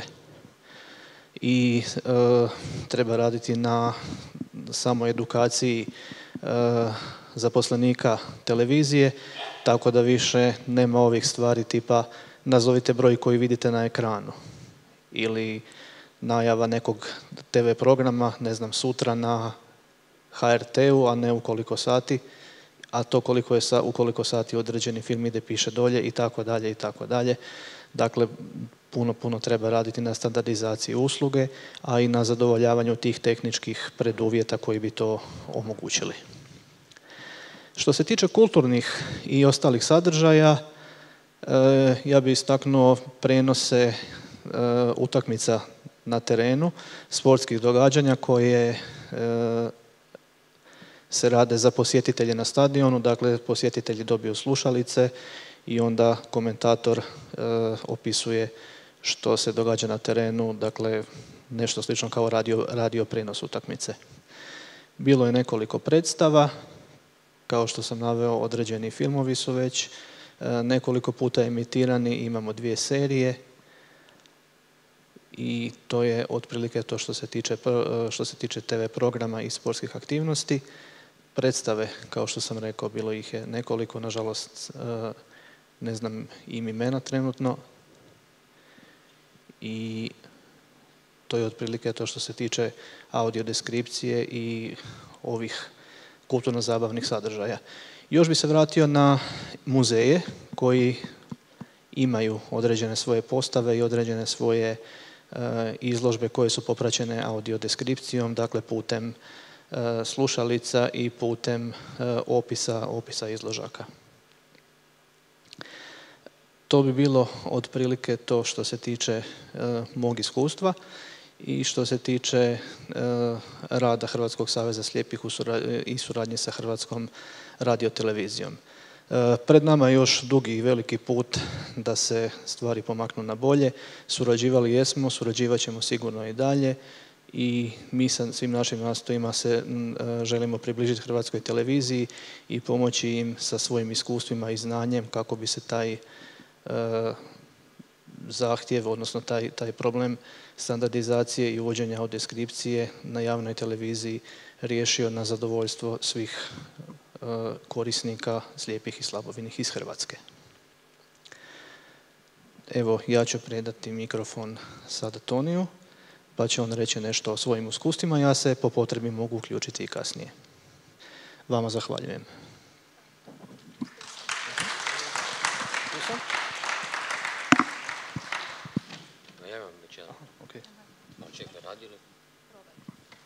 Dobar dan.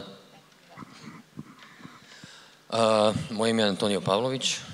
i zadnjih šest godina bavim se uređivanjem i režiranjem audio deskripcije u Hrvatskoj i slijepa sam osoba. Kako to radim? Pošto sam vidio od svih predavača do, sada koji su bili tu da, da su sve videće osobe koje rade audio deskripcije za slijepe. Hrvatska je očito jedna zemlja u Europi koja je pomoću modula educirala slijepe osobe da zajedno sa dramaturzima ili scenaristima, znači script writerima, rade e, tekstove audio deskripcija koji se kasnije snimaju u studiju. E, nekako sam, e, slušajući sve predavače od prije, promijenio svoj plan, što ću reći danas, odnosno više ću se fokusirati na to kako uvesti slijepe osobe u samu produkciju audiodeskripcije, znači ne kao nekoga ko će provjeravati već napravljeni tekst, nego neko ko će birati riječi, neko ko će mu, kome će scenarist dati, ajmo reći, pet opcija jedne scene, a da slijepa osoba je ta koja izabere šta je važno, zato što slijepa osoba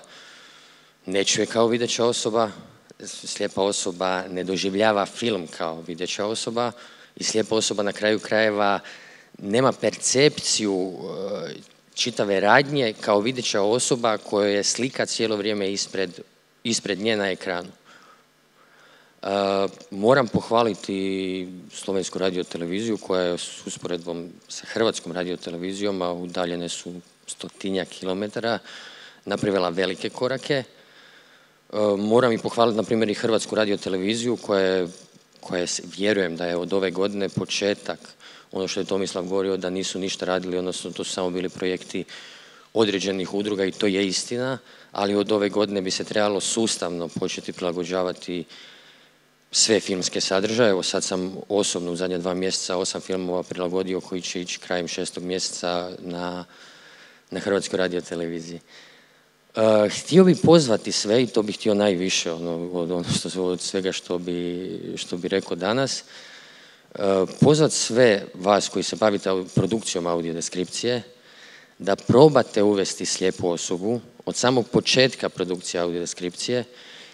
Možda ćete imati, nećete imati deset filmova, imat ćete ih sedam, ali ćete staviti kvalitetu prije, ispred kvantitete, jer će slijepa osoba biti ta koja će odlučiti i odrediti što će se reći njenim kako da kažem, kolegama po invaliditetu, odnosno ostalim slijepim osobama i što je to toliko važno. Znamo svi da slika ima tisuću riječi i znamo da neka za audio deskripciju imamo 3-4 sekunde.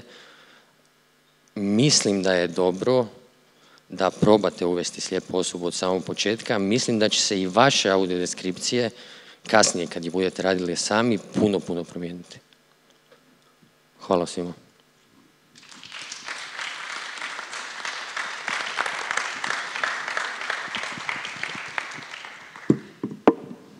Hvala lepa Antonijo in Tomislavu. Zdaj pa bo spregovorila Violeta Vlaški, prihaja iz Beograda, glavnega mesta Srbije. Je prevajalka in učiteljica, delala je v šoli za otroke s posebnimi potrebami, bila je tudi vodja projekta Regional Support for Inclusive Education in Southeast Europe od leta, med letoma 2013 in 2015. Zadnji dve leti je prostovoljka pri društvu Homer, v okviru katerega je pripravila zvočne opise za filmski festival. Pri RuFilms se izobražuje na področju audiodeskripcije, postavila je tudi prvo spletno stran v Srbiji, ki je namenjena zvočnemu opisovanju. Za Muzej sodobne umetnosti v Beogradu je pripravila zvočne opise 12 slik za razstavo, ki bo na ogled do konca junija tega leta. Violeta je tudi mama 16-letnega slabovidnega dekleta. Predstavila nam bo stanje na področju zvočnega opisovanja v Srbiji. Izvolite. Hvala. Thank you. Uh, esteemed uh, participants of this conference, um, I have to say at first uh, that I'm really grateful to participate in this conference and uh, uh, have opportunity to meet uh, real professionals in this field and to learn uh, from great uh, professionals. Um, well, I'm a volunteer uh, in Homer organization. Uh, it's one of um, the organizations of blind in Serbia. Uh, also, I'm a teacher and I'm translator and uh, uh, personal audio describer for my 16 year, years old girl who partly lost her sight when she was three years old. Uh, also, um, I've been um, learning uh, about AD uh, from colleagues from uh, uh RU Films. Uh, Ivan Borshevsky, I believe um, many of uh, participants already know him. And um, audio description has become an object of my interest um, for last two years. Um, first, there are uh, 12,000 uh, blind uh, people in Serbia, but uh, this number uh, is higher because there is a big group of people uh, who lost their sight due to their old age or some health issues. Um, so I believe there, there is about 18 to 20,000 blind or low vision people. Um, well, there are more organizations um, of blind in Serbia, but the most relevant are uh, three organizations. Uh, it's the Union of the Blind of Serbia, uh, it's a government organization, uh, Štab White Stick Organization, non-government, and Udruženje Homer, Homer Association, uh, also a non-government organization. Um, uh, I will uh, start uh, from our uh, laws and regulations and policies in the field of um, accessibility. Uh, and uh, I did some research, and those are some results and the conclusion of, sorry, okay. Um, okay. Uh, I'll uh, start from uh, electronic, electronic media law. according this law, um, well, broadcasting networks, uh, cable, and developing media have to provide programs for uh, deaf and uh, blind people according to their own technical and financial capabilities.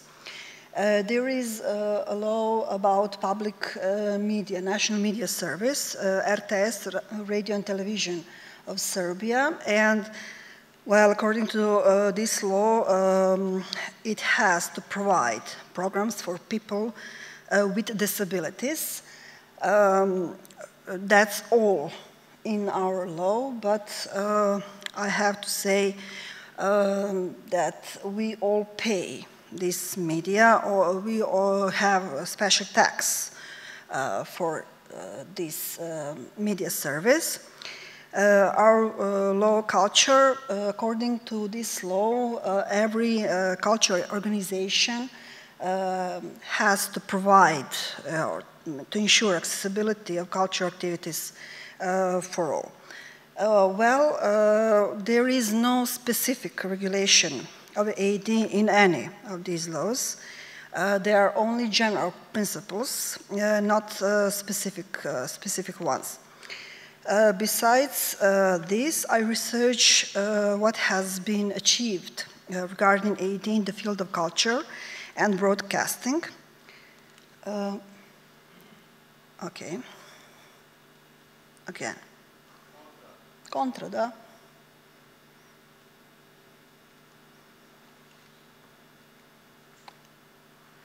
Okay, and I start from film festivals. There are a couple dozen uh, film festivals in Serbia. Uh, most of them are international. And there is one uh, mini festival uh, which is accessible for blind and uh, low vision uh, people. it's organized once a year. It lasts um, three or four days, free of charge, non commercial. And so far, during 10 years, uh, about 80 films have been screened. Uh, this festival is organized uh, by Homer Association and uh, exists since 2009, as I said. Uh, this association was founded uh, by Branko Matic. Uh, he unfortunately couldn't come uh, to Ljubljana this time. Uh, he's the first man in Serbia who realized the importance of AD. and together with his volunteers, he made audio descriptions for those, those films. this, this festival uh, depends on uh, donations and uh, has no support uh, from any official institution. Uh, I, uh, while I was preparing this conference, um, I talked to one of our very famous and very successful film director. Um, when I asked him about audio description, he was very surprised. What am I talking about? Uh, he said, well, he heard something about AD. He had uh, students a few years ago who um, wrote something, uh, some work uh, or some project about AD, and that's all. Well, I was under uh, the impression that uh, cultural inclusion is something very far from this man who is open-minded man. Um, when we talk about our broadcasting networks uh, from uh, 2011 to, until uh, 2016, Public Media Service, RTS, used to show 80, 80 films once a week for years. Uh, at last, it was also initiative of Homer Association and Branko Matic. Uh, since uh, to, 2016, to date, none uh, AD film has been screened on RTS or any other broadcasting network. Uh, when we uh, come to theaters, well, um, National Theatre in Belgrade, Narodno pozorište Belgrade, had a good project in 2011. Uh, they got uh, equipment for AD in uh, for plays uh, it was possible to watch uh, all the described plays, uh, but according to the experience of my blind, blind friends um, who tried to watch plays, they said AD was uh, made unprofessionally and the quality of our AD was very poor and no one goes now and watches uh, plays in this theater. Uh, described, uh, sorry, all described uh, uh, exhibitions are rare and uh, sporadic. Um, guides in braille, tactile maps are more often, but there are good good, uh, there is a good practice in, in some uh, museums, uh, good efforts to do something uh, right, right and well. Uh, Museum of Zrenjanin, uh, it's a little town in Vojvodina, had a few audio described exhibitions, um, and their permanent collection is partly audio described. they have audio guides. Uh, Matica Srpska Gallery, Matica Srpska in Novi Sad, uh, had uh, a, few audio-described exhibitions. Um, National Library in Belgrade uh, a few years ago had a good uh, audio-described exhibition. Um, but uh, on Friday, on June the 7th, in the Museum of Contemporary Art in Belgrade, will be opened uh, audio ex uh, exhibition with uh, 12 audio described uh, paintings of uh, 12 Yugoslav painters. Uh, one of Richard Jakopic painting will be on this exhibition. And during this exhibition will be organized roundtable regarding AD, and it's the first discussion in Serbia about it ever um, representatives from national television, um, from organizations of the blind, uh, some other media, uh, commercial media, uh, some cultural institutions, and some NGO confirmed they, they will partic uh, participate in this discussion. We are uh, expecting um, some representatives from language departures of our university and Association of the Blind. Um, what needs to be done more? Uh, okay, so our laws, as I said, have to be more, more precisely. Um, electronic media law, public media law, culture acts, filmmaking, and distribution law. Uh, better uh, cooperation between organizations of the blind of Serbia has been uh, uh, has been improved. Um, now it's not quite good. Uh, and it's probably one of the most important conditions for improving accessibility of vision impaired people in Serbia at all. Furthermore, collaboration with organizations practicing AD on Western Balkans um, has to be better and uh, it has to be useful for all of us. involving the patches of languages at universities, associations of uh, interpreters of Serbia, uh, and uh, so on. And um, of course, training for future professionals.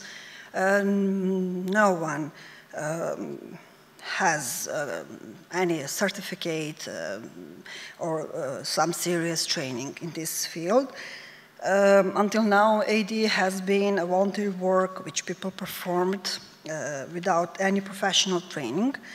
Uh, it was based on um, our personal sense, personal talent, but I believe it's time to become a real um, accessibility standard and accessibility tool. Thank you.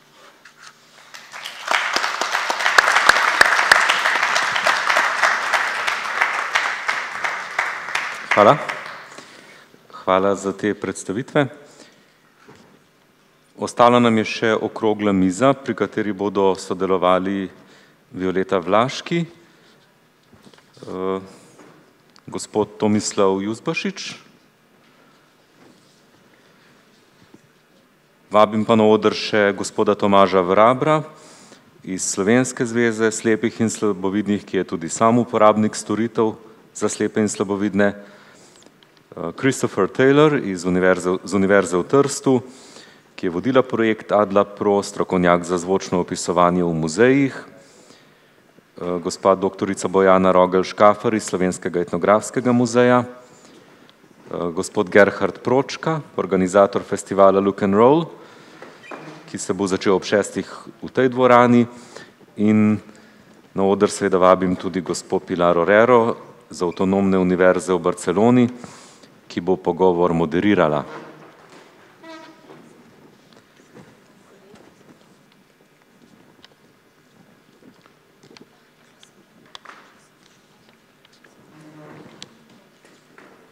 Pri okrogli mizi pa bom kot predstavnik RTV Slovenija sodeloval tudi jaz.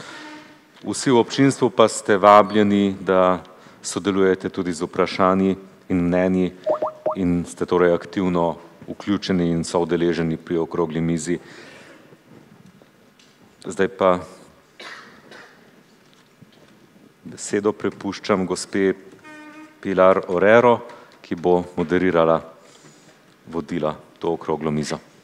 Good afternoon. First of all, um, I would like to say that I am shocked by the amazing organization. From the bowls for the dogs downstairs with water for, to the uh, program with the braille, uh, easy to read, to the fantastic lunch, to this wonderful uh, place, to the uh, presentations, to everything is truly amazing. So I would like to um, give a, a round of applause to Veronica and to Matea because they are fantastic. So thank you, thank you very much for organizing this. Um, okay, um, the round table I think has got um, some people that were already introduced because they were in the previous round table, like Boyana, Violeta, Antonio, Gerhard, you presented before. Chris Taylor, you don't know. Uh, Chris, say who you are. Who are you? Yeah. Who am I? Yes. yes. Well, you did Quickly introduce as well. me. Yes, so as much as I knew about you. okay, well, I was responsible for the first AdLab project, which was the project that preceded this, with the same group of people as, as before. Uh, and so I'm responsible also for uh, instigating AdLab Pro, and that was Fantastic. something that was mentioned earlier. Okay, so he's the father of AdLab, the previous, and uh, okay, and, and, and, I'm sorry, I don't know your, I forgot your name. Tomasz. Tomasz, uh, who are you, please? I myself am a member of Union of the Blind and Partially Sighted of Slovenia, a former president for two mandates, and of course uh, I use audio description and uh, try to do all I know to make it better in our country. Thank you. Fantastic, thank you very much. Uh, the first question that I would like to um, address and I think it was preempted by Violeta on your last slide, is what do you think needs doing um, to get to the level, to me, of Slovenia? Slovenia is, uh, there is the new, um, the three new uh, European uh, uh legislation that has been approved very recently, uh, two last year and one this year, that uh, poses the obligations of all the European countries towards accessibility. And I think Slovenia already uh, exceeds on whatever is requested by the laws. For example, something very weird. Um, one of the laws says that the content of broadcast should be accessible, but the web, the web page doesn't have to be accessible, which is to me a contradiction in terms. Funnily enough, Slovenian television, their web page is accessible and the contents, some of the contents are accessible. This is not matched in any other European country. So to me, Slovenia has got a sort of very, very high level of um, accessibility already in place, while it is a very small country and, um, and is very recently started in this, um, recently you know, many years. But anyway, um, as a Slovenian uh, deaf, uh, sorry, a blind uh, representative, you can't be happy about all this. You want more. I am. Okay, come tell us what would you like. Yes, of course. Uh, we are not very uh, content with the state in our country, but it's nice to hear that we are in some uh, point better than the other yes, countries in Europe. And uh, what's interesting is the dynamic of uh, how AD developed in Slovenia. Maybe you've heard that the first uh, television emission mm, that was done with AD that happened in 2000 then in 2008, with the help of some friends from Zagreb, from Croatia, uh, Društvo Zamisli, we um, organized the first film movie presentation, uh, public presentation with audio description in Ljubljana, Ray Charles, with two speakers, man and woman, one uh, reading uh, subtitles and the other describing. And then in uh, 2013, I got some contacts with Joel Snyder, mm -hmm. and we organized the first uh, presentation about what audio description is uh, in September 2030, paid by the television of Ljubljana.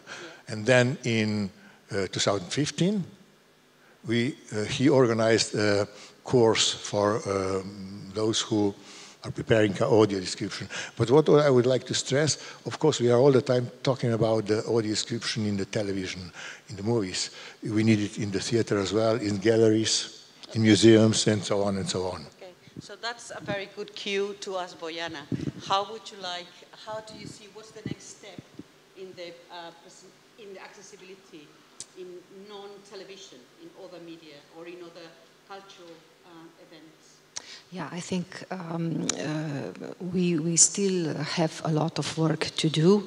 Uh, as I mentioned, in our case, this was somehow a pilot project, and uh, it would be very important uh, to spread these practices in other museums and galleries, but not just as a a way of practice, but also together with people, which was stressed today by a colleague from Croatia, I think. Uh, it's really, I mean, um, our slogan is that we are the museum uh, about people, for the people, but I would say with people. We would do more on this, with this inclusion, uh, because this is the only uh, way uh, for improvement and um, more support uh, from the state. For example, this project I've presented, uh, it was well organized, uh, well supported by money and so on, but after it, nothing really. And I insisted, I asked um, people on the ministry uh, to find some um, uh, financing for the future as well. But uh, unfortunately, I mean, so many people were uh, obtained skills. Uh, one among us is my colleague uh, Sandra from uh, a theater institute. I mean, they obtained so much knowledge, but she's the one who can continue with this work, but the others don't have this chance. So I think this um, consciousness that it's necessary to continue to support such projects, uh, to include, okay, museum people, and on the other side, um, really um, the representatives of these vulnerable social groups. I think this is a formula uh, to be more and more successful and to improve our common knowledge about this. Very good. And, uh, so resilience at the end of the project is important for you. Yeah. And Violeta, um, you talked about what, was the, what were the steps that you would do to make sure that Serbia became accessible. Uh, can I ask you which of the cultural representations would you think is the most important? Would it be television? Would it be theater? I know if you have to choose one, come on, it's very hard. Question. Okay, if I have to choose, it's uh, television. Why? Because it's wide um, audience. Uh, because um, Serbia is not only Belgrade uh, and Novi Sad and Niš. Um, there are theaters, uh, museums, but what about uh, um, little towns um, far away from Belgrade? Television is something I think it's most important thing. Okay, and if, in television, which genre, which pro type of programs would mm -hmm. you, okay. do you think that is the most important? Um, I believe um, films and uh, that kind kind of program okay, so uh, is, is more, pop, more uh, the most popular uh, for audience. Okay, and uh, Antonio, um, I would like to ask you no, I'm, I'm coming oh. to you. I'm coming to you. Ah, you got one. Okay. Thanks. In Croatia, um, you got you you beginning to do lots of work, although you say you don't do much. I think are you doing? Are you organized in some way uh, at the state level, or are you in communication with the with the um, uh, uh, sorry Croatian television to provide audio description? Uh, sorry, I, I think I didn't say in my previous uh, in my previous time that uh, I'm an executive director of the Center for Audio Description, and it's association which uh, which is which was formed by 13 people, uh, among amongst them actors, actresses, produ producers, film di directors. Uh, every people in their own branch. Uh, and Center for Audio Description is working with the Croatian National Television, for example, on this project of uh, films that I've mentioned before. So you, you, do. So you do have a very well organized. Um, uh, it's only two years old. Three oh, years now in in in twelfth uh, month. Three years, yeah. -huh. And the association, uh, I think Tomas mentioned it. The association Zamisli uh, which was the first association that, that did the described movies, they, they stopped describing movies. Okay, and do you consider doing any other uh, type of cultural representation, uh, like uh, theater or? Uh... Oh, I've described for three years uh, two theaters in Zagreb -huh. while I was working in, in, in association Zamisli. And one of that theater, Gavella, is now, shall I say, accessible to blind because okay you have to uh, have five blind peoples, or five blind men, women, mm -hmm. uh, and then uh, only then you you can organize, organ, uh, call them and organize uh, to play, uh, play to be with audio description. Okay. Thank you very much. Gerhard, it's, it's really nice to meet you because we didn't, I didn't know you or we didn't know of you. Have you written anything that we could read from you? Because you have such a wide knowledge and experience and it would be great to read something that you've written. You have to repeat. Okay. Have you, have you written any guidelines or anything that we could read and, and quote because you're such knowledgeable, so it would be great. Thank you very much. No, I have nothing in written, uh, but we have a, as usual, we have a, a, website where our understanding from audio description and accessibility mm -hmm. is uh, in English also. And uh, I would like to take this opportunity to congratulate Antonio because I really loved what you said. And my dream would be to involve blind people from the very beginning of audio description, of the production. And there is actually a Serbian film, a short film from 2011. It's called Unseen in English, and I don't know who is the, the man. And it describes the process of audio description for uh, In the Mood for Love. There's a, short sequence of the film, and there is a blind man, and there is one, one woman who is describing the whole film uh, sequence for sequence, and he is deciding what's getting in. And I love it very much because it's, it's a very intense process but you can really see how, how the whole thing is fitting in after all. But the, the very dreary thing at the end is, or the very sad thing, where are blind people watching the film? In a, they're in a closed circle, in a small room, uh, beamer, video projector, only blind people around, and that's what I find uh, really sad because I think if cinema has one positive effect is that people come together and can discuss about the film afterwards. But the, the, the process of production, I really, really love it very much. So you think um, audio description should be a private, anecdotal thing or a, or a wide audience? Because oh, I no, listen no, no. to you and I have the feeling that you have a very close relationship to one or two pe people, but not to an audience. Uh, your approach is more of a, a, a small um, audience rather than a large, normalized um, no, not at all. I mean, audio description should be produced for, for big audiences uh -huh. and especially, I think, for events for a general audience to, to to create platforms where both of them can meet. Mm -hmm. And what I was saying was that exactly in that film that described so nicely the process of the, of the production of audio description, mm -hmm. I found it sad that afterwards, when, when the film was screened with audio description, it was in a private circle of only blind people. I would have preferred to see it in a cinema, in a, in a huge cinema, where, they, where, where all kind of people meet. Because uh, at our festival, where meet all these you call it, I think, vulnerable groups in the audience. Mm -hmm. It's such a warm and welcoming atmosphere, and we have a completely different time concept. For instance, everybody needs lots of time to come into the cinema. There's lots of time for talking, and the atmosphere is so beautiful because of the vulnerable people in the audience. So I think uh, everything should be audio described and uh, screened in, pub in, in public for general audiences. Okay. Quite certain. Okay. Uh, Chris, I have a question for you. You've been in two European projects with I don't know how many countries, for North, South, East, West. Um, and what was the hardest, how did you manage to coordinate so many cultures and so many traditions? Because uh, something that is clear is that when you start audio describing in one way in one country, people like that way.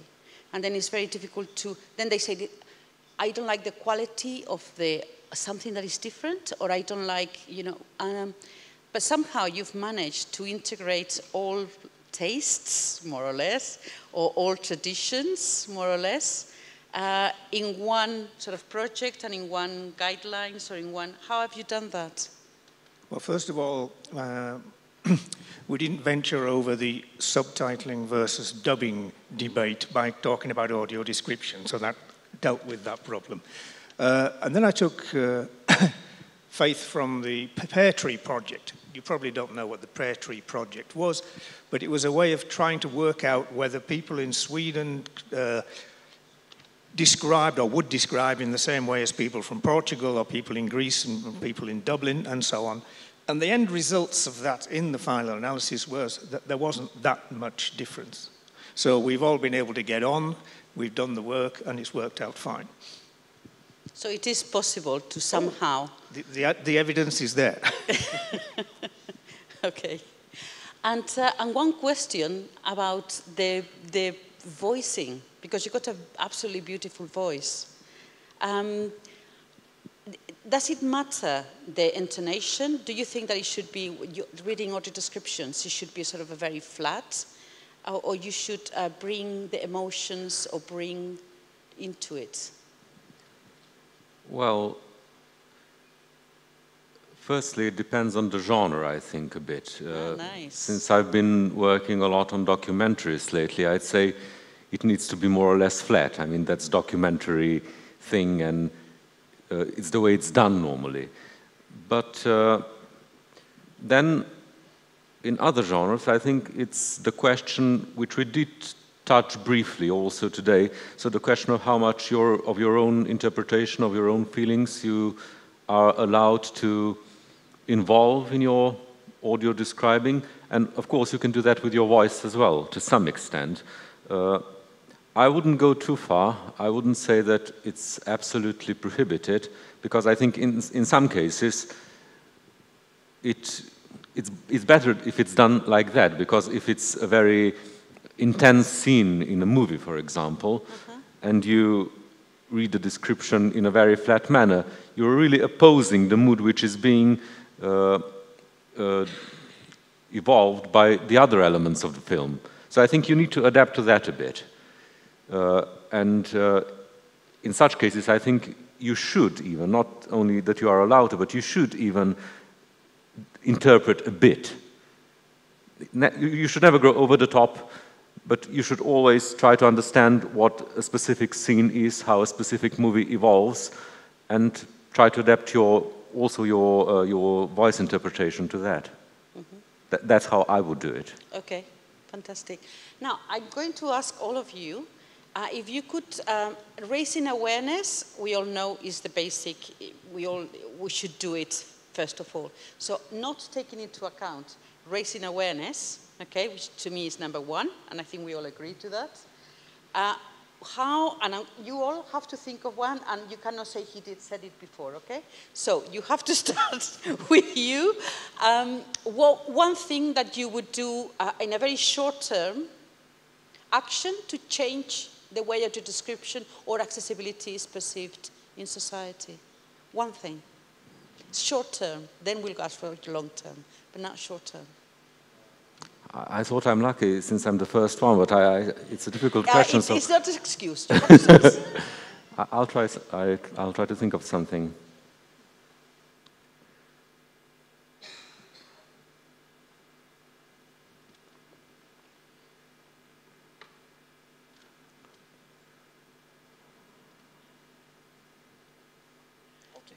Yes, yeah, do, yes, yes, please do. Yes, yeah. I have an answer prepared. Okay, Chris. okay. uh, in the near future, I hope, uh, myself and Elisa, uh, we hope to uh, edit a handbook of audio description uh, as soon as it's approved, and if it's approved, but optimistically I'll say when it's approved. And a large section of this 35 chapter volume will be dedicated to things in the future which disseminated in some way uh, should help to raise awareness. I've made a list actually of things where we go from here, sort of thing. Um, there'll be stuff on video games, on multilingual products, on machine translation, on new audiences, on artificial voices, image tagging, relational databases, receptor studies, integrated AD, visitor studies in museums. This is not fair. And no, no, I'm about to say, I'm about to say, you can all take one of these, because I'm just mentioning them offhand. And end user participation, as my Croatian colleague here was so um, eloquent about earlier. So that's me done. Let, let him say it. Okay. Let him continue. I think he also has an answer. Antonio, the mic on the, on the right. From you, yeah, thanks. Um, I think uh, today we, we- today everybody was talking about inclusion, always inclusion, inclusion, inclusion. But uh, I think to get inclusion, and the, the second most important thing get their inclusion, uh, in my opinion, it's the more important inclusion, it's integration. So you can have inclusion, but you won't have people. You won't have uh, people with disabilities that will be able, or that will be willing, or or that will be you know, that will go to cinema and theater if you take 40, 50 disabled people, in this case blind people, in cinema every week. I think, I, I believe in three, four months, that same cinema will be producing audio description. If you take 40, 50 people in theater, I think that theater will, be, will start to produce uh, audio description for the blind and the visually impaired. So integration for me is the best second thing, or the best thing. Um, I would oblige every organizer of festivals or events that they only invite productions, be it a film, be it a theater piece or a play or anything else, that every production that will have a, or can have a chance to be, to be uh, invited has to deliver an audio description script at least in original language or both original and English, because then it's only one step to translate it into the uh, festival language, so to speak. Um, and the bigger festivals, they're so important. They really, they really can make it an obligation, and every director would follow it. Because if you compare it to the production cost of a film, the audio description is nothing. If you're talking about the, the mainstream or blockbusters, at least. But Gerhard, in your country, which is very rich, don't you have this obligation already? Ah, no, not at all. No, no, no, no, no. small- we have one smaller obligation. countries in Europe, we already have that. Ah, no, no. Switzerland is sleeping in that respect. What we have is if, uh, for, for films uh, that get public funding in the production, they are obliged now to, to produce an audio description. That's correct. The problem is that they are not obliged, that the cinemas and the distributors are not obliged to ingest the audio description into the DCP, which is a bit technical now, into the cinema version of the film, so that cinemas who have the technical equipment to distribute the audio description are in a position to do so. So in a chain, there is one, one chain link that is okay now, but the rest is missing. And for theater, it's even worse. So it means that if, never mind how rich is your country, is not accessibility is not implemented equally. No, Hmm. other European countries poorer, they have more yeah, accessibility. I mean, I, I met a friend last night. He said Ljubljana is so accessible. It's It is- incredible. it's he's from. Switzerland. Yeah, It's fantastic. Actually, he's the president of our festival. He's pure coincidence. He is making his uh, holidays here now, and he's saying it's wonderful. It's wonderful. I would wish to have Switzerland like uh, Slovenia. Tomasz. Uh, yes, I will first abuse my, the mic to, th- to say thank you to all that were implementing this project because uh, you've made a, a basis, standards that are very important for all the next uh, steps ahead. And now, uh, audio descriptions has been in principle invented and implemented for blind and partially sighted people. But is it really only for them? Only for us?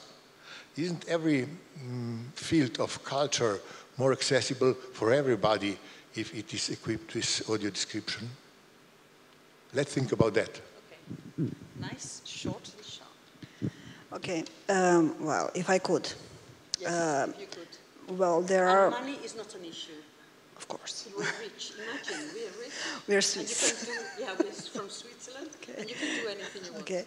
Well, uh, there are um, a few uh, very popular sitcom, our Serbian sitcom, and they go on prime time, and 10 experimental project, uh, 10 uh, TV shows uh, do uh, audio describe, to be audio described.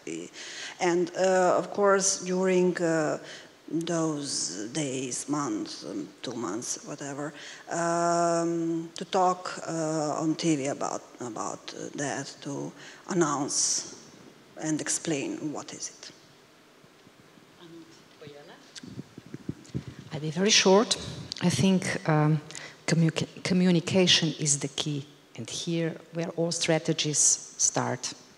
So, and uh, I would really uh, want to live in a world of multiple voices. Very good.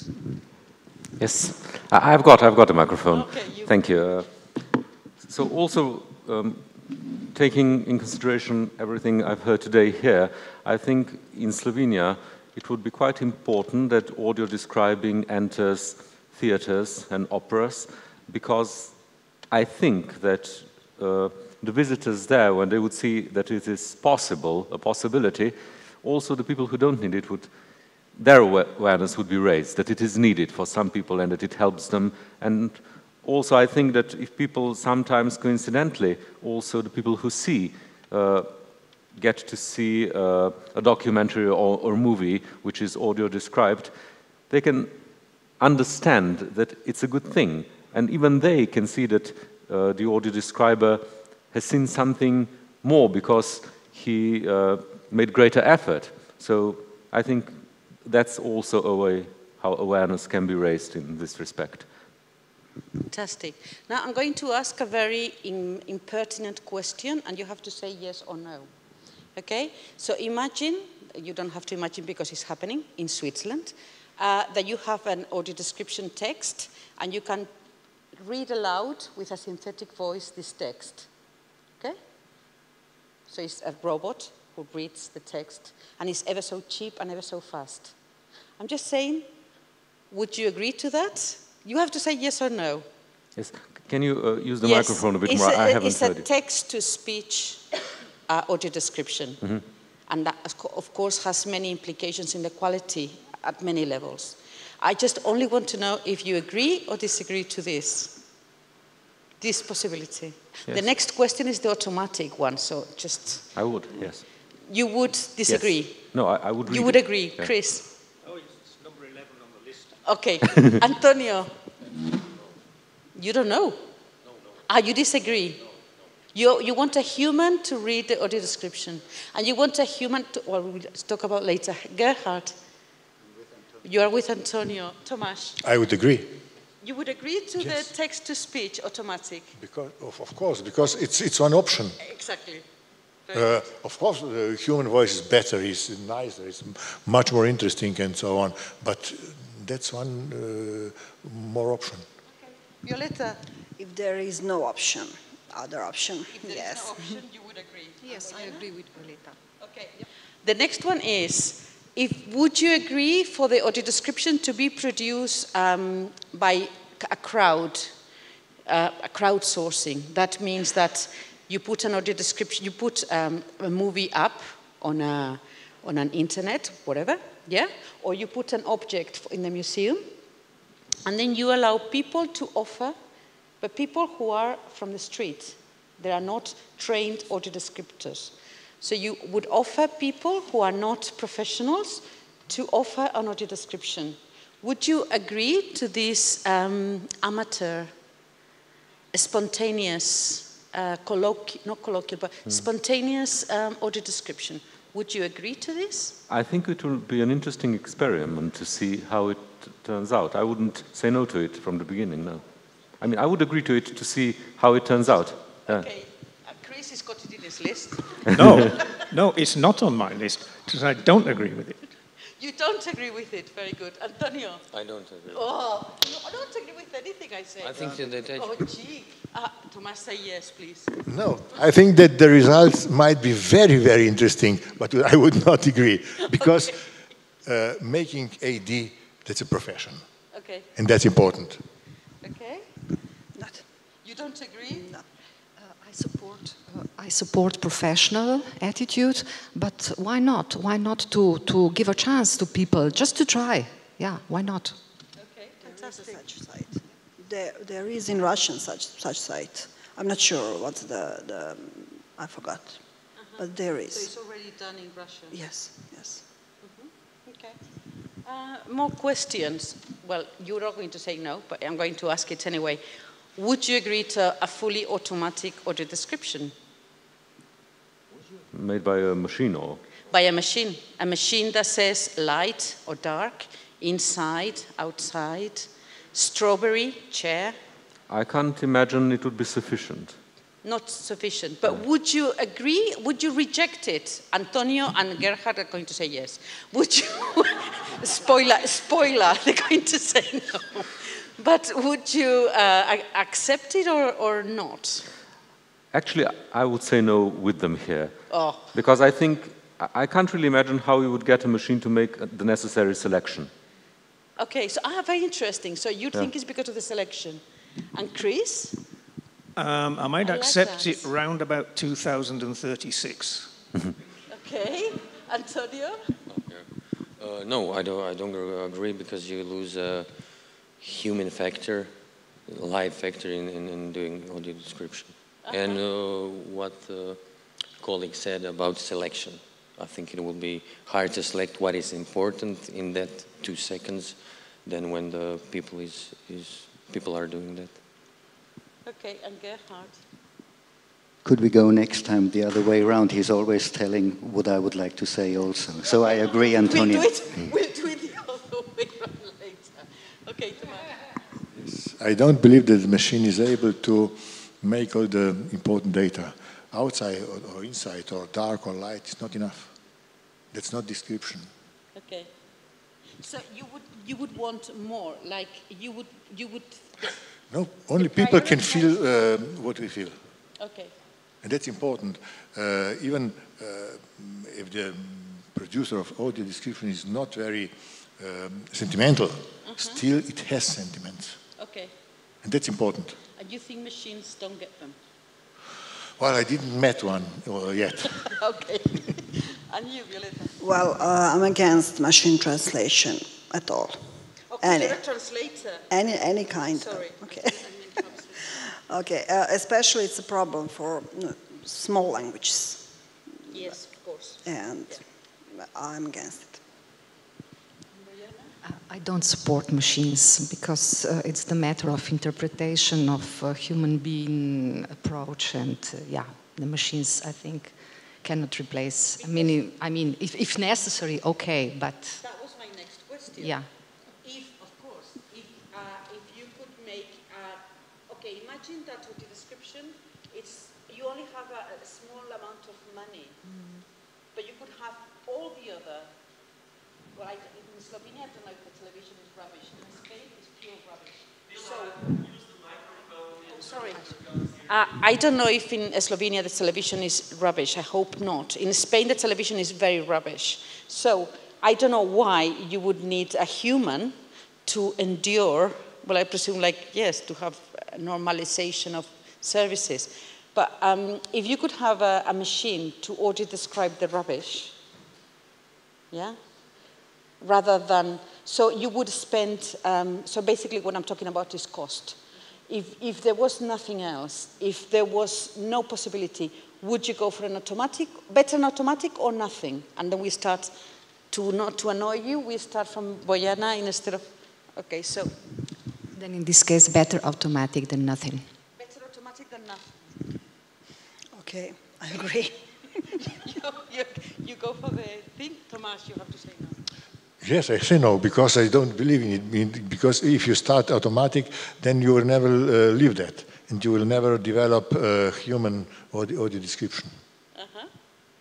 I don't think it's so easy to decide what is rubbish and what is not rubbish. It's not. It's not my my job to decide that. So uh, I'm against it. No, Antonio. Um, uh, yeah, you can hear me. Uh, one film in Croatia, in average, costs 7 million kunas. It's about 1 million euros. One audio description produ producing on, of one audio description in Croatia is 1,000 euros.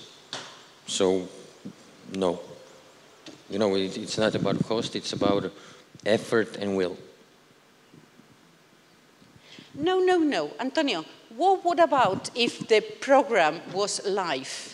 So imagine that you have a, the Eurovision Song Contest, such a fantastic program and it's live.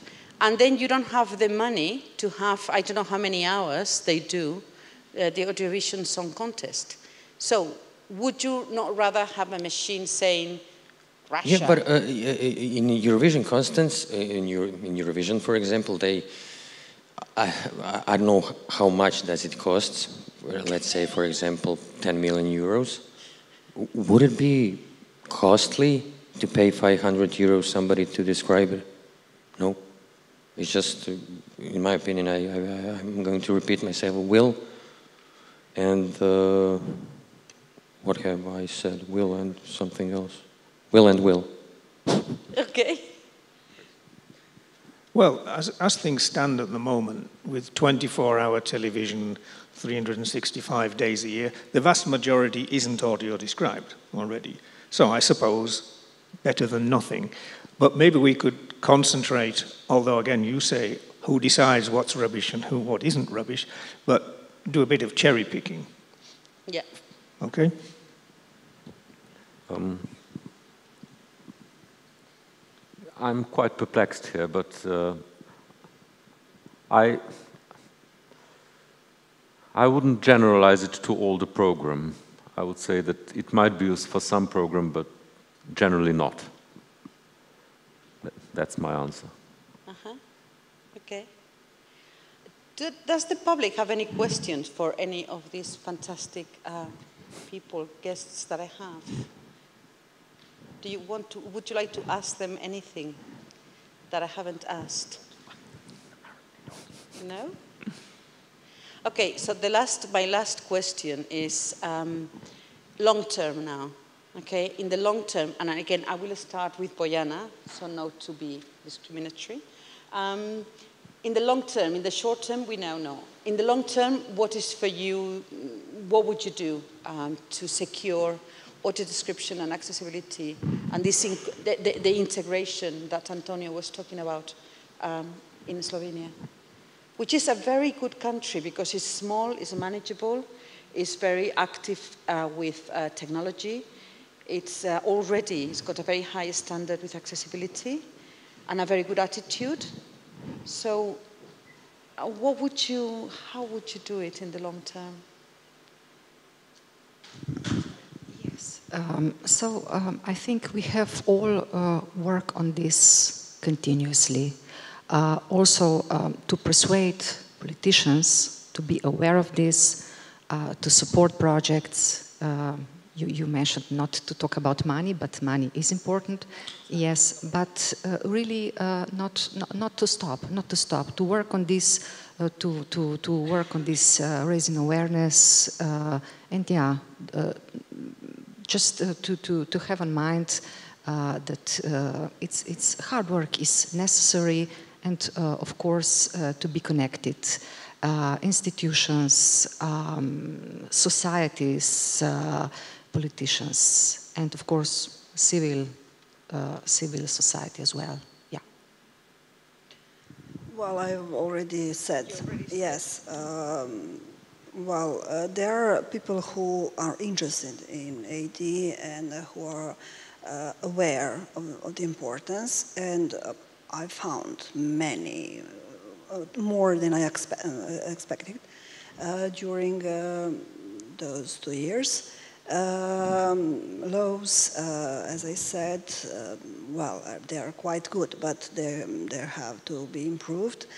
Um, and uh, better connection and collaboration between organizations of the blind in Serbia, but in our uh, region, West, uh, Western Balkans. And um, schools, universities, as I said, it's um, very far from perception uh, uh, colleagues uh, from the university and Association of Interpreters. Um, I talked to some of them, well, they didn't understand what I was talking about.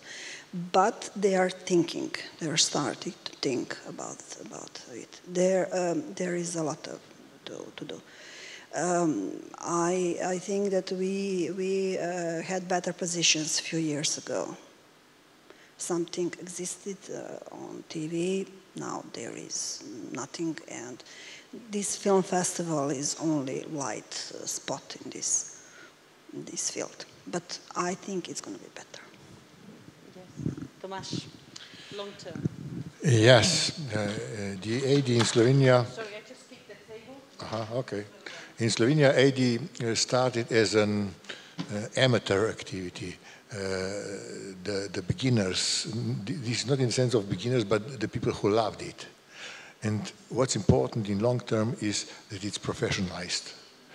Uh, the Ministry of Culture and some other uh, ministries should agree and should accept that that uh, every activity, every profession that has to have some good results must be acknowledged, must be recognized, and must be professional. That's most important for me. Okay, fantastic. Gerhard. Well, in the long term, very utopian. My idea is that the ratio should uh, uh, exactly be the contrary. As today, the few people who care about accessibility and inclusion at these times should be the vast majority, and the people who don't care about accessibility in the future should be the tiny, tiny, tiny minority, and the rest would, would go. Um, uh, I think governments in every country have to enforce producers of the cultural contents. If they want state money, they have to adapt film for all of the population of the of the country that this film is produced. AdLab 3. Elisa. I think it's important to continue the work we do and to try to broaden it, so to get it in the other institutions and not to be defeatist about what's possible. I think uh, the previous generations or the work which uh, have been done has been done by now shows that there aren't really limits which couldn't be crossed in making things more accessible. So I think uh, yes, I think that's uh, what we should strive for and also to be optimistic about the, the, opportunities which follow in the future and remember what, uh, for example, Louise Fryer said today that at first they needed to go to theaters and suggest to, to them to make an audio description, but nowadays the theaters come to them and ask them to make an audio description. So I think it's evolving in that direction. We just need to uh, not to um, to stop at something which is an obstacle at one moment, but which can be crossed. Can I have one more question? Uh, where is the microphone? Sorry. I, I have one more question, very fast. Would you uh, agree to have uh, audio description uh, paid by um, a company making an advert? So this audio description was offered by Santander Bank. Yes, why not? Why not? Chris, That's how the world works. you would agree to, uh, to being part of a, a, business model of... Penalty goals are offered by some... Okay, Antonio? Yes. Wow. Gerhard, no. No, not at all. It's charity, I think. And it must be, mustn't be charity. Char chari oh, sorry. Charity?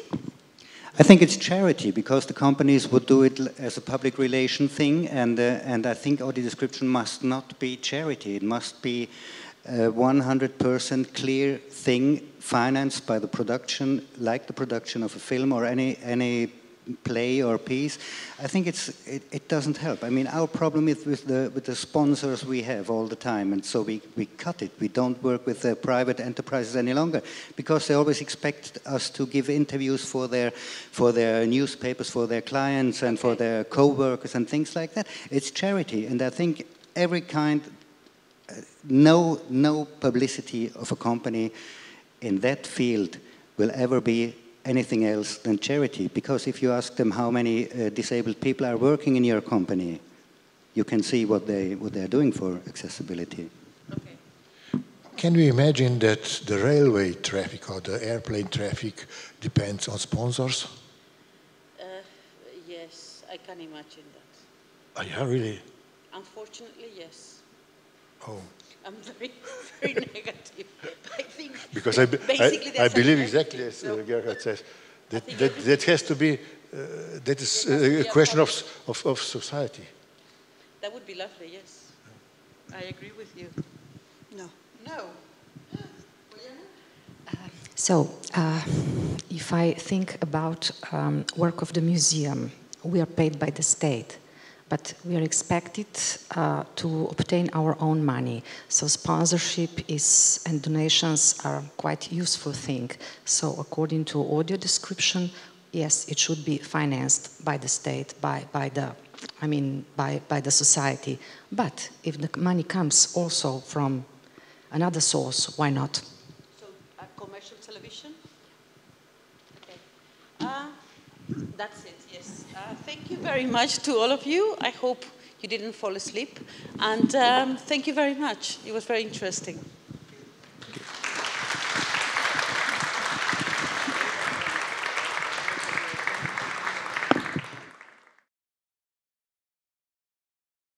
This video is part of AdLab Pro, Audio Description, a laboratory for the development of a new professional profile, financed by the European Union under the Erasmus Plus programme.